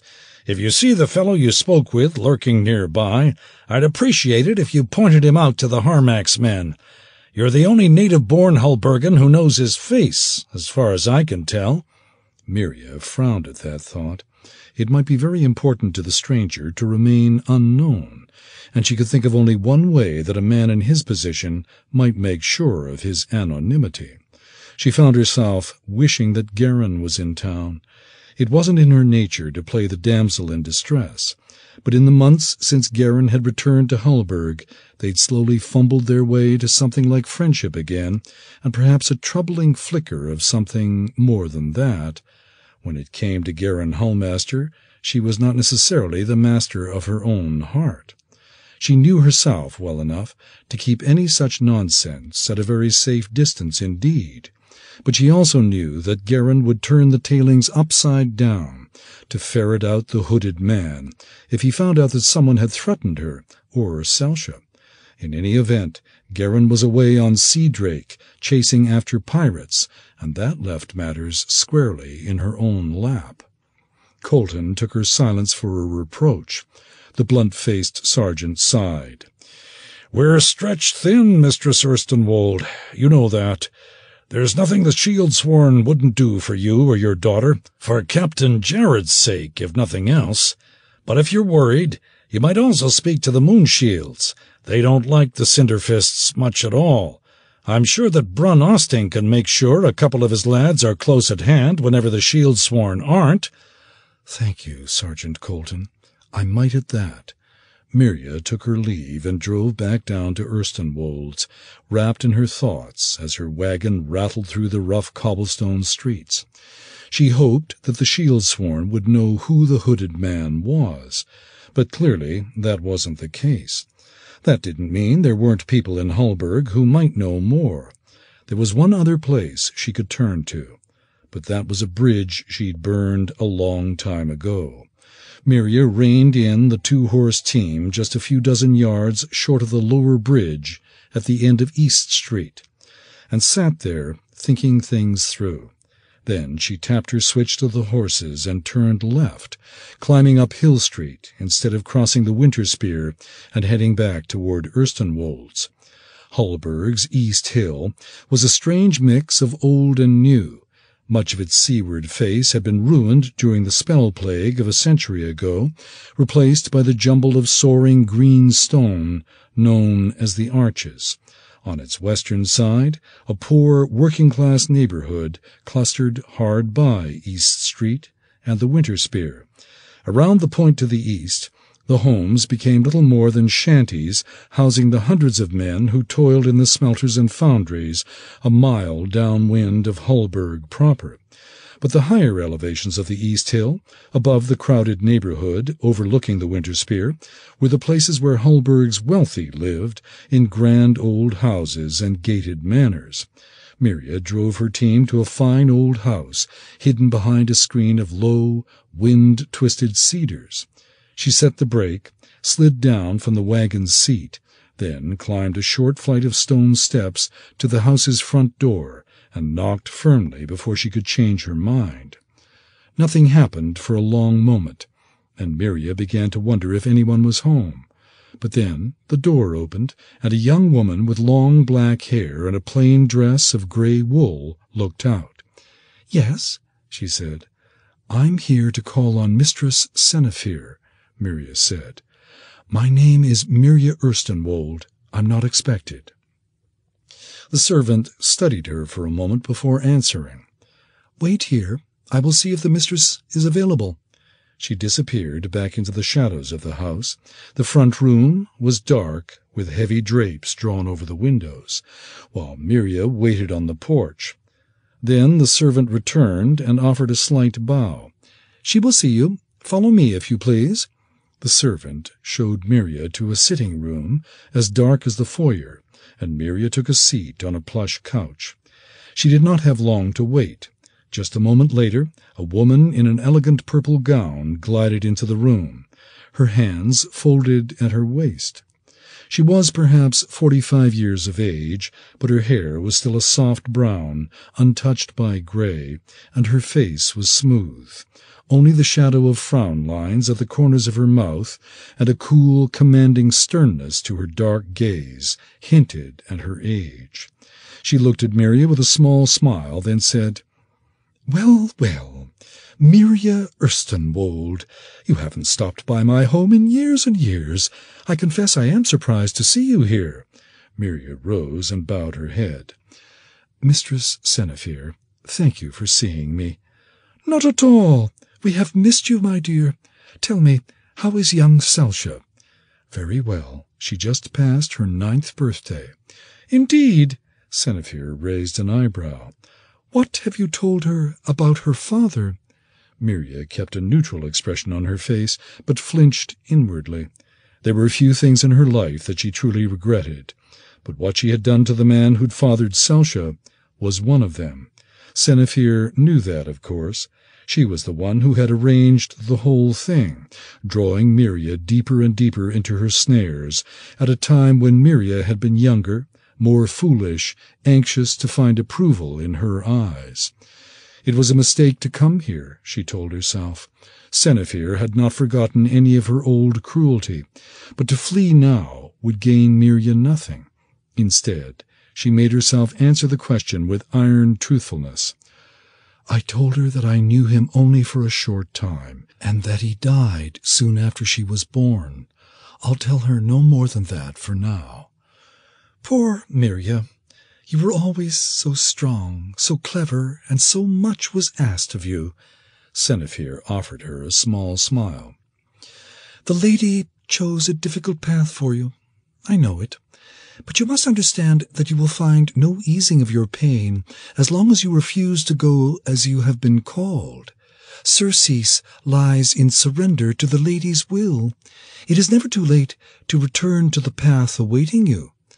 I've not forgotten it, Mistress Senefir, for now I choose to go my own way. The day will come when no other comfort avails you, my child. The lady knows her own, and once you have been in her embrace, you will always be hers. We will await your return. Senefir folded her hands in her lap. Now, I doubt that you came to my house to seek the lady's comfort. You want something of the sisterhood. Mirya grimaced. Senefir had never been stupid either. Well, I, though I hope that you'll see it to be in your own interest too. No justification is necessary, my child. I have not forgotten your devotion to the lady, even if you have for a time. How may I be of service to you? Mirya smoothed her skirt. She had never been one to fence at words. The worst of it was that some long-buried part of her ached to answer Senefir's words of forgiveness, to return to the sisterhood she had left and make amends for the faithlessness of the intervening years. She fixed her mind firmly on the task ahead and ignored her old guilt. I found out a servant of Cyric a few days ago, a pale man in a hood, masquerading as a common laborer. He knows that I know his secret. I need to learn his name and what purpose he has in Hulburg. And you thought we might know something about him? Senefir reached over to the table next to her and poured herself a cup of tea. My dear, we have nothing to do with the Black Sun's minions. I know, but there's not much that happens in Hulburg that the sisterhood doesn't see. If the servants of Cyric are preaching to the poor folk of the tailings, or stirring up trouble with the Cinderfists, the sisterhood would know of it. And if you did learn this man's name, what would you do? See to it that the Harmach knew it too. I see. Senefir sipped at her tea. It is no secret that Geran Hulmaster is close to you. I imagine that a word whispered in his ear would reach the Harmach soon enough. For that matter, I would be surprised if Geran did not act on such information himself. He is not one to hesitate over such matters. But how do you see this as a concern for the sisterhood? It seems to me that the Cinderfists are exactly the sort of trouble a servant of Cyric would foment among the poor outlanders of the town. Mirya paused, choosing her next words carefully. I'd imagine that the hooded priest teaches the folk of the tailings to rebel against their circumstances, to fight against their sorrows. Where would those folk turn if he were to leave? More than a few might seek comfort in the lady's embrace, mightn't they? Senefir gazed thoughtfully at Mirya. It pleases me to hear you speak so, Mirya. I'm weary of the troubles plaguing my home, Mistress Senefir. Someone is stoking the fires, and I want an end to it. Mirya didn't doubt that there would be trouble of a different sort if the Lady of Sorrows came to hold the hearts of Hulburg's poorest folk, but at least the sisterhood wouldn't incite riots and rebellion in the streets. Besides, she was sure that she was not saying anything that hadn't occurred to Mistress Senefir already. The sisterhood would approve, Senefir said. She took another sip from her cup and set it down in its saucer. Very well, we have heard something of this. As you guess, a few of our sisters are newcomers to Hulburg. They hear things from the other outlanders that the native-born do not. I think that one of them might know the man you encountered. I do not know who he is, but she might. Go to the Three Crowns and ask for Ingra. Thank you, Mistress Senefir. It is nothing, dear Mirya, but you must go in secret. Ingra will help another sister, but only if no one sees her to do so. I understand. Mirya stood and inclined her head to Senefir, who returned a gracious nod. I hope you will visit again soon, Mirya. I know in my heart that the lady's full purpose for you is still to be revealed. Senefir stood and watched as the servant returned to show Mirya to the door. After the gloom of Senefir's house, the overcast day seemed clean and whole to Mirya. She drew a deep breath and climbed back up to the seat of her wagon. She thought now that it would have been better if she hadn't come, but she'd done it, and there was nothing to be gained by second-guessing her decision now. The only question was whether she'd find an answer at the Three Crowns worth the price of reminding Senefir and the Sisterhood that she remembered them. 10.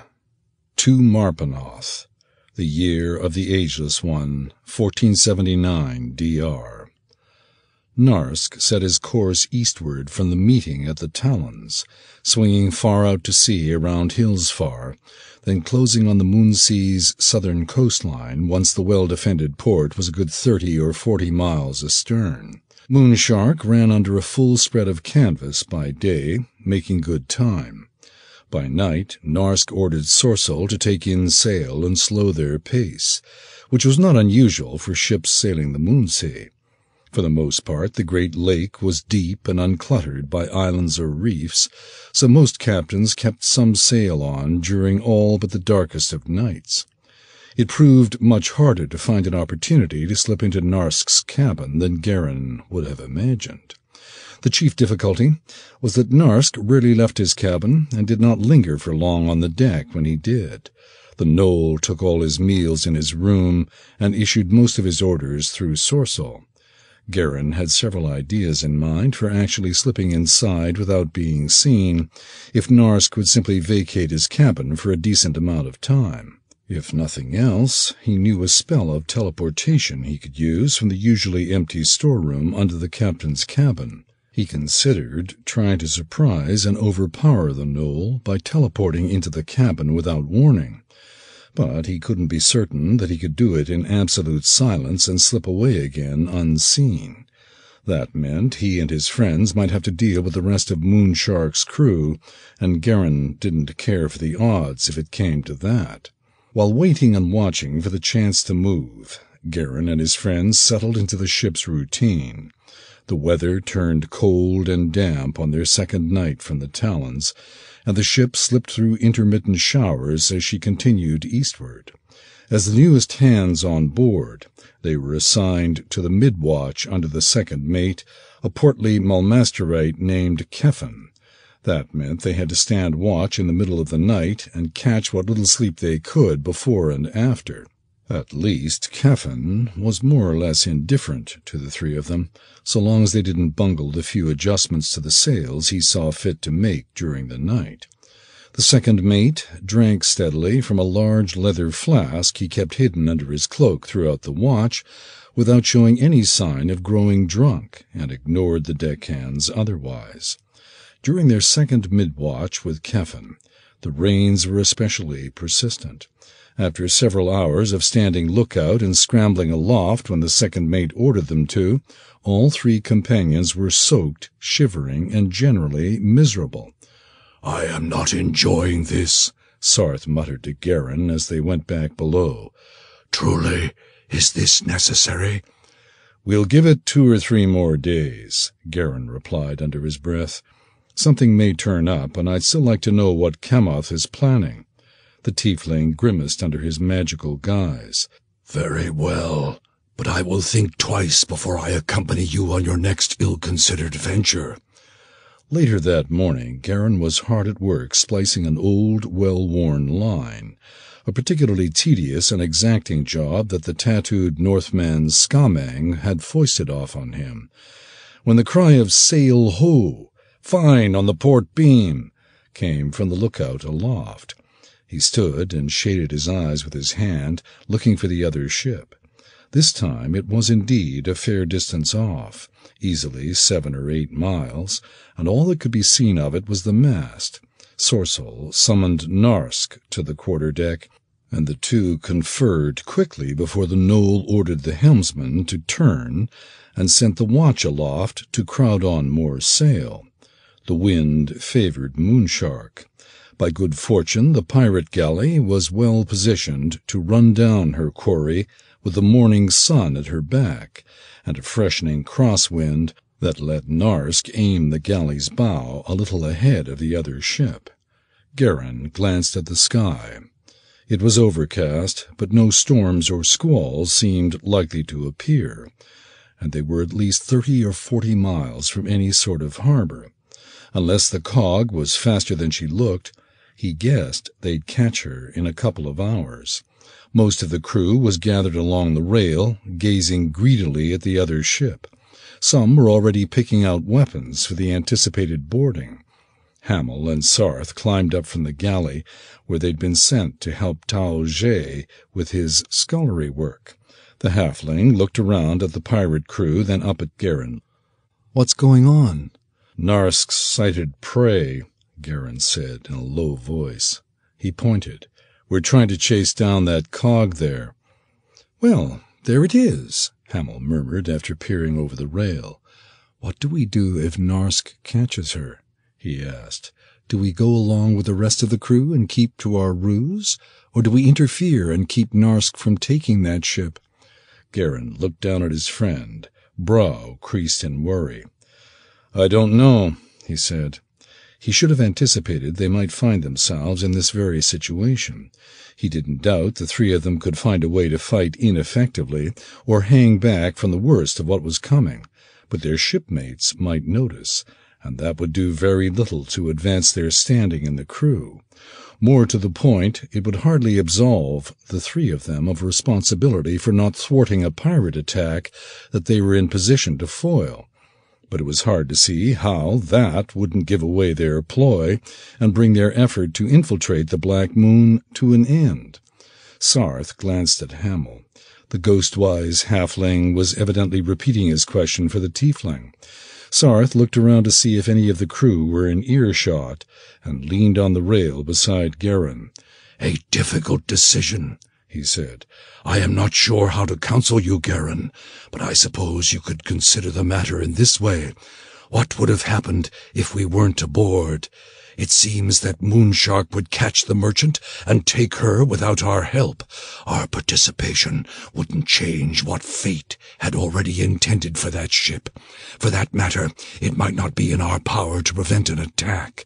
There are only three of us, after all. If we can't prevent Narsk from taking that ship, then we might as well maintain the ruse. What we learn here may save other lives on some other day. I hear you. Geran answered. But, as it turns out, we are aboard and nothing is fated at the moment. Besides, we'd have the advantage of surprise and your magic as well.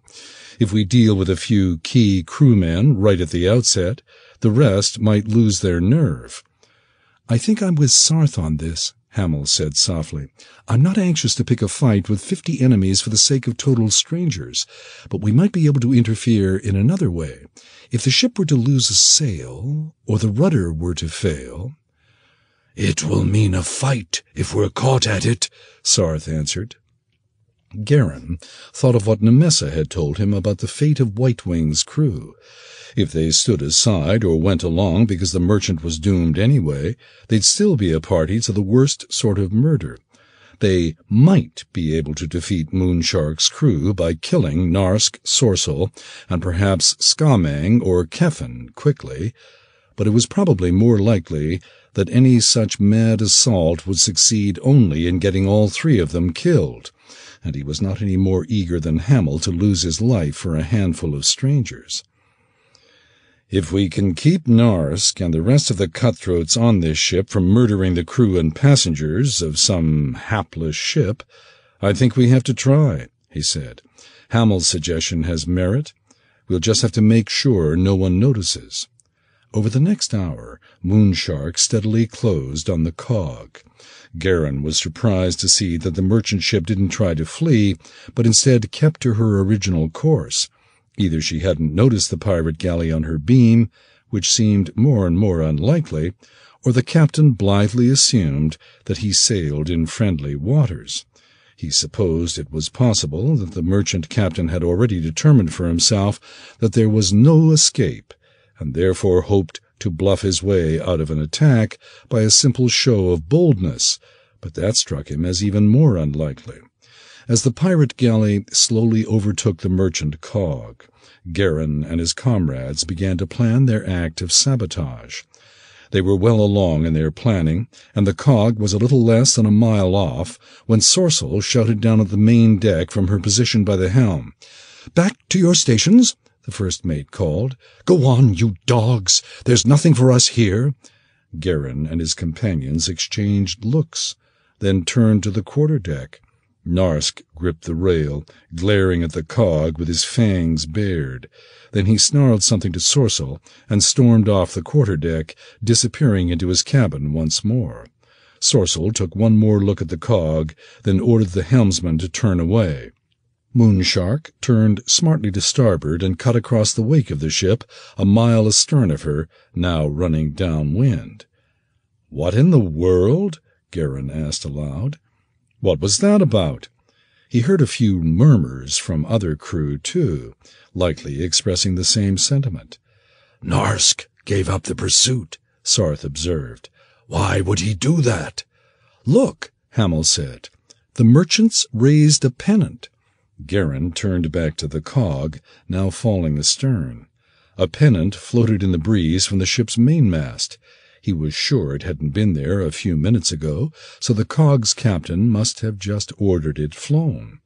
It was a quartered flag of red and gold, and Geran knew it well. That's a House Marstel ship, he said. Marstel, as in the Marstels of Hulburg? Sarth asked. Yes, Geran replied. That double-dealing bastard. He's paid off the Black Moon to leave his ships alone, and he was the one who argued for the Harmach to do something about piracy. Badgering the Harmach to do something likely kept other merchant companies from making a deal with the pirates, Hamil said. Lord Marstel's a sly old fox, if that's the case. I never would have thought he had it in him. Nor would I, Geran said. He frowned, trying to figure out what to make of it. Then the pirates crowded along the rail, drifted back to their duties, and the ship returned to its routine. The crew's disappointment at being turned away from a prize in their grasp likely accounted for what happened that evening. Moonshark was too small to have anything like a mess deck.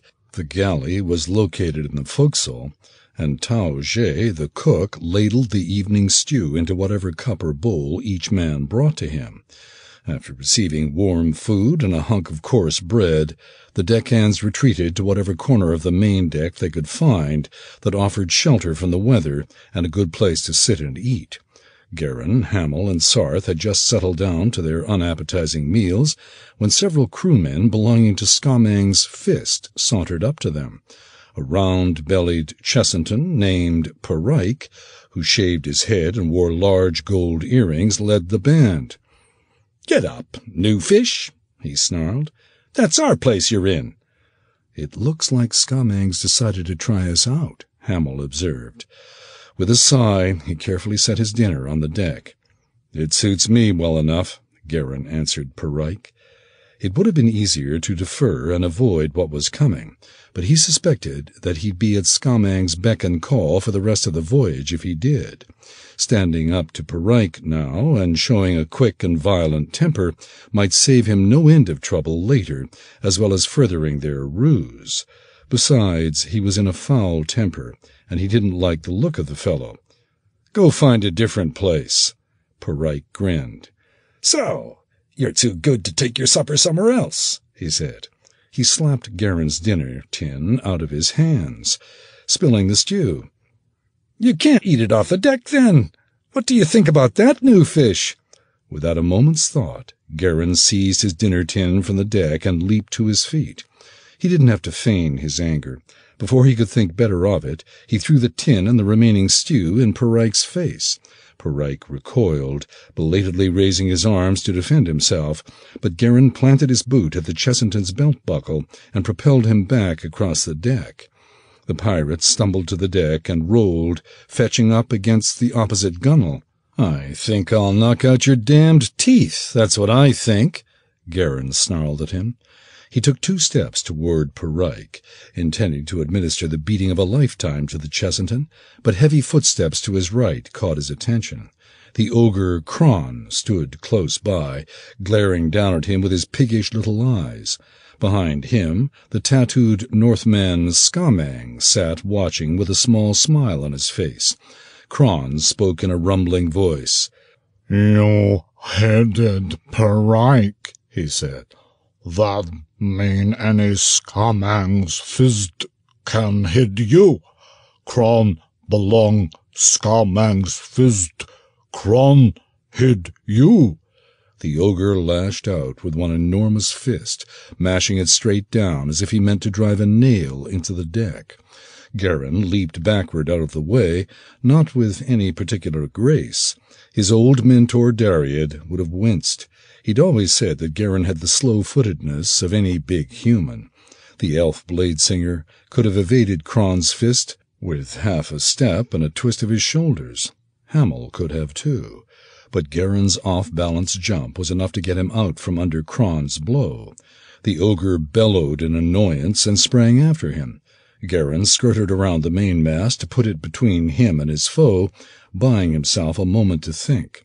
Sarth and Hamil surged to their feet and moved forward to join the fray, while the rest of Perike's little gang dropped their own suppers to the deck and stood their ground but Merkelmore the dwarf moved between them and held up his hand. None of that now, he shouted. Your man laid hands on one of Skamang's fist, and Skamang's fist chose one of their own to answer him. It's the way it's done. Take another step, and it's a matter for the captain to settle. I will not stand aside and watch that ogre bludgeon my friend, Sarth snarled. You will, if you know what's good for him and for you, the dwarf answered. Two men fight. It's between them. Any more join in, and the captain has to put a stop to it. Stand your ground, Geran shouted at Sarth. Keep it between Kron and me. Geran had faced ogres before. They were immensely strong and big enough to shrug off wounds that would have incapacitated a human opponent, but they were slow and lacked skill, relying entirely on their size and strength. With a sword in his hand, he wouldn't have shied from a duel against Kron, but he had only his bare hands for this fight. He circled the mainmast again, Kron went low and lunged forward, and this time the ogre managed to catch hold of Geran's ankle. He yanked Geran's foot out from under him and dragged the sword mage across the deck, raising one meaty fist to crush Geran while he had hold of him. Geran tried to wrench his foot out of the ogre's grasp and failed. In desperation, he used the ogre's grip to anchor his left leg while he scissored up with his right. He caught the ogre on the point of his heavy jaw with a strong kick, spoiling Kron's aim. Kron's fist mostly missed him as it crashed into his ribs, batting him down to the deck again.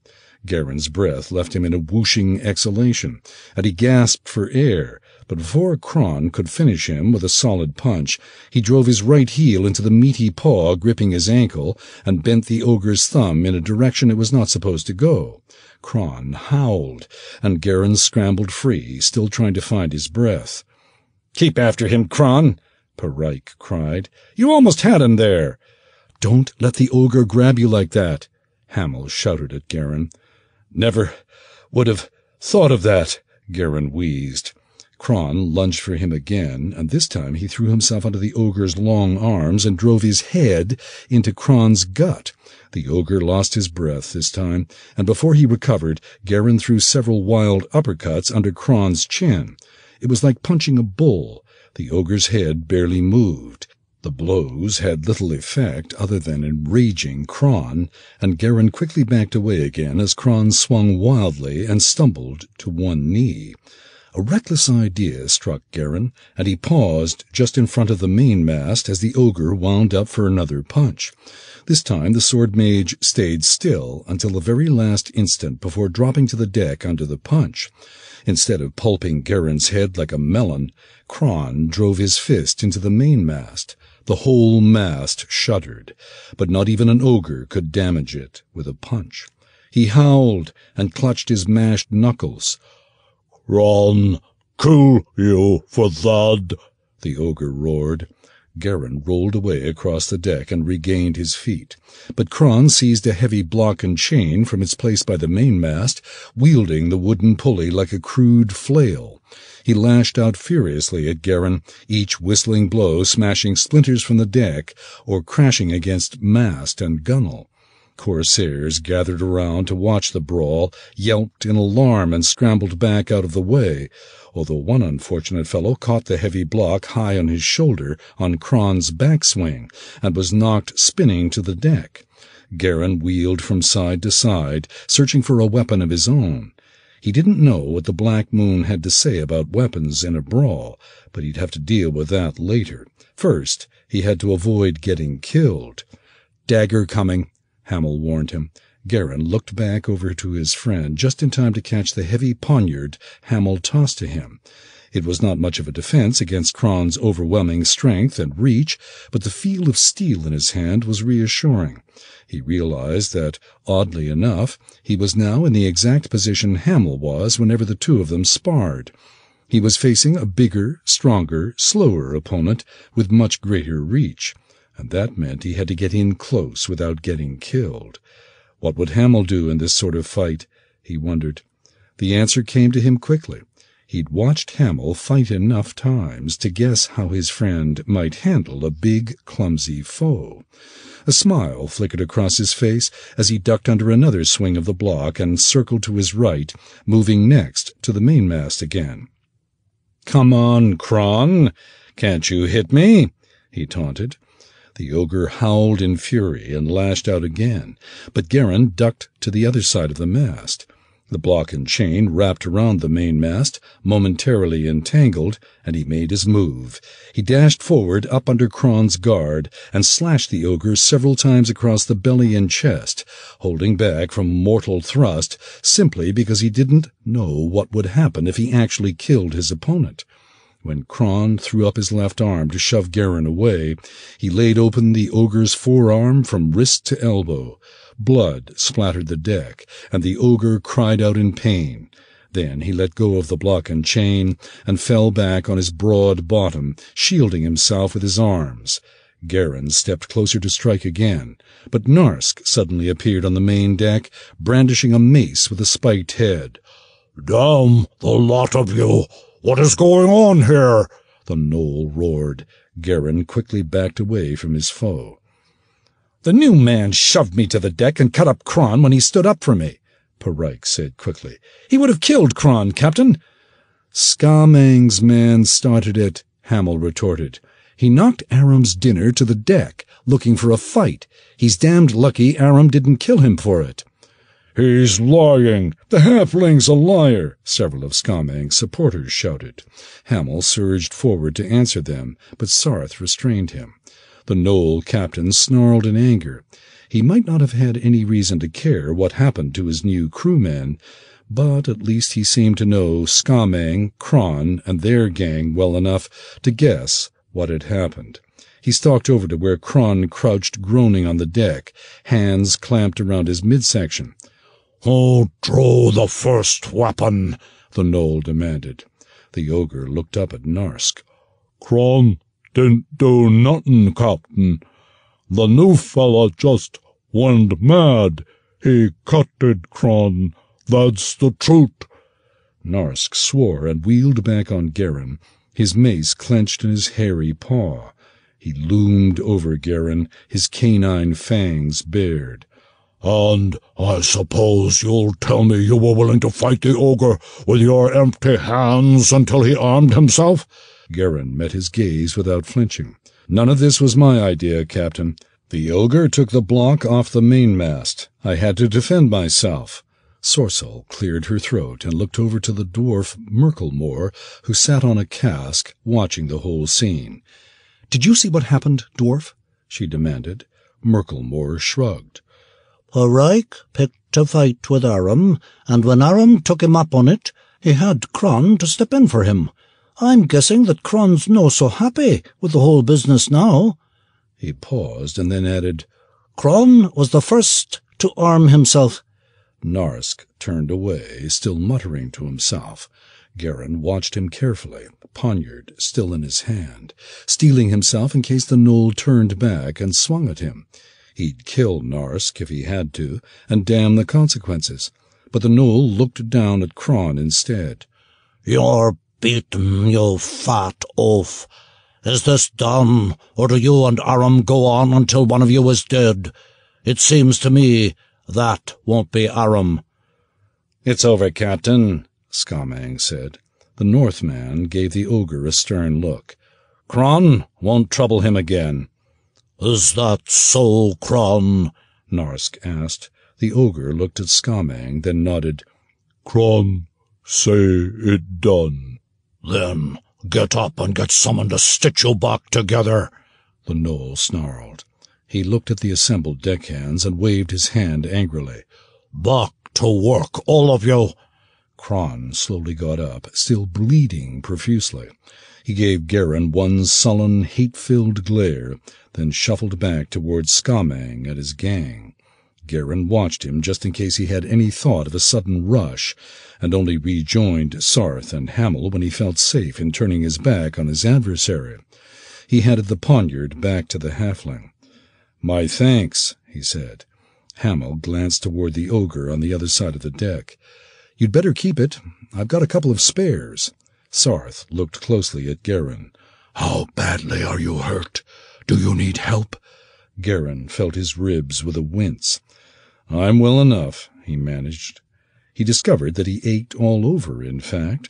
His ribs, his left ankle, his right foot from kicking the ogre's thick jaw, even his back from being thrown, or throwing himself, on the deck.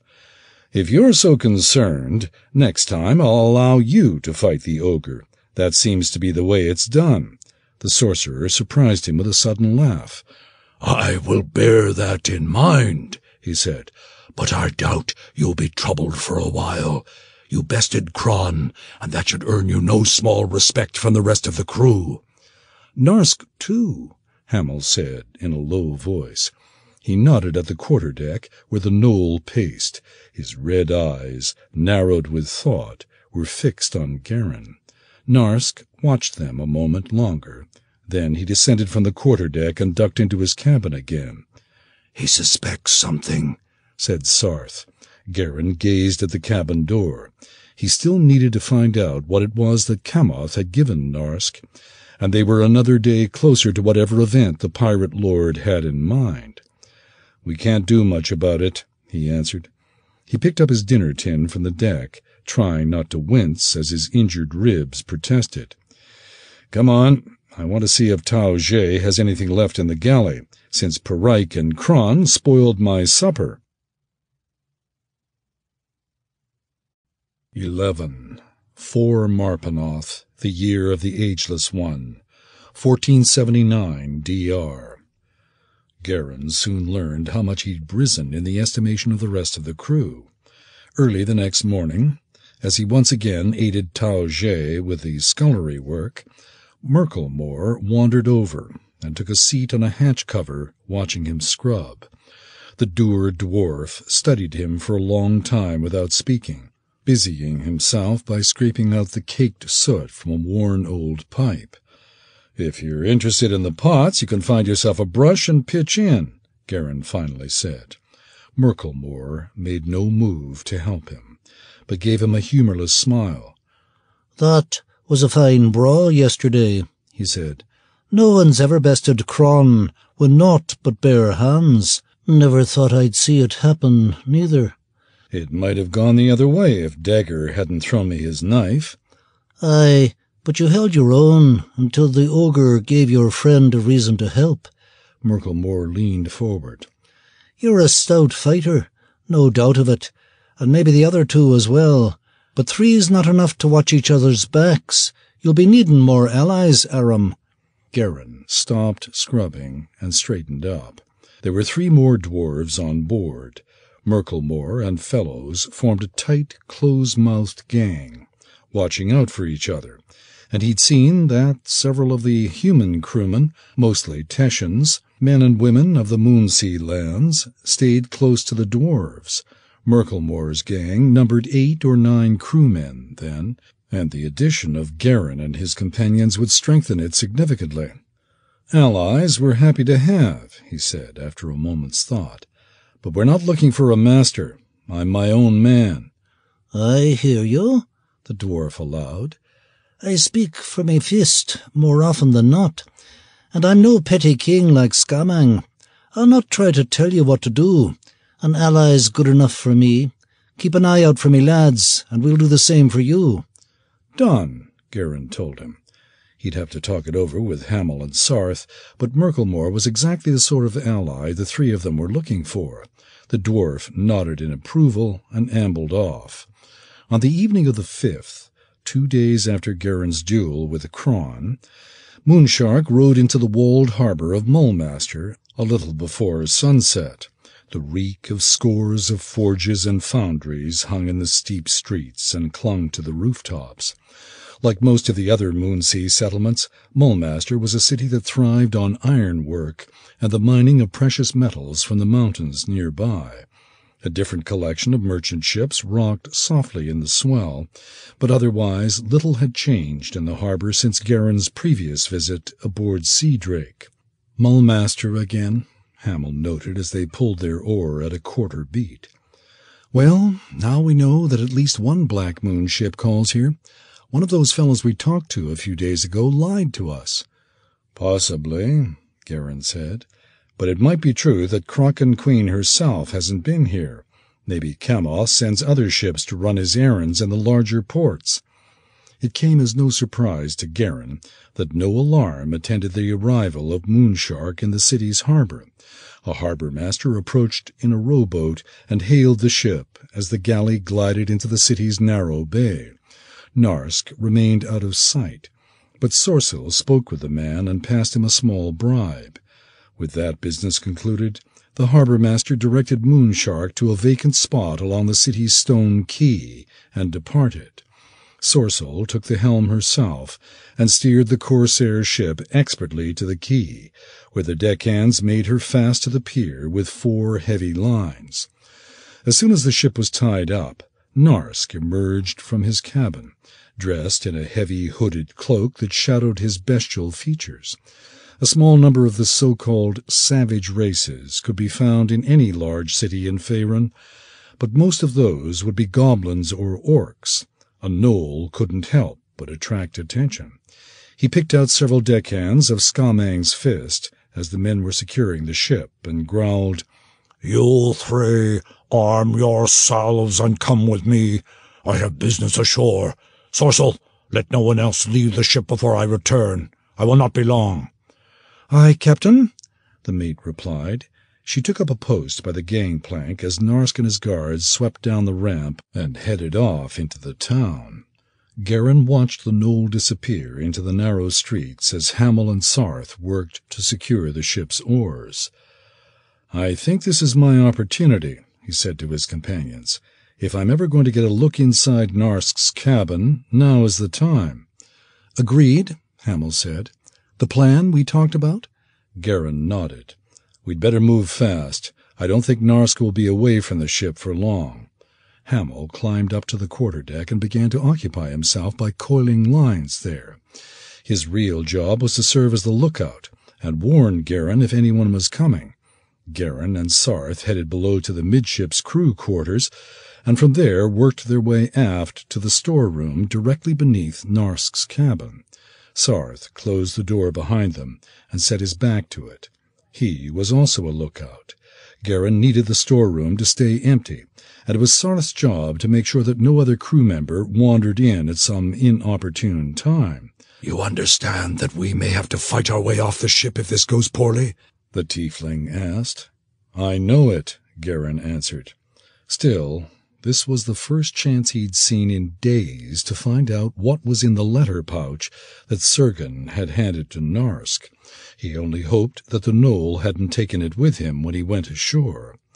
Before he could begin to second-guess the plan, he focused his mind into the still, silent readiness he'd learned under the leaves of Myth Drannor. He brought to the forefront of his thoughts the mystic words of the teleportation spell, sensing the power locked within the arcane syllables. He drew Hamil's poniard with his right hand and held it at the ready, just in case he was about to find himself in the middle of a fight. Then the sword mage hurled the force of his will into the arcane syllables fixed in his mind as he spoke a single word in Elvish. Seiroch! There was a dizzying instant of darkness, a sense of bitter cold, and Geran found himself standing in the cabin directly above the place where he'd been standing in the storeroom. He turned quickly, dagger held before him, but there was no one else in the room. Narsk's cabin was empty for the moment. With a small sigh of relief, he sheathed the poniard and studied his surroundings more carefully. The cabin was dark and cluttered, and a heavy animal smell lingered in the air. Geran wrinkled his nose in distaste. Narsk was none too tidy in his living arrangements. He realized that he'd need a little light to see by, so he took a copper coin out of his pocket and quietly murmured the words of a light spell. The coin began to glow with a bright, warm light. Geran quickly wrapped it in a bit of scrap cloth to mute its brightness as much as he could. He didn't want it shining from the row of windows across the stern end of the cabin. By the dim light, he studied his surroundings. Discarded clothing lay strewn where Narsk had dropped it plates with the half-eaten remains of old suppers, and an assortment of odd baubles gold goblets, pearl-handled cutlery, small idols, and other such things likely gleaned from the pillage of a dozen ships, lay scattered about, along with what seemed to be half an armory's worth of weapons. Now, where did Narsk put that pouch? Geran asked softly. He moved over to the small desk in the cabin and searched through the old charts and cargo manifests strewn there.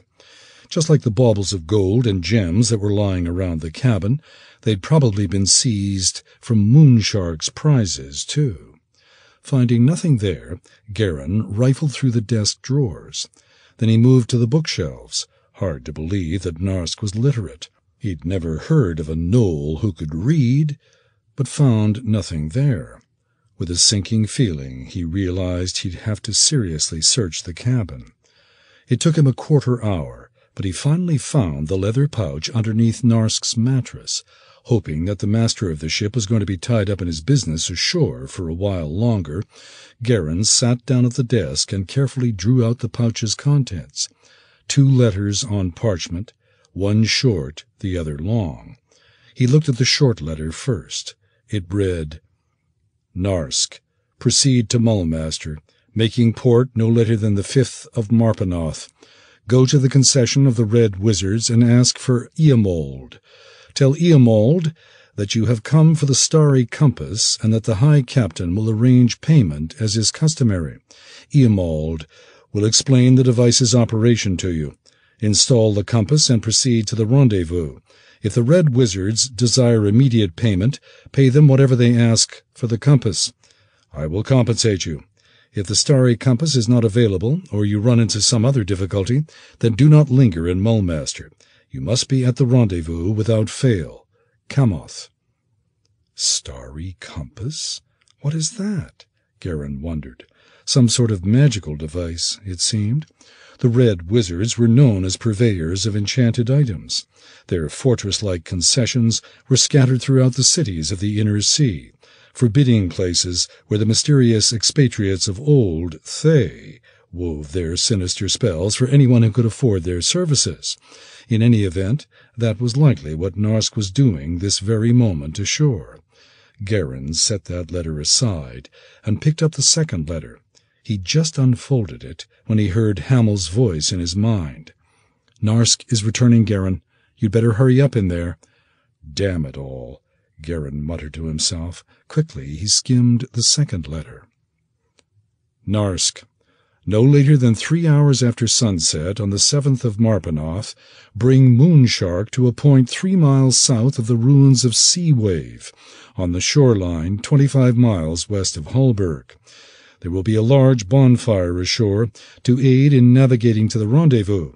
Do not arrive too early, since we do not want the fleet to be spotted as it assembles. Stand off well out to sea until after dark if you need to. Once the Black Moon is gathered together, we will proceed to Hulburg and attack the city in the early hours of the 8th. Your assignment is to land Moonshark's crew on the wharves by the House Sokol concession. This is the westernmost of the merchant trade yards in the city, hard by the bluffs of Keldon Head. Wyvern will make her landing on the Double Moon wharves immediately to your right. Your crew is to burn the council hall, where Hulburg's merchant council meets. After that they are free to slay, pillage, or burn as they please. There will be Black Moon men posted in front of places that are not to be harmed. Make sure that your crew knows to listen to any man wearing a black armband. The rest of the town and its folk are yours to do with as you please. All Black Moon ships will withdraw together at sunrise unless the High Captain personally instructs you otherwise. Make sure your crew understands that stragglers will be left behind. If you are in possession of the starry compass, you will accompany Kraken Queen to Nisholdar. It is the eleventh islet. Otherwise, you are to make for the river Liss and the inner sea. No pirate has ever assembled a five-ship raid in the Moon Sea. Strike hard, strike fast, and the Harmach's men will never know what hit them. Kamoth. Merciful ill matter, Geran breathed. The Black Moon intended to attack Hulburg, and only four days from now. With five ships, they could easily carry five or six hundred men. Given the advantage of surprise, they could cause unimaginable damage. Somehow he had to find a way to warn Harmach Grigor. The corsairs expected to strike a sleeping town without any idea that danger approached from the sea. But if the Harmach called out the Spearmeet and mustered the merchant company armsmen to meet the pirate attack on the wharves, Hulburg might drive off the Black Moon with little harm. Geran, Narsk is coming up the gangplank, Hamil shouted in his mind. You have to get out of there now. Geran stuffed the two letters back into the pouch and then put the pouch back under the mattress where he'd found it. He could hear Narsk's snarling voice just outside the cabin door. He took one quick look around the cabin to make sure he hadn't left anything obviously out of place, then jammed the coin with a light spell back into his pocket and cleared his mind. The key rattled in the lock as he closed his eyes and whispered, Cyrock. There was an instant of icy blackness, and then he stumbled as he appeared in the darkness of the hold beneath Narsk's cabin.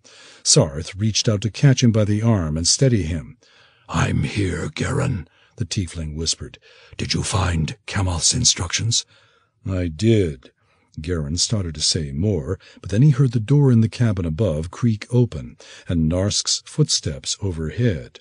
The gnoll's harness jingled and he heard the muffled sounds of something heavy tossed onto the bunk, followed by a cloak dropped to the floor.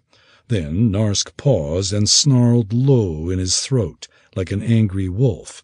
Quick footsteps crisscrossed the cabin several times, then he heard the gnoll hurry back out to the deck. Did you leave something behind? Sarth asked Geran. I don't think so, but I must have left something out of place. He grimaced. It couldn't be helped now. All they could do was rejoin the crew and try to behave innocently. They picked up casks of salted pork from the storeroom and carried them through the midships crew quarters, where they passed several of their crewmates, forward to the galley. Tao Ge was not there. Geran breathed a sigh of relief.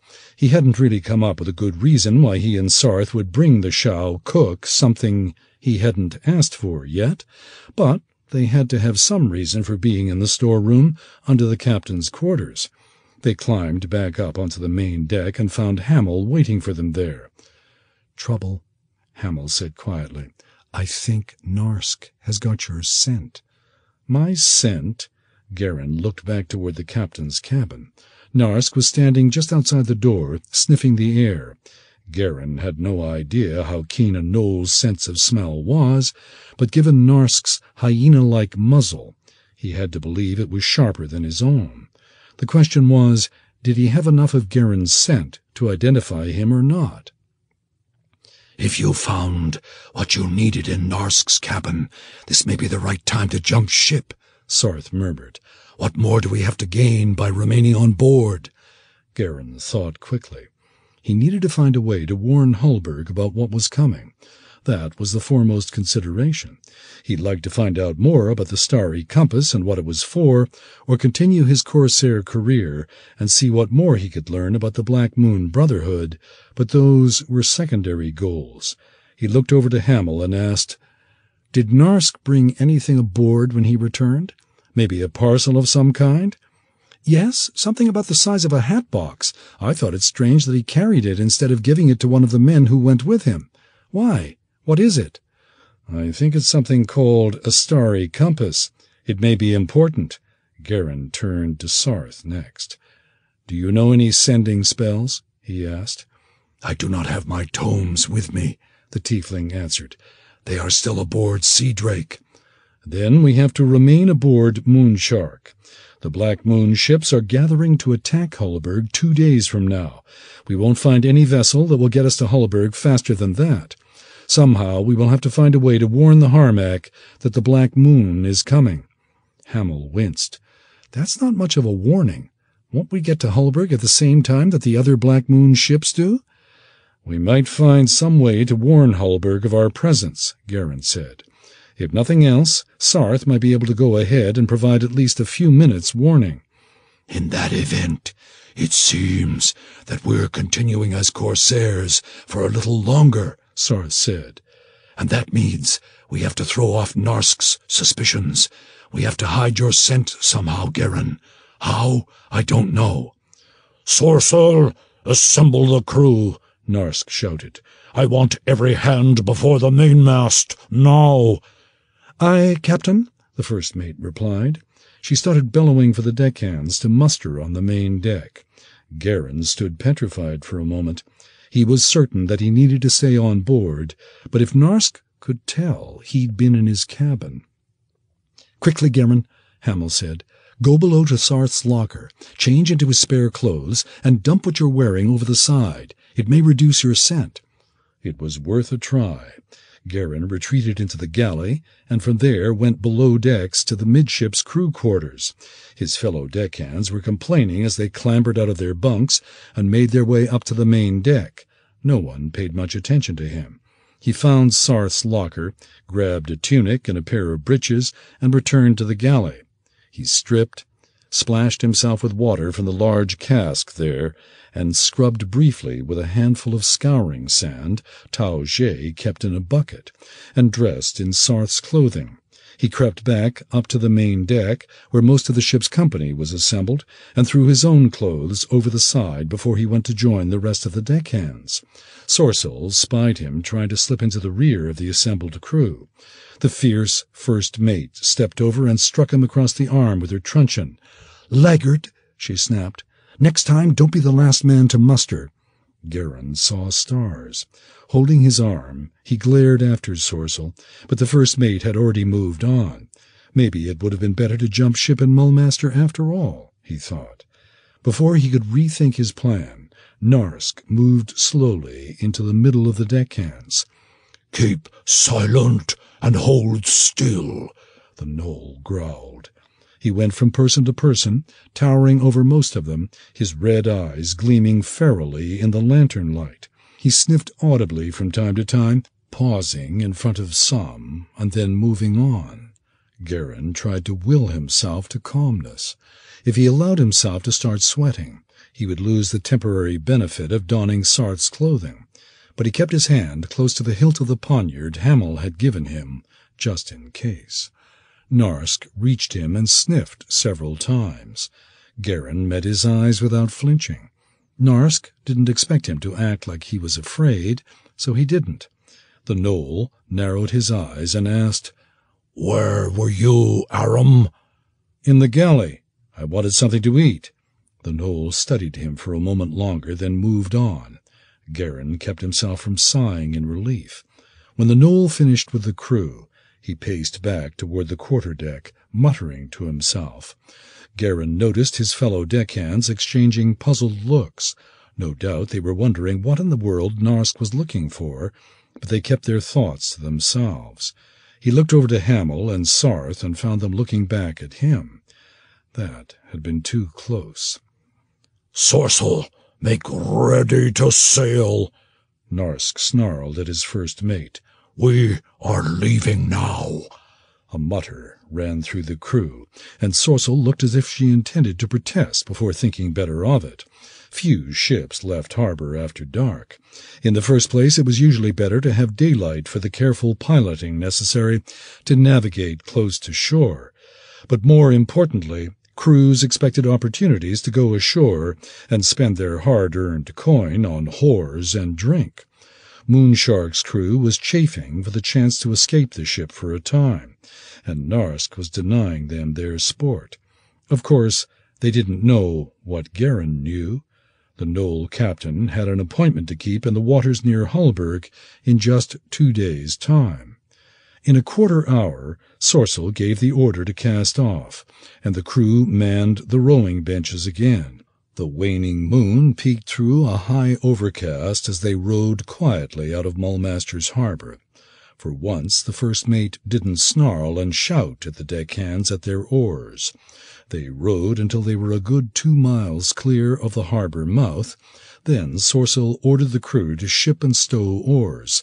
Stay at your benches and shut your mouths, she told the deckhands.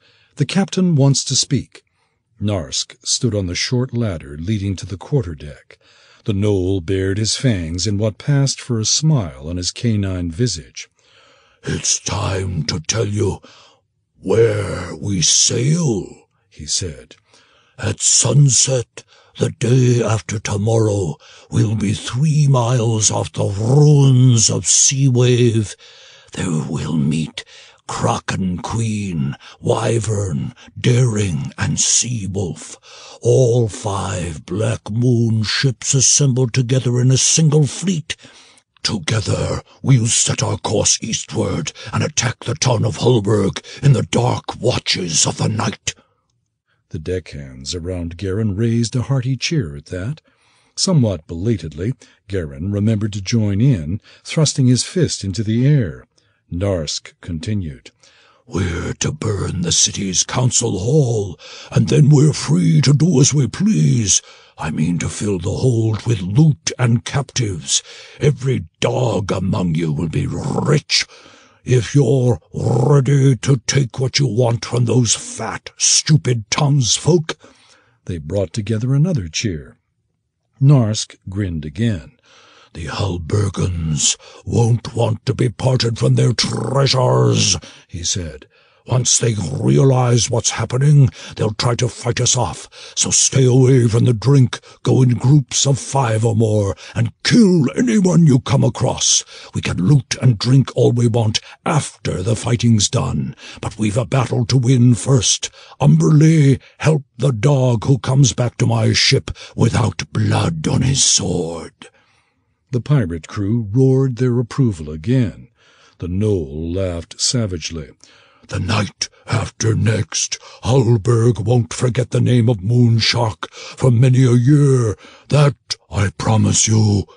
He waved his hairy paw in salute, then dropped down the last few steps of the ladder and left Sorcel to dismiss the crew. Hamil twisted in his bench to look back at Geran. Well, there it is the halfling said silently. How are we going to stop this, Geran? The sword mage looked at the pirates swarming over the deck, already boasting to each other about what they were going to do in Hulburg. He frowned and met Hamil's eyes, the only way that the halfling could hear his thoughts in return. I don't see any way around it, he answered. Tomorrow night we'll have to get to Hulburg if we have to seize the ship and sail her there ourselves. 12. 5 Marpenoth, the year of the Ageless One, 1479 D.R. The night air was cool and damp around Rhovann Disarnnyl as he flew above the roofs of Hulburg's wretched tailings. He remained in the guise of Lestanor, the Termitian mage who advised Lord Maroth Marstel, and as he arrowed through the dark sky, a long, hooded brown cassock fluttered behind him. Ironically, he'd invested enough time and effort into cultivating Lestanor's place in this miserable human town that he couldn't allow Lestanor to be seen going from the Marstel villa to the place he was going. Therefore he'd made use of a spell of flying to leave his quarters in Maroth Marstel's house unseen by any on the ground, and intended to return the same way later. Few folk were out and about at this hour, and he was fairly certain that no one would notice a silent, dark shape overhead. Not when the guttering yellow street lamps scattered here and there through the streets below obscured sight of what moved overhead. Rhovann crisscrossed the tailings for a moment, just to be sure of his bearings, then he descended toward the building he sought, Without a sound, he dropped down out of the night sky into the lightless alleyway behind the ramshackle inn and tap house he was looking for. He looked around carefully, aware that robbers and thieves sometimes lurked in this very alleyway to prey upon the drunken patrons of the tap house. For now it seemed that he had the alley to himself. The reek of garbage and emptied chamber pots was thick in his nostrils, and he scowled. Humans, the poor ones anyway, were a filthy race, at least by the standards he was accustomed to. Elves would never have permitted such a thing in one of their cities. Not for the first time, Rhovann cursed the misfortunes that had joined his fate to crude, boorish, stinking humans rather than the cultured Tel'Quessir among whom he belonged. It would have been better to raise a lonely tower in some remote wilderness and live as a recluse than to accept permanent exile among the towns and cities of humankind. Once he brought about Geran Hulmaster's downfall, he might choose that very course of action. With a sigh, he picked his way out of the alleyway, turned to his left, and made his way into the inn's front door. Above the door, a battered old wooden signboard showed a faded painting of three golden crowns above crossed swords. Rhovann glanced up and down the street, then went inside. The tap room adjoined the foyer, and through the heavy wooden beams of the open doorway he could see dozens of humans engaged in drinking themselves into a stupor with the worst sort of swill he could imagine. Some looked up as he entered, but he was well hidden in his voluminous cloak. Only a shadowed wedge of coarse brown skin showed beneath the cowl, along with a wiry gray beard cut in the distinctively squared-off style favored in Termish. Rhovann found one of the serving maids hurrying past and stopped her with a touch of his hand. "A friend expects me," he said in a low voice. "It would be a private room. Where does he wait?" The serving maid looked up at him, and a shadow of fear flickered over her face. She quickly brought her knuckle to her forehead and averted her eyes. "If you please, this way, my lord," she said. She led him back through the tap house to a small dining room behind the common room, knocked, then let Rhovann into the room. Inside, a pale human with a patch of yellow-gray beard under his mouth waited by one end of the table, dressed in the tunic of a workman. "Your guest is here, my lord," the serving-maid said. "Excellent," the pale man replied. "Bring us a flagon of your very best wine, my dear. None of that swill you normally serve, mind you. We are gentlemen of discriminating tastes. As you wish, my lord. The servant bobbed her head and withdrew. Rhovann stepped into the room, pulling the sliding door closed behind him. Could you have found a more squalid tavern for our meeting, Valdarsel?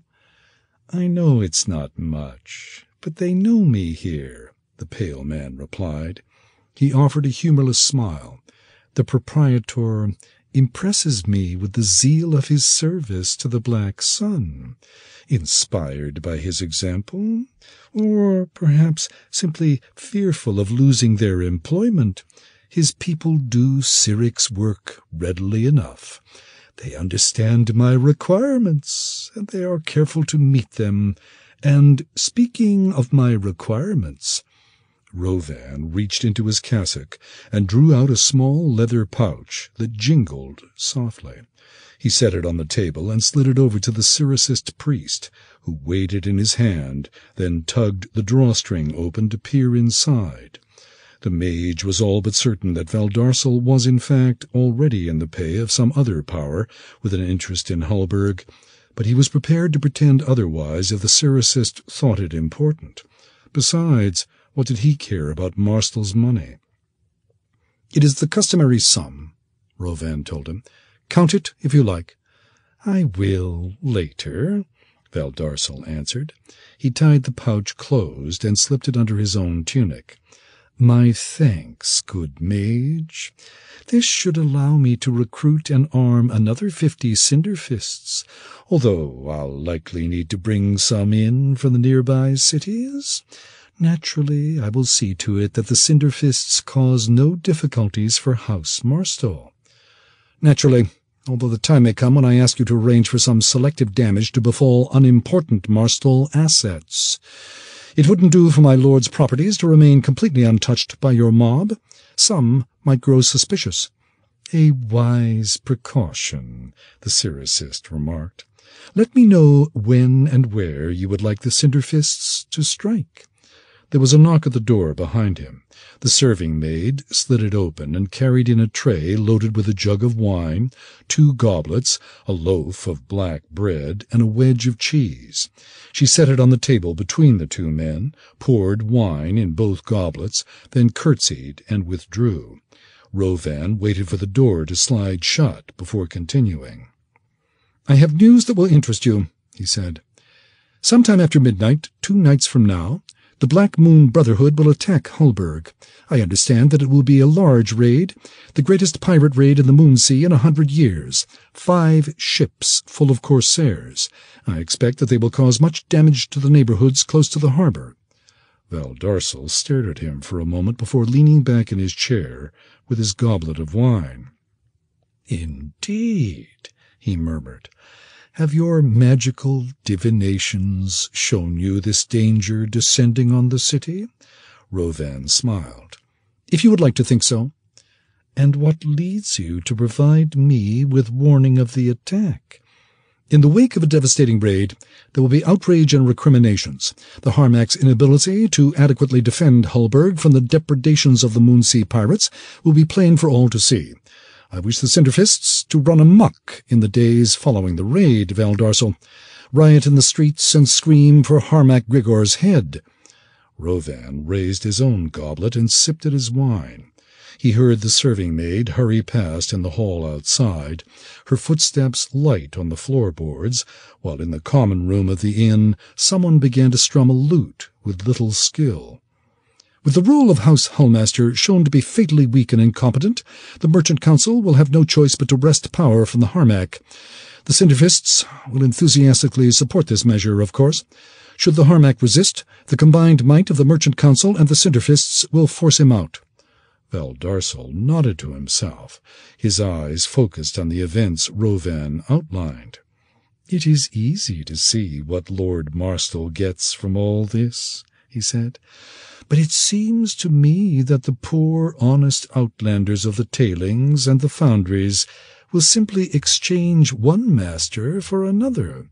The Cinderfists may go along with the idea of overthrowing an incompetent government, but they'll turn against your council next. I have to have something more to satisfy the rabble. Rhovann shrugged. Doubtless there will be Hulmaster loyalists remaining among the population after the Harmach has been dismissed, especially among the so-called native Hulburgans who own most of the land in these parts. As those people are found to be conspiring to overthrow the council and restore the rule of the Harmach, the council can deal sternly with them and confiscate their property. Reward citizens loyal to the council with Hulburgan land and goods, and I think you'll find that the Cinderfists may become enthusiastic supporters of the new regime. It wouldn't take much for a wealthy Hulburgan to be found to be resisting the council's authority, would it? Some semblance of procedure should probably be followed, Rhovann replied. Oh, of course. Valdarsel grinned like a wolf. It is said that wizards are subtle and dangerous, Lestanor. In your case, that strikes me as an understatement. A plan such as you propose warms the Black Prince's heart, It truly does. Rhovann inclined his head, acknowledging what the Cyricist intended as a compliment. It was possible that the Merchant Council alone might suffice to oust the Harmach in the wake of the Black Moon raid, but he needed to make sure that the Cinderfists would not interfere. In truth, he could not care less what became of the city or Valdarsel's ragged mob once the Hulmasters were dealt with. He expected to shake the dust of Hulburg from his boots and never look back, leaving the town to be torn apart among an idiot like Maroth Marstel, a viper such as Valdarsel, and the desperate gangs of foreigners who lurked in its poorer neighborhoods, was one more little gift for Geran Hulmaster. He returned his attention to the priest of Cyric. The pirate raid depends on surprise. If you choose to move your cinderfists out of its path or get them in place to strike during the chaos, make sure that you keep the reasons to yourself. The mage wished he did not have to confide in Valdarsel, but if he failed to warn the man about the coming attack, the Cyricist might very well wind up unleashing his rabble to some counterproductive cross-purpose. He simply had to hope that the prize was tempting enough for the priest. Valdarsel snorted. I am not stupid. He took another sip from his goblet, then nodded to himself. Best not to tell my people anything, I think. I'd rather make use of their unfeigned outrage in the days to come. In fact, I rather hope that the pirates do some damage to the tailings and Easthead. A few deaths or abductions would be just the thing to stir up anger. I consider that the safest option. You and I are the only people in Hulburg who know what is coming the night after next. I prefer to keep it that way. Rhovann drank again from his goblet. The wine was exactly what he might have expected from a place like the Three Crowns, and stood. We will speak again soon. He set his hand on the door, and was about to let himself out, when he heard a thump from somewhere behind the wall where Valdarsel sat. Someone in the adjoining room said clearly, Ho! What are you doing there? There was a muffled reply, another couple of thumps, then the speaker shouted, Come back here. Rhovann wheeled on Valdarsel with sudden fury. You had someone spy on me? he demanded. Valdarsel ignored him. The Cyricist surged out of his own seat and looked at the wall. The Three Crowns was rather shoddily built. The interior walls were little more than a thin weave of wooden slats covered in plaster between the rough timber posts. Valdarsel angrily threw aside several spare chairs standing against the wall, revealing a coin-sized hole in the plaster just a little above the floor. Not I, the man spat. It seems there was a mouse in the wall. Rhovann threw open the sliding door and hurried down the hall, only to find that the room he was seeking backed onto the dining room from a different corridor. He snarled and rushed around through the foyer linking the tap house to the inn, turned right, and found a hallway that paralleled the one in the tap house. A gangly, teen-aged servant lad stood in front of an open storeroom, a small keg in his arms. Rhovann pushed past him to look in the storeroom. Amid the clutter of casks and barrels, he saw the gleam of light shining through from the dining room on the other side, with a small space cleared by the spy hole. There was even a blanket on the floor. He turned on the serving lad standing there. Who was in here? Where did he go? Speak, boy. The youth gaped at him before he found his voice. It was a woman, my lord, with black hair and a blue cloak. I opened the door to fetch this keg and found her on the floor there, looking through the hole. She she leaped up and ran out. Which way? Rhovann demanded. The boy nodded down the hallway behind him. There's a door to the alleyway back there. I heard her go through. Rhovann ran to the end of the hall and burst out into the dark alleyway behind the inn. He looked left, then right, but he saw no sign of his quarry. A moment later, Valdarsel appeared behind him. No sign of our mouse? he asked. Rhovann shook his head. No, she's gone. The boy said she was a black-haired woman in a blue cloak. Valdarsel scowled. That could be anybody. Damn it all to the depths of Nessus. No one followed me here or knew that I was coming, Rhovann said. He looked at the Cyricist. Our mouse was spying on you, not me. Perhaps the folk of the Three Crowns have come to know you better than you would like. Oh, trust me. I intend to question them rigorously. The cleric kicked at the ground and walked in a small circle, composing himself. How much did she hear, I wonder? Assume that she heard everything until we have reason to believe otherwise. We need to find her, then. Tonight. Valdarsel took a deep breath and looked at Rhovann. Do you have any divinations that might help? Divinations, no, but I might be able to do something else. Rhovann headed back inside with the priest trailing him and returned to the storeroom. The serving boy was gone. He'd fled back to the tap house with his keg as quickly as possible, it seemed. He kneeled by the place where the spy had crouched and spoke the words of a light spell to illuminate the scene. There was the blanket, an old saddle blanket, he saw, a small candle in a tin holder, and a few crumbs of bread and cheese. Whoever it was, she had waited for some time for Valdarsel to arrive. Then something glinted in the light. He reached down and retrieved a long, fine strand of black hair from the blanket. Have you found something? Valdarsel asked. Rhovann showed him the hair. It may be enough. I must return to my chambers and make some preparations. Go swiftly, then. We must catch this mouse before she squeaks. The priest smiled cruelly. While you essay your magic, I will find out what I can from the servants of the house. Someone besides that boy knew she was here. Very well, said Rhovann. He hurried outside to the alleyway and spoke the words of his flying spell. In the space of a moment he soared up over the rooftops, leaving the dark alleyway behind the three crowns behind him. This time he did not have to search out his destination with care. He could see the lights of the Marstel Manor from the moment he rose above the rooftops of the tailings. With all the speed the spell allowed him, he raced back toward Lord Marstel's home, high above the town in the richest part of the East Head. He easily avoided the guards at the front gate by alighting in a little used garden behind the grand house. Rhovann had appropriated the northerly wing of the Marstel Manor as his own months ago, evicting the other residents.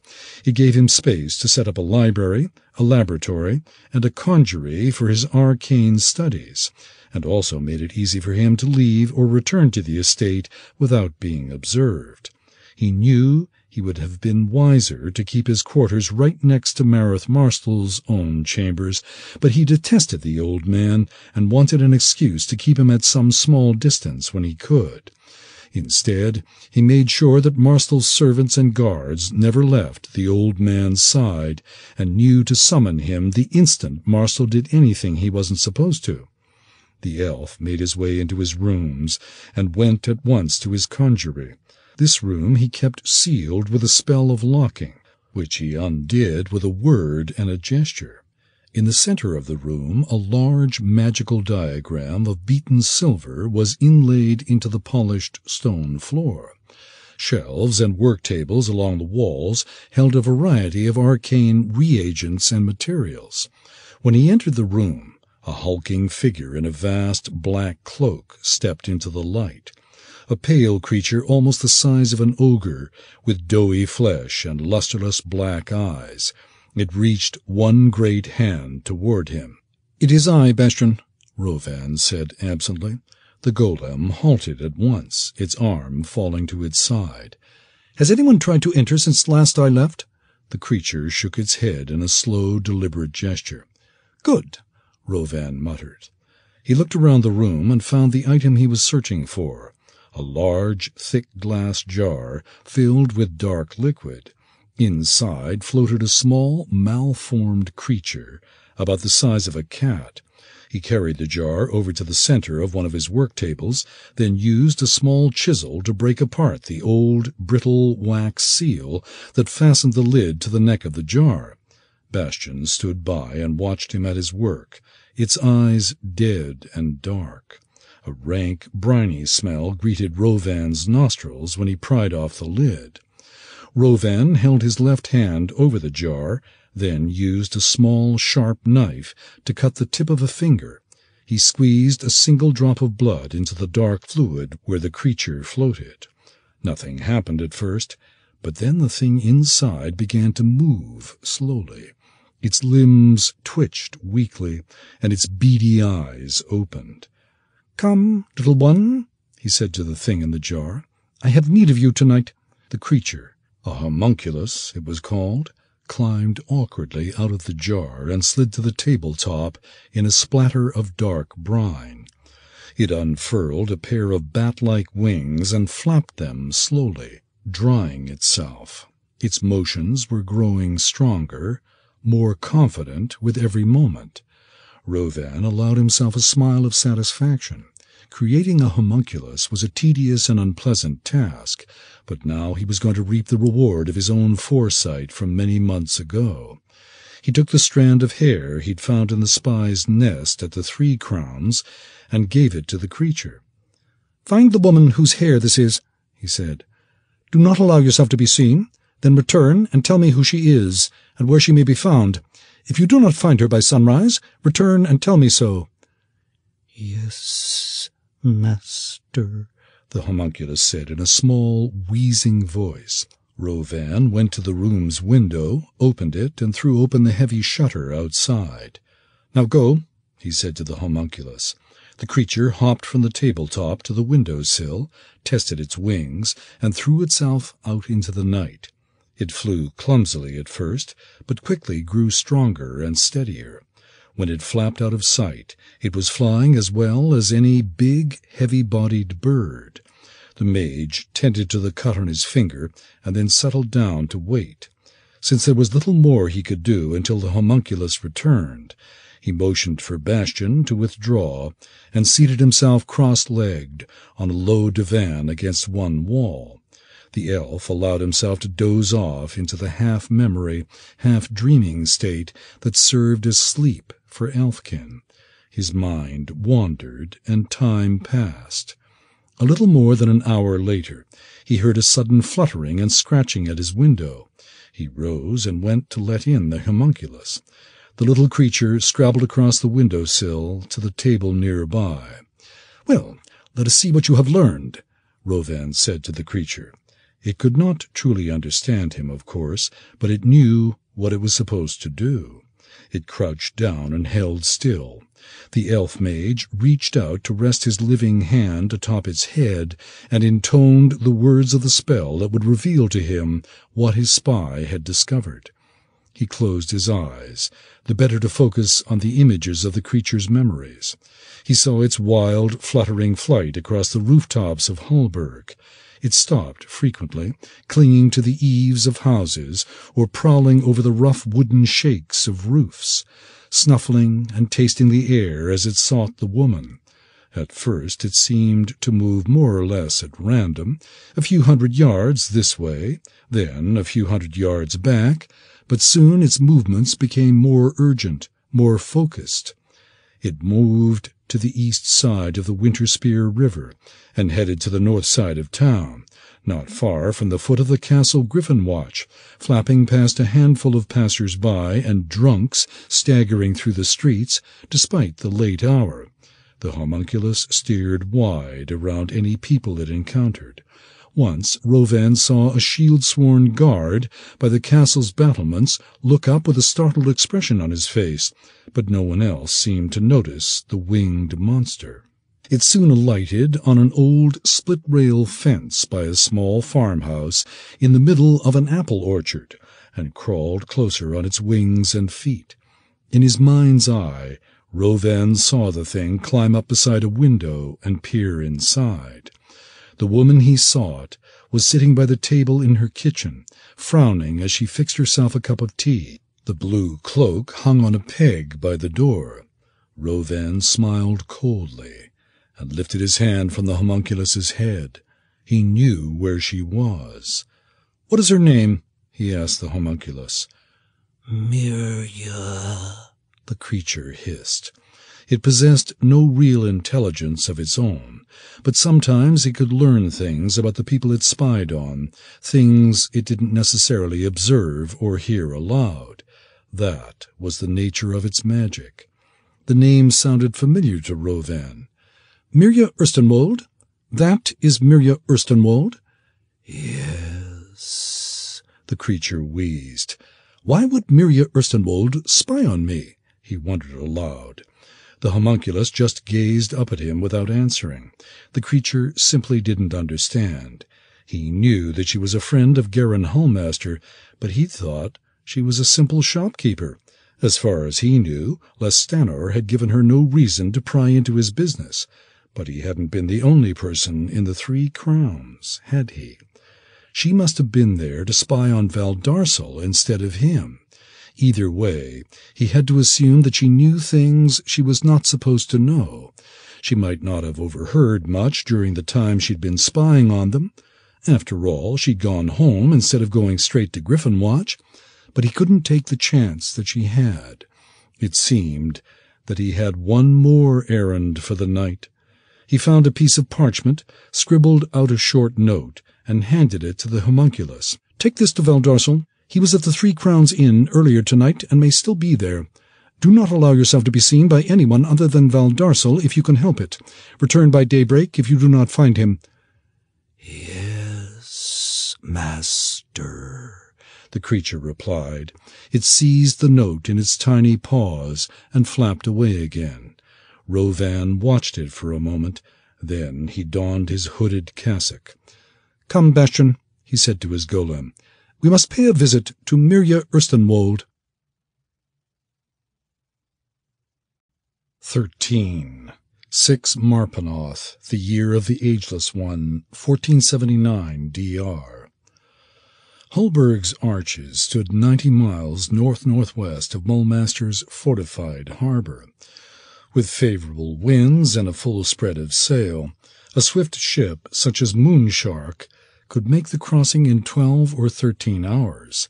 However, Narsk had Sorcel and Keffin run at half canvas during the night of the fifth, so that as morning broke on the sixth of Marpenoth, they were only about thirty miles out of Mulmaster. The jagged line of the Earthspur Mountains still showed above the horizon behind them, although they soon vanished into an overcast that thickened throughout the morning. Shortly after daybreak, Narsk and Sorcel summoned Merkelmore, who served as the ship's carpenter, to the quarterdeck. Merkelmore was soon hard at work building a frame or stand of some sort in front of the helm, using some of the ship's spare timber.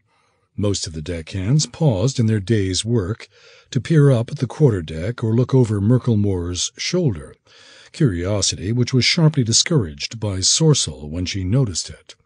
When the dwarf finished, Narsk brought the mysterious parcel from Mulmaster up from his cabin and carefully removed a strange dark glass orb about the size of a man's two fists held together. Tiny pinpricks of light seemed to glimmer in its dark depths. The orb sun freely inside a collar of silver metal. Merkelmore secured the collar to the wooden stand he'd built for the device. The starry compass, Geran murmured to Sarth and Hamil as they watched from the main deck. They were half-heartedly pushing mops around the deck as they did their best to spy on the installation of the device. They weren't the only ones. More than a few of the ship's crew were looking for an excuse to take a look at it, whatever it was. What is it? Hamil asked. Some device for steering by the stars? A magical lodestone? And what does Narsk need one for? I don't know, Geran answered. Kamoth's letter didn't say much more than, pick up the starry compass in Mulmaster. He looked over to Sarth. Have you heard of anything like it? Sarth shook his head. As I've told you, I know nothing about seafaring. That ignorance extends to arcane devices that might have uses at sea. I could imagine that would be useful to have an enchanted compass, though. We'll have a look at it later. Geran decided. He was more than a little curious about the device, but at the moment the threat to Hulburg occupied the greater part of his attention. He returned to his mopping. On the quarter deck, Sorcel and Merkelmore cut a piece of spare sailcloth to serve as a cover for the compass and its frame. They slipped the cover over the device and lashed the canvas securely in place. Clearly, Narsk and Sorcel didn't want it pawed by every member of the crew. Moonshark passed the day lazily pacing northward under half sail, as Narsk dallied in the middle of the Moonsea, well out of sight of the shore. Geran willed every ounce of speed from wind and wave, but the half galley refused to hurry her steps. Under cheerless gray skies, he paced the decks anxiously, chafing as the hours dragged slowly by. The rest of the crew, on the other hand, spent the hours eagerly anticipating the looting of the town. They told stories of rich prizes from the past, boasted about their sexual prowess, or speculated about where the best loot would be found. The larger fists in the crew, Skamang and his men, Merkelmore and his dwarves and their Teshan allies, the goblins and half-orcs, the Mulmasterites, clustered together, laying their plans to go their own way once the ship's business was taken care of. Some of the smaller fists struck alliances with larger ones or grouped with each other. A few men who'd been to Hulburg before did their best to sketch out maps of the town for the others, which ranged from fairly good to wildly inaccurate. The pirates laughed and jibed at each other in a rough good cheer that lasted throughout the day. A little before midnight, Geran, Hamil, and Sarth arose and prepared themselves for their watch. But the sword mage motioned for his captains to follow him forward instead of going up to the deck. When he was satisfied that no one was in earshot, he said, We're taking the ship tonight. Hamil and Sarth glanced at each other. Then Hamil nodded. What do you have in mind? the halfling asked. We'll take care of the rest of the watch and steer due north for the rest of the night. I can't wait for Narsk to reach the Black Moon rendezvous. A dangerous ploy, Sarth said. The tiefling frowned unhappily behind his human guise. Narsk roams the ship at odd hours. If he discovers us... We'll have to deal with him along with the rest of the watch, Geran answered. He wished he could think of some other way to get to Hulburg in advance of the Black Moon raid, instead of risking all on such a reckless plan. But they were out of time. Let's get to it, then. The sooner we change course, the closer to Hulburg we'll get. Hamil held out his fist and looked up to his companions with a bold grin. Good fortune to us, then, he said. Geran fought down his fears of what might happen if they failed, and set his hand on top of his friend's. Sarth shrugged and set his hand atop Geran's. Good fortune, they both repeated in low voices. Then the three companions turned to the work ahead. First, they visited the ship's armory. Hamil expertly picked the lock, and Geran helped himself to a good cutlass. With a little work, he rigged the scabbard to lie across his back, where a hooded cloak might help to hide the fact that he was armed. Then, in the privacy of the arms locker, Geran quietly invoked the sword mage wardings and spells, which served as his armor for the first time in days. They were not normally noticeable, but someone trained in the arcane arts might sense their presence, and anyone who struck at him, for example the first mate with her cudgel, would likely notice their effect, which was why Geran had gone without the wardings. He hoped he wouldn't need them, but it was better to be ready. Tonight would be a night of decision, and the time for fitting in with their fellow corsairs was drawing to an end. All right, let's head up for watch, Geran told his friends. They quietly closed the arms locker and went up on deck, reporting for their watch under the second mate, Keffin. Although Keffin's watch consisted of a full third of the ship's company, twenty men weren't needed on deck at all times. Normally, Moonshark sailed with the mate and a helmsman on the quarter deck, a lookout in the bow, a lookout aloft, and a couple of roving deckhands who kept an eye on the rigging, tended the braces and stays, and looked after the lanterns below decks. Their primary task was to go below and rouse more of the watch if the mate had to change the set of the sails. Some minor adjustments could be handled by a couple of men easily enough, but other adjustments, for example breaking out or taking in a mainsail, required the whole watch. Those men who weren't on deck were allowed to catch as much sleep as they could, so long as they were quick to come up on deck when summoned. Over the course of a watch, it was customary for the helmsmen, lookouts, and rovers to trade places with their watchmates so that most of the crewmen had a chance to sleep at least four or five hours a night. However, Moonshark's stronger fists made new and unproven hands stand more of the watch than they should have. For tonight, that would serve Geran and his friends well. Geran took the helm after the watch change, while Sarth was kept on as roving hand, and Hamil was sent aloft to the crow's nest. The night was cool and dark. The moon was hidden behind thick clouds, and a light drizzle fell. Moonshark rode sluggishly on a west-northwesterly track, as the wind was light, and she still didn't have her full spread of canvas aloft. For half an hour he held the ship on course, biding his time to make sure the second watch was settled below. Keffin said little to him, sipping from his flask as he leaned against the lee rail. Finally, he decided the moment was right. He looked over at the second mate. "Take the wheel for a moment, Master Keffin," he asked. "I need to relieve myself." Keffin sighed, but he shook himself under his damp cloak and nodded. "Don't be long," he said. Geran let the man get his hands on the helm and stepped back. Then he quietly drew a leather sap from beneath his cloak and struck the second mate across the back of the head. Keffin groaned and slumped. Geran caught him and lowered him softly to the deck. Quickly he looped a keeper over the topmost spoke of the helm, then dragged Keffin to one side.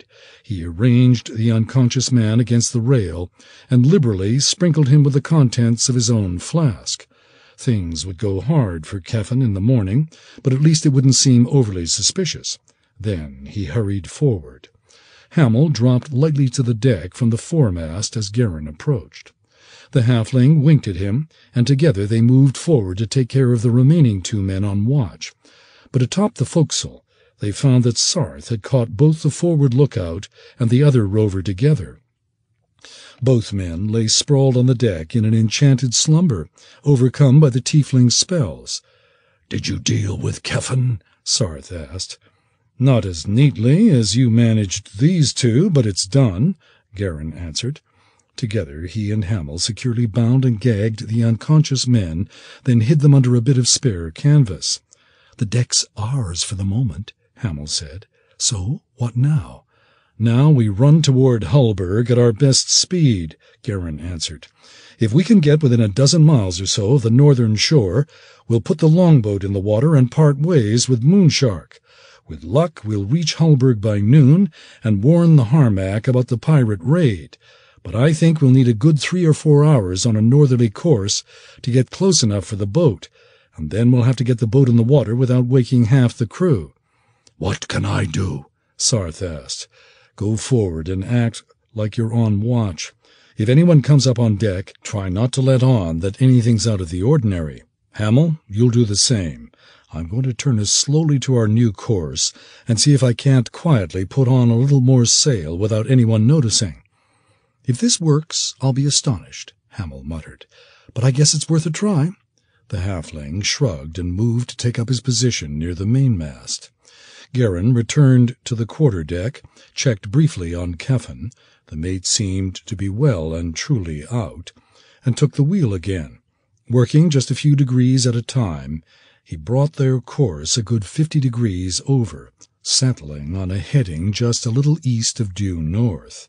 Then he put the keeper back on the helm and hurried down to the main deck to help Hamil and Sarth square the yardarms back around now that they were sailing further from the wind.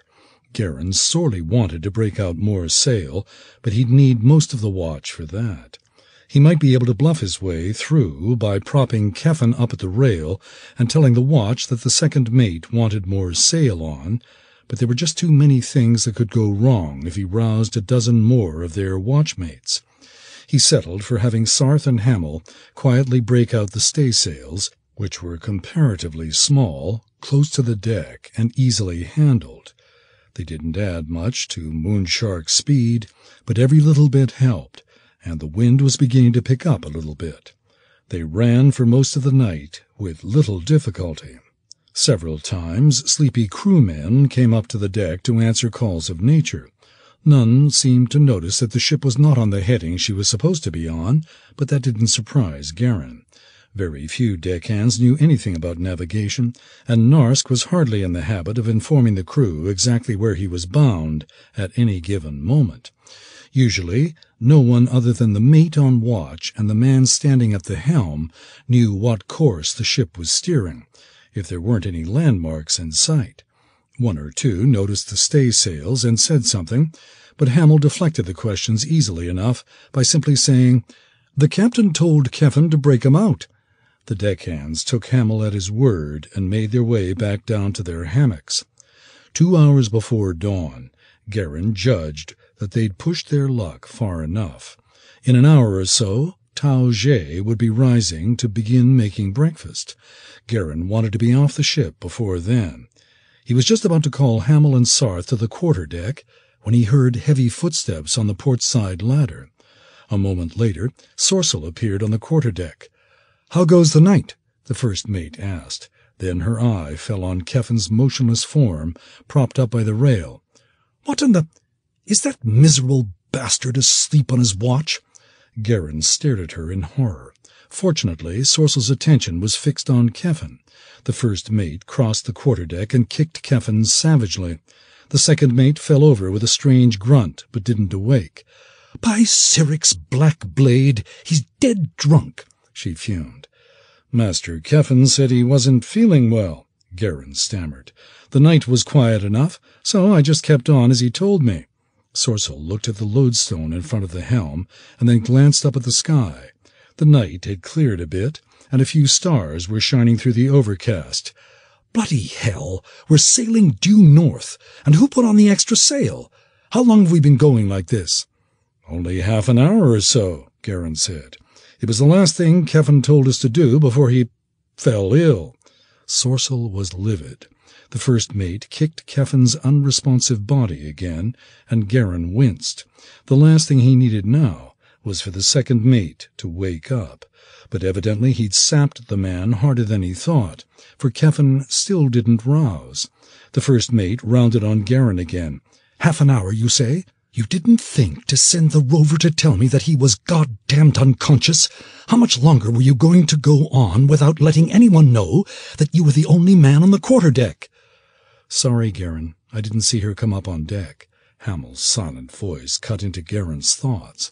A moment later the halfling hurried up the ladder from the main deck. "Is all well?" he asked aloud. "Ask your friend here," Sorcel snapped. The first mate looked one more time at Keffin, and then scowled at both Geran and Hamil. "Bring the ship back to west by northwest, damn you!" she finally said. "And you there, Dagger, you go below and rouse the whole watch. We're going to take in sail like the captain wanted, and then you're going to explain what in the nine hells is going on here. Distract her, Geran, Hamil told him. We can't afford a scene. Geran grimaced. He knew he wouldn't like what came next, but he couldn't see any way around it. Not if he still hoped to spare Hulburg the brunt of the Black Moon raid. He looked at Sorcel and said quite deliberately, I've had enough from you, Sorcel.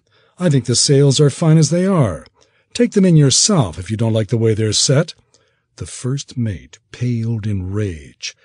You think... She snarled. She reached for the truncheon at her waist, and at that moment Hamil glided up behind her, reached up to clap a hand over her mouth, and sank his poniard into the first mate's back. Sorcel staggered forward two steps. Geran caught her and wrestled her over to the rail. They struggled for a moment, but the first mate's strength was already failing.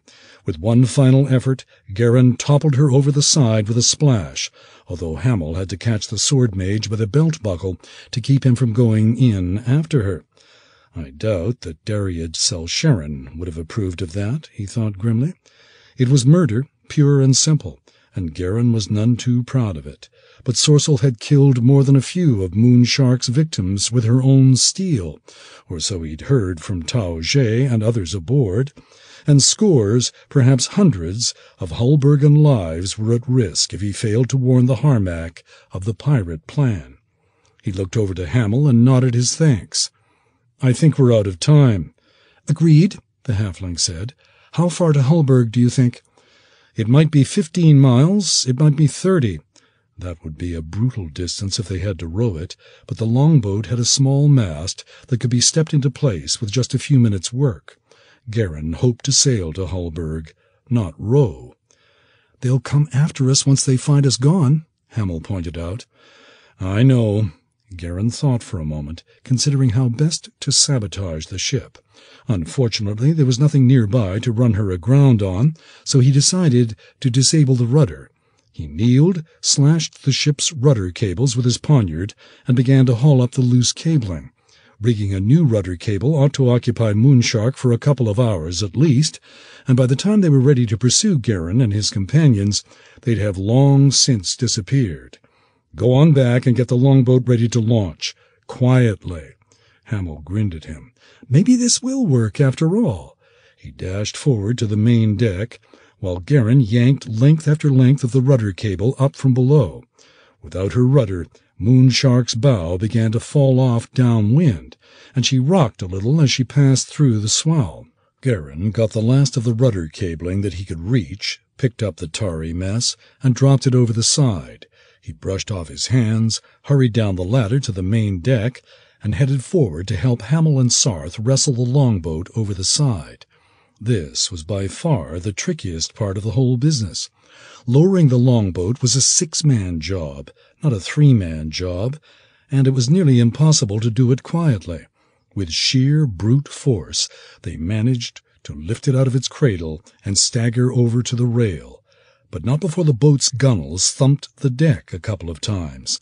Geran winced, but they were getting close to the moment when speed would count more than stealth. At the aft end of the main deck, the door to the captain's cabin opened, and Narsk stepped out. The Gnoll took in the scene at a glance, catching Geran and his friends with a longboat half in its davit. What is this? he snarled. Then he leaped over to the ship's bell and began to strike it vigorously. All hands on deck now, he shouted. Treachery! All hands on deck! Despair paralyzed Geran for five heartbeats. So close, he muttered. The first pale glimmers of dawn were beginning to streak the sky to the east. In a matter of moments, the deck would be full of enemies. They wouldn't live long enough to get the longboat in the water. He could see only one slender chance to kill Narsk quickly and hope to cow or contain the rest of the crew long enough to make their escape. Before he could second guess himself, he dropped his end of the longboat. Moonshark rolled heavily under Geran's feet, running clumsily before the wind with her helm spinning freely on the quarterdeck. Guard my back, he hissed to Sarth and Hamil. Then he drew the cutlass hidden under his cloak and charged across the deck at the pirate ship's captain. 14. 7 Marpenoth, the year of the Ageless One, 1479 DR. Yo, Narsk snarled. It was you in my cabin in Mulmaster. I know your scent now, human. The gnoll greeted Geran's attack with a snarl of pure rage. He yanked out the mace he carried at his belt and drew a long curved knife to meet the sword mage. Leaping aside from Geran's first thrust, Narsk answered with a furious onslaught of whistling mace swings, using his long knife to protect himself when the mace's weight left him out of balance and exposed. Geran didn't answer. He leaned away from the mace, parried a knife slash at his belly, ducked low to cut Narsk's legs out from under him. But the gnoll leaped over his slash with surprising agility. Narsk threw himself closer after Geran's sword passed, and lunged for the sword mage's neck with a snap of his powerful jaws. The sword mage fell back again and survived a knife thrust at his right side only because his spell wards deflected the blade. The tip of the blade gouged a bloody gash against his ribs, but it didn't sink more than an inch or so into his flesh. The stab still knocked the breath out of him and left him with warm blood trickling down his side, the wound throbbing in pain. I need to end this quickly, he realized. Otherwise there would be no hope of escaping Moonshark. With the instant, diamond-sharp focus he'd learned in Myth Drannor, Geran invoked a sword spell even as his steel flew to meet Narsk's attack. Arvan Sanagan, he cried, and the pirate cutlass in his hand blazed with blue flames. Narsk swore and recoiled, but not before Geran slashed his knife out of his left hand, leaving the gnoll's fur smoking. Narsk snarled in pain. Foul sorcery! he shouted. Kill him! Kill him now! Geran risked a quick glance over his shoulder. Moonshark's crew was boiling up out of their quarters under the main deck, most with knives, belaying pins, or boarding pikes in hand. They gaped at the spectacle of their captain fighting for his life, then started to close in behind Geran, until Sarth raised his arms and wove a fence of lightning across the deck. This is between Aram and Narsk, he shouted. No one else is to interfere. The corsairs halted, unsure about whether or not they should intervene, and were dissuaded in any event by the sudden revelation of Sarth's magic. Narsk roared in fury when he realized that his crew would not cut down his challenger. You miserable rats, he screamed. You will all pay for your cowardice. He threw himself at Geran recklessly, pounding his mace against his foe with a furious barrage of overhand blows. Geran parried or dodged the blows, although one carried through his block with enough power to drive the back of his cutlass, fortunately not sharpened, into his left shoulder, almost buckling him to the deck. Narsk snarled and redoubled his effort, but this time Geran deflected the mace past him and stepped aside. The gnoll was left off balance and stumbled forward as his mace head brushed the deck. Geran spun in the opposite direction and took off Narsk's head with one clean cut to the back of the neck. The body crashed heavily to the deck, and the head rolled into the companionway leading down to the crew quarters, disappearing down the steps with several dull thuds. A stunned silence fell over the crew of Moonshark. They stared down at Narsk's body, and then they stared at Geran. We lost the longboat, Geran, Hamil told him. The halfling stood next to Sarth, a pair of daggers in his hands. It slipped from the davit when the trouble started. I sincerely hope you have another plan in mind. The Northman Skamang pushed his way to the front of the crew and fixed his eyes on Geran. The blue tattoos on his face seemed to writhe and jump in the flickering light of Sarth's crackling, spitting barrier. "Where's Sorcel and Keffin?" "Keffin's passed out on the quarter-deck, dead drunk," Geran answered. "Sorcel's somewhere astern of us, floating in the water with a knife in her back." Someone had better explain why the captain and first mate are dead, and your friends were getting ready to launch the longboat, Skamang said. He hefted a boarding axe in his hand. And soon, at that. Merkelmore crossed his arms in front of his chest and scowled. I'm with Skamang, the dwarf said. I'd like to know what in the nine hells you're about, Aram. Geran stared back at the two pirates and tried to think of something to say. He was not a good liar, and he knew it. Fortunately, Hamil knew it as well, and the halfling had a knack for thinking quickly in situations such as this. Blame it on Sorcel. That's the best chance I can see, the halfling said to him. Geran glanced over and found Hamil kneeling by Narsk's body, quietly checking the gnoll's pockets. The halfling offered a small shrug and nodded in the direction of the rest of the crew. I thought I'd better have a look, he said. There was a letter in Narsk's pocket. I've got it now. The sword mage frowned and returned his attention to the pirates confronting him. He let the point of his cutlass drop. It was Sorcel, he said. She came up on deck and ordered us to put the longboat over the side. It seemed strange to me, but she didn't explain herself, and Keffin was dead drunk. Then she went to the quarter-deck and sabotaged the rudder. I caught her at it and tried to stop her. Narsk came out of his cabin just in time to see Sorcel knifed and knocked over the rail. Narsk didn't give us much of a chance to explain ourselves, Hamil added. He stood up from beside Narsk's body and moved over to stand beside Geran. He rang the bell and called all hands on deck, and then he went after Aram. His final mistake, as it turned out. To Geran he added, Not bad, but don't say too much more. Narsk is dead, Sorcel is dead, and Keffin's naught but a fat, useless drunk, Merkelmore said. I'd like to know who captains Moonshark now. I do, Geran said at once. If he was going to try to bluff his way out of this, it might as well be a brazen ploy. He winced a little, realizing that he had no idea what that might mean at the moment. Before he could think better of the idea, he pressed on. By the traditions of the Black Moon, I claim command. Narsk is dead by my sword. I'm captain of Moonshark. The crew muttered uncertainly. Some men shouted, No! or Not so fast! while others cried, No, Skamang! or Keffin! instead. I hope you know what you're doing, Geran, Hamil said. This'll be another fight. He's got the right to make his claim, Merkelmore said. The old dwarf shook his head. We all saw it. This is no way it should be. But Keffin's no captain, and Sorcel's as dead as Narsk, if Aram's speaking true. My fist stands for Aram. Mine doesn't, Skamang snarled. I won't follow some stranger who's been aboard Moonshark less than a ten days simply because he bested the gnoll. He pointed the spike of his boarding axe at Geran. I say, I'm the captain of this ship. Before Geran, the sixty-odd brigands, outlaws, cutthroats, and pirates who made up the ship's crew stood watching him, and each other, as they waited to see whether he or Skamang would seize control of the ship.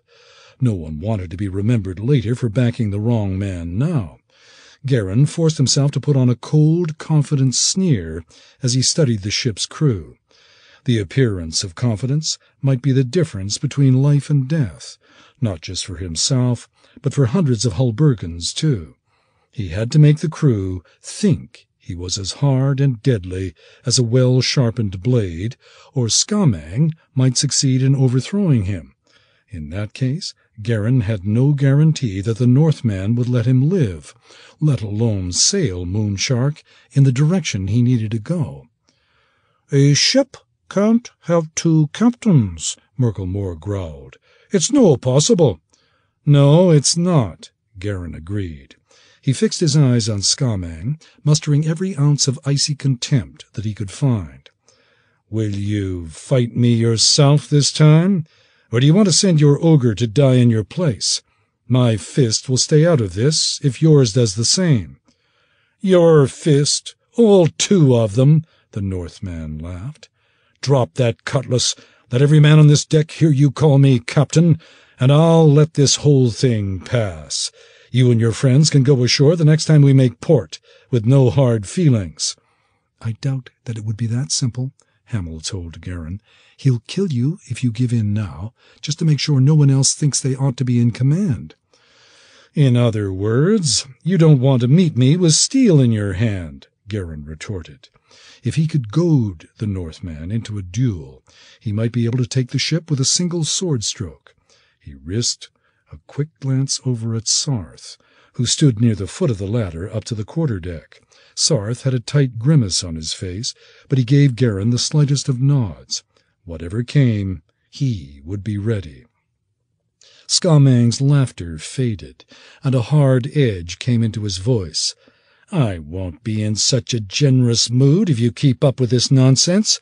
You might not care whether you live or die, but I'll gut any man that stands with you and toss him over the side. Do you mean to gut me too, Skamang? Merkelmore said. The dwarf took two steps toward where Geran and his friends stood, and turned to face the Northman. Aram's got me fist at his back.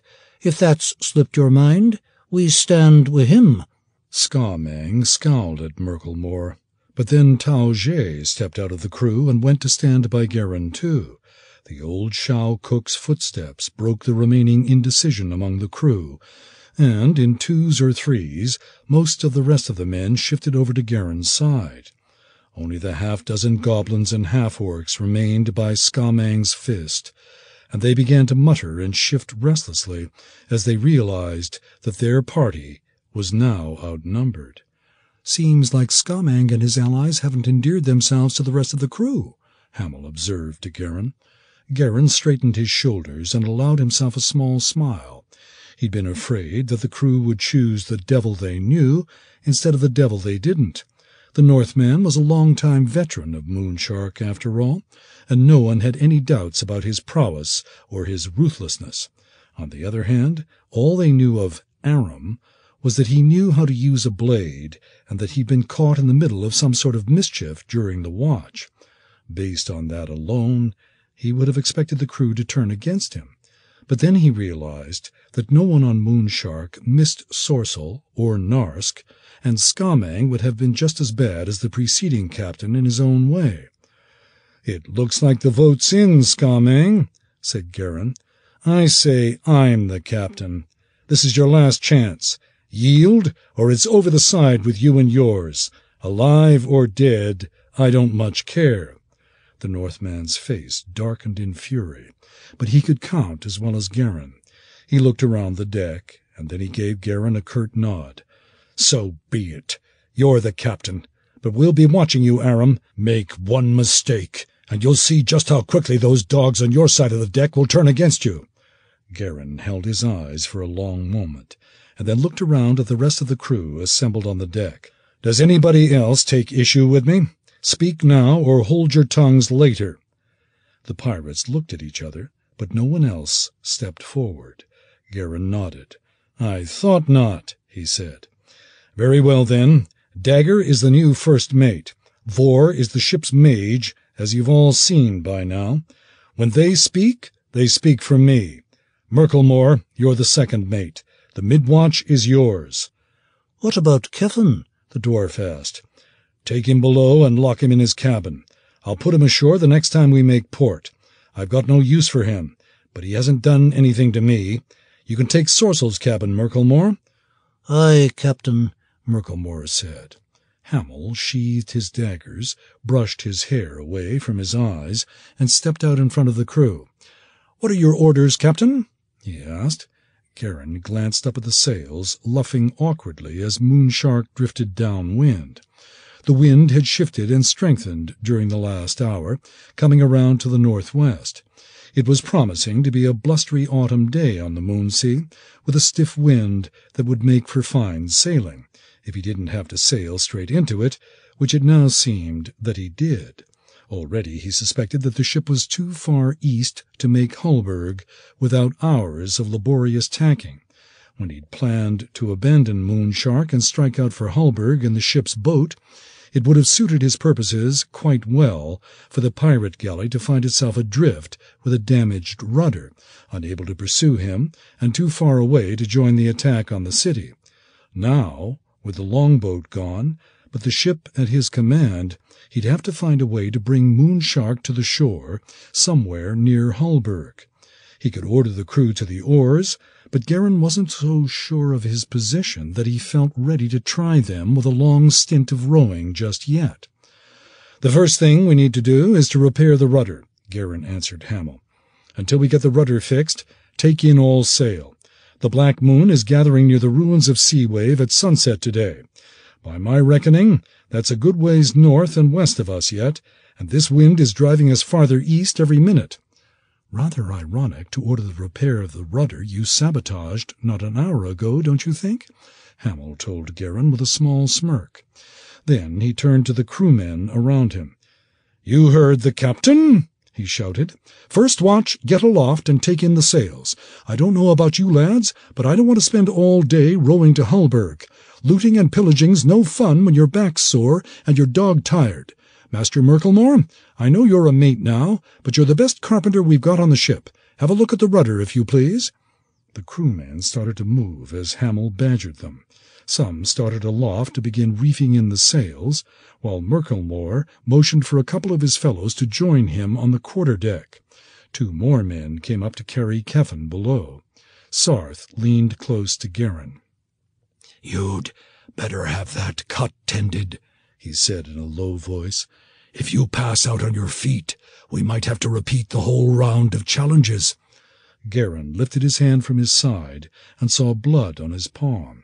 He winced and then looked around for Tao Ge. The Shao cook was the closest the ship's company had to a healer. Tao Ge, fetch some hot water and your sewing kit, he said. Narsk left me something to remember him by. Merkelmore and his helpers began to lay out a new rudder cable. Geran didn't bother to press him to hurry his repairs. The dwarf knew that the ship's participation in the attack on Hulburg depended on regaining the ability to maneuver as soon as possible, and he drove his small crew of woodworkers and rope layers as hard as they could be driven. Geran remained on the quarterdeck, watching Merkelmore work as Tao Ge, in turn, worked on him. Narsk's blade had left a deep gash, but he'd been lucky not to have worse. I thought Narsk had killed you with this one, the Shao told him as he stitched the wound. You were fortunate this morning. It's not so bad. Geran gritted his teeth against Tao Ge's work. He'd had his wounds sewn more than once, and each time it seemed worse than receiving the wound in the first place. Truly, I did not expect you to move so quickly against Narsk when we left Zhentil Keep that morning, Tao Ge remarked. Nor did I expect you to be adept in magic. You seem to be a man of hidden talents. Narsk forced this fight on me. I had no intention of challenging him, but he left me with no choice. Tao Ge nodded. I am not greatly troubled, mind you. Narsk was not much of a seaman, and he was a greedy and vicious brute. Almost anybody would be a better captain than he was. Geran snorted. My thanks for your confidence. The Shao smiled. He glanced around and leaned a little closer, lowering his voice. What really puzzles me is why Sorcel was attempting to leave the ship.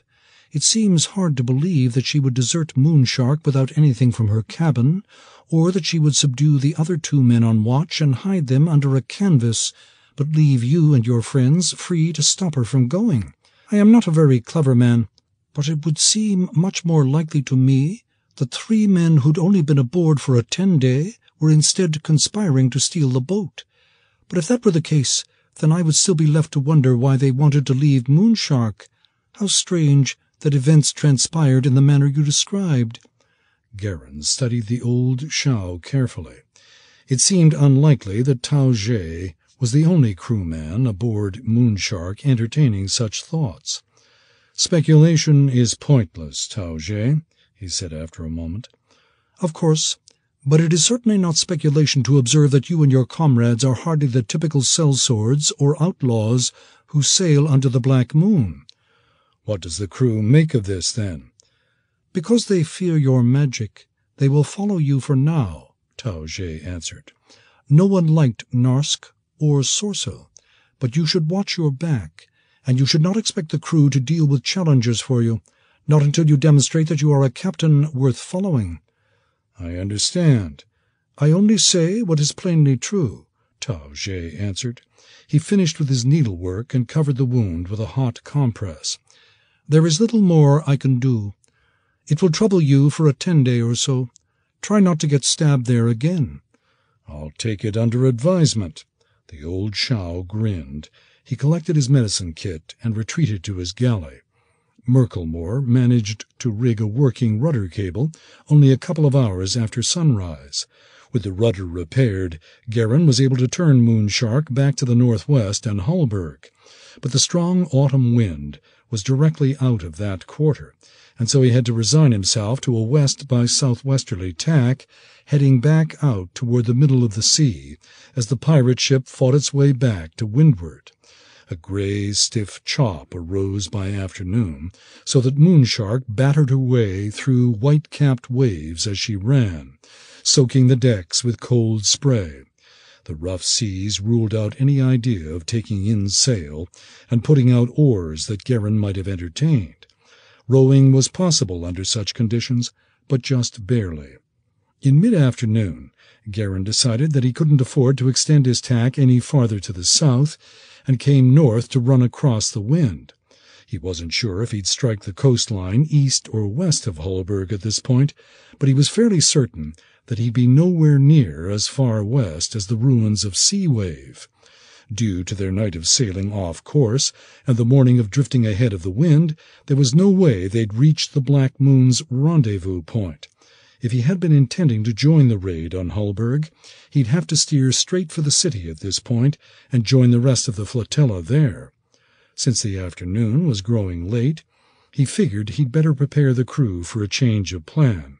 He called Merkelmore, Tao Ge, and a few of the other fist leaders together on the quarterdeck about an hour before sunset.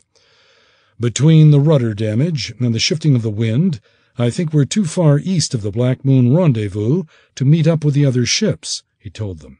They're gathering a good twenty miles west of the town in just a couple of hours but I think we can reach Hulburg by midnight without too much trouble, and that's what I intend to steer for.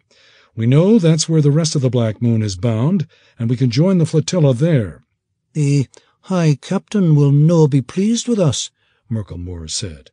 It can't be helped at this point, said Geran. If the attack on Hulburg succeeds, I'd wager that many sins will be forgiven. If not, well, I'll take the blame. Moonshark kept on her northerly tack for the rest of the afternoon and through the sunset. Still no sight of the northern shore greeted them, and Geran began to fear that he'd somehow completely lost his reckoning in the last few hours. He couldn't bear the idea that Moonshark might be too far away for him to get some word of warning to Hulburg. At least the raid would be one ship short if that were the case but then he and his companions would have to deal with an extremely, perhaps lethally, disappointed crew. Finally, as the last embers of sunset gleamed low in the sky to the west, the lookout aloft called out, Land ho! Geran hurried to the bow, peering into the gloaming to see what he could make of their position, and his heart sank. They were still ten miles east of Hulburg, perhaps more, he quickly calculated time and distances in his head, trying to envision the course they'd have to follow. With this wind, Moonshark could make perhaps seven or eight knots running close hauled, but they'd have to cover maybe three times as much distance on the tack as they actually managed to make good against the wind. That meant another four or five hours of sailing before they reached the arches. He returned to the quarterdeck, thinking furiously. Do you know this stretch of coast? Hamil asked him. How far from Hulburg are we? I do, and we're too far east, Geran answered. I think we're out of time. Hamil and Sarth exchanged looks with each other. The sorcerer frowned. So, what do we do now? he asked. Geran didn't see any other alternatives. He pointed at the coastline, perhaps three miles distant. Unless I'm badly mistaken, that's Sulan Head. It's about ten miles east of Hulburg by the old coastal road. I'd bring the ship in to land on the beach at its foot, but that might take another hour, and I don't dare let the crew see me do something like that. They would surely suspect treachery. Sarth, can you reach the coast from here with your flying spell?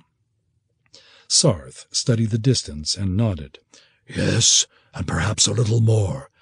Then I need you to leave the ship get to Hulburg and warn Kara, the Harmach, whomever you can find, that the Black Moon raid is on its way.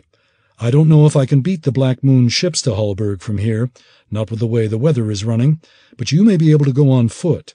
By my reckoning, you've got three or four hours to cover the distance. Can you do it? It must be done, so it will be done.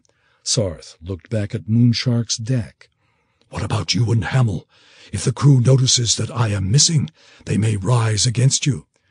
I'll tell them you're below, using Narsk's cabin to study your spells. That should work well enough for a short time. Geran paused as a stray thought crossed his mind. That reminds me, Hamil. What's in that letter you found in Narsk's pocket? Hamil frowned. I'd forgotten it. Just a moment. He pulled it out and carefully opened it under the light of the swinging stern lantern. After a moment, he shook his head and passed it to Sarth. It looks like some kind of incantation. Sarth glanced at it and shrugged. Arcane words are written in several different tongues, and I had thought I would at least recognize a few words in any of them. But this is nonsense to me. Keep it safe, and I will see if I can use magic to decipher it when I have the opportunity to study it carefully. He looked back to Geran. What would you do with Moonshark? Geran smiled grimly. I still need to get to Hulburg, and Moonshark's going to take me there. Now, let's get you on your way, because I've got to turn the ship and run away from the coast again in just a few minutes. 15. 8 Marpenoth, the year of the Ageless One, 1479 DR. Kraken Queen raced past the arches of Hulburg's harbor an hour after midnight, her oars sweeping her eagerly ahead through the whitecaps and the wind-driven rain. At her back came Daring, Wyvern, and Sea-Wolf. All told, almost five hundred Black Moon corsairs thirsting for blood, rape, and treasure. Few lights showed in the town, only a handful of street lamps and the occasional lantern-lit doorway of a tavern or merchant trade yard. Sergen Hulmaster shaded his eyes from the wind and the rain, peering anxiously at the shoreline. If some word of the Black Moon fleet had come to Hulburg, he expected that ranks of shield-sworn, merchant coster mercenaries, and even the laughable militia companies of the Spearmeet would be waiting by the wharves to repel the attack.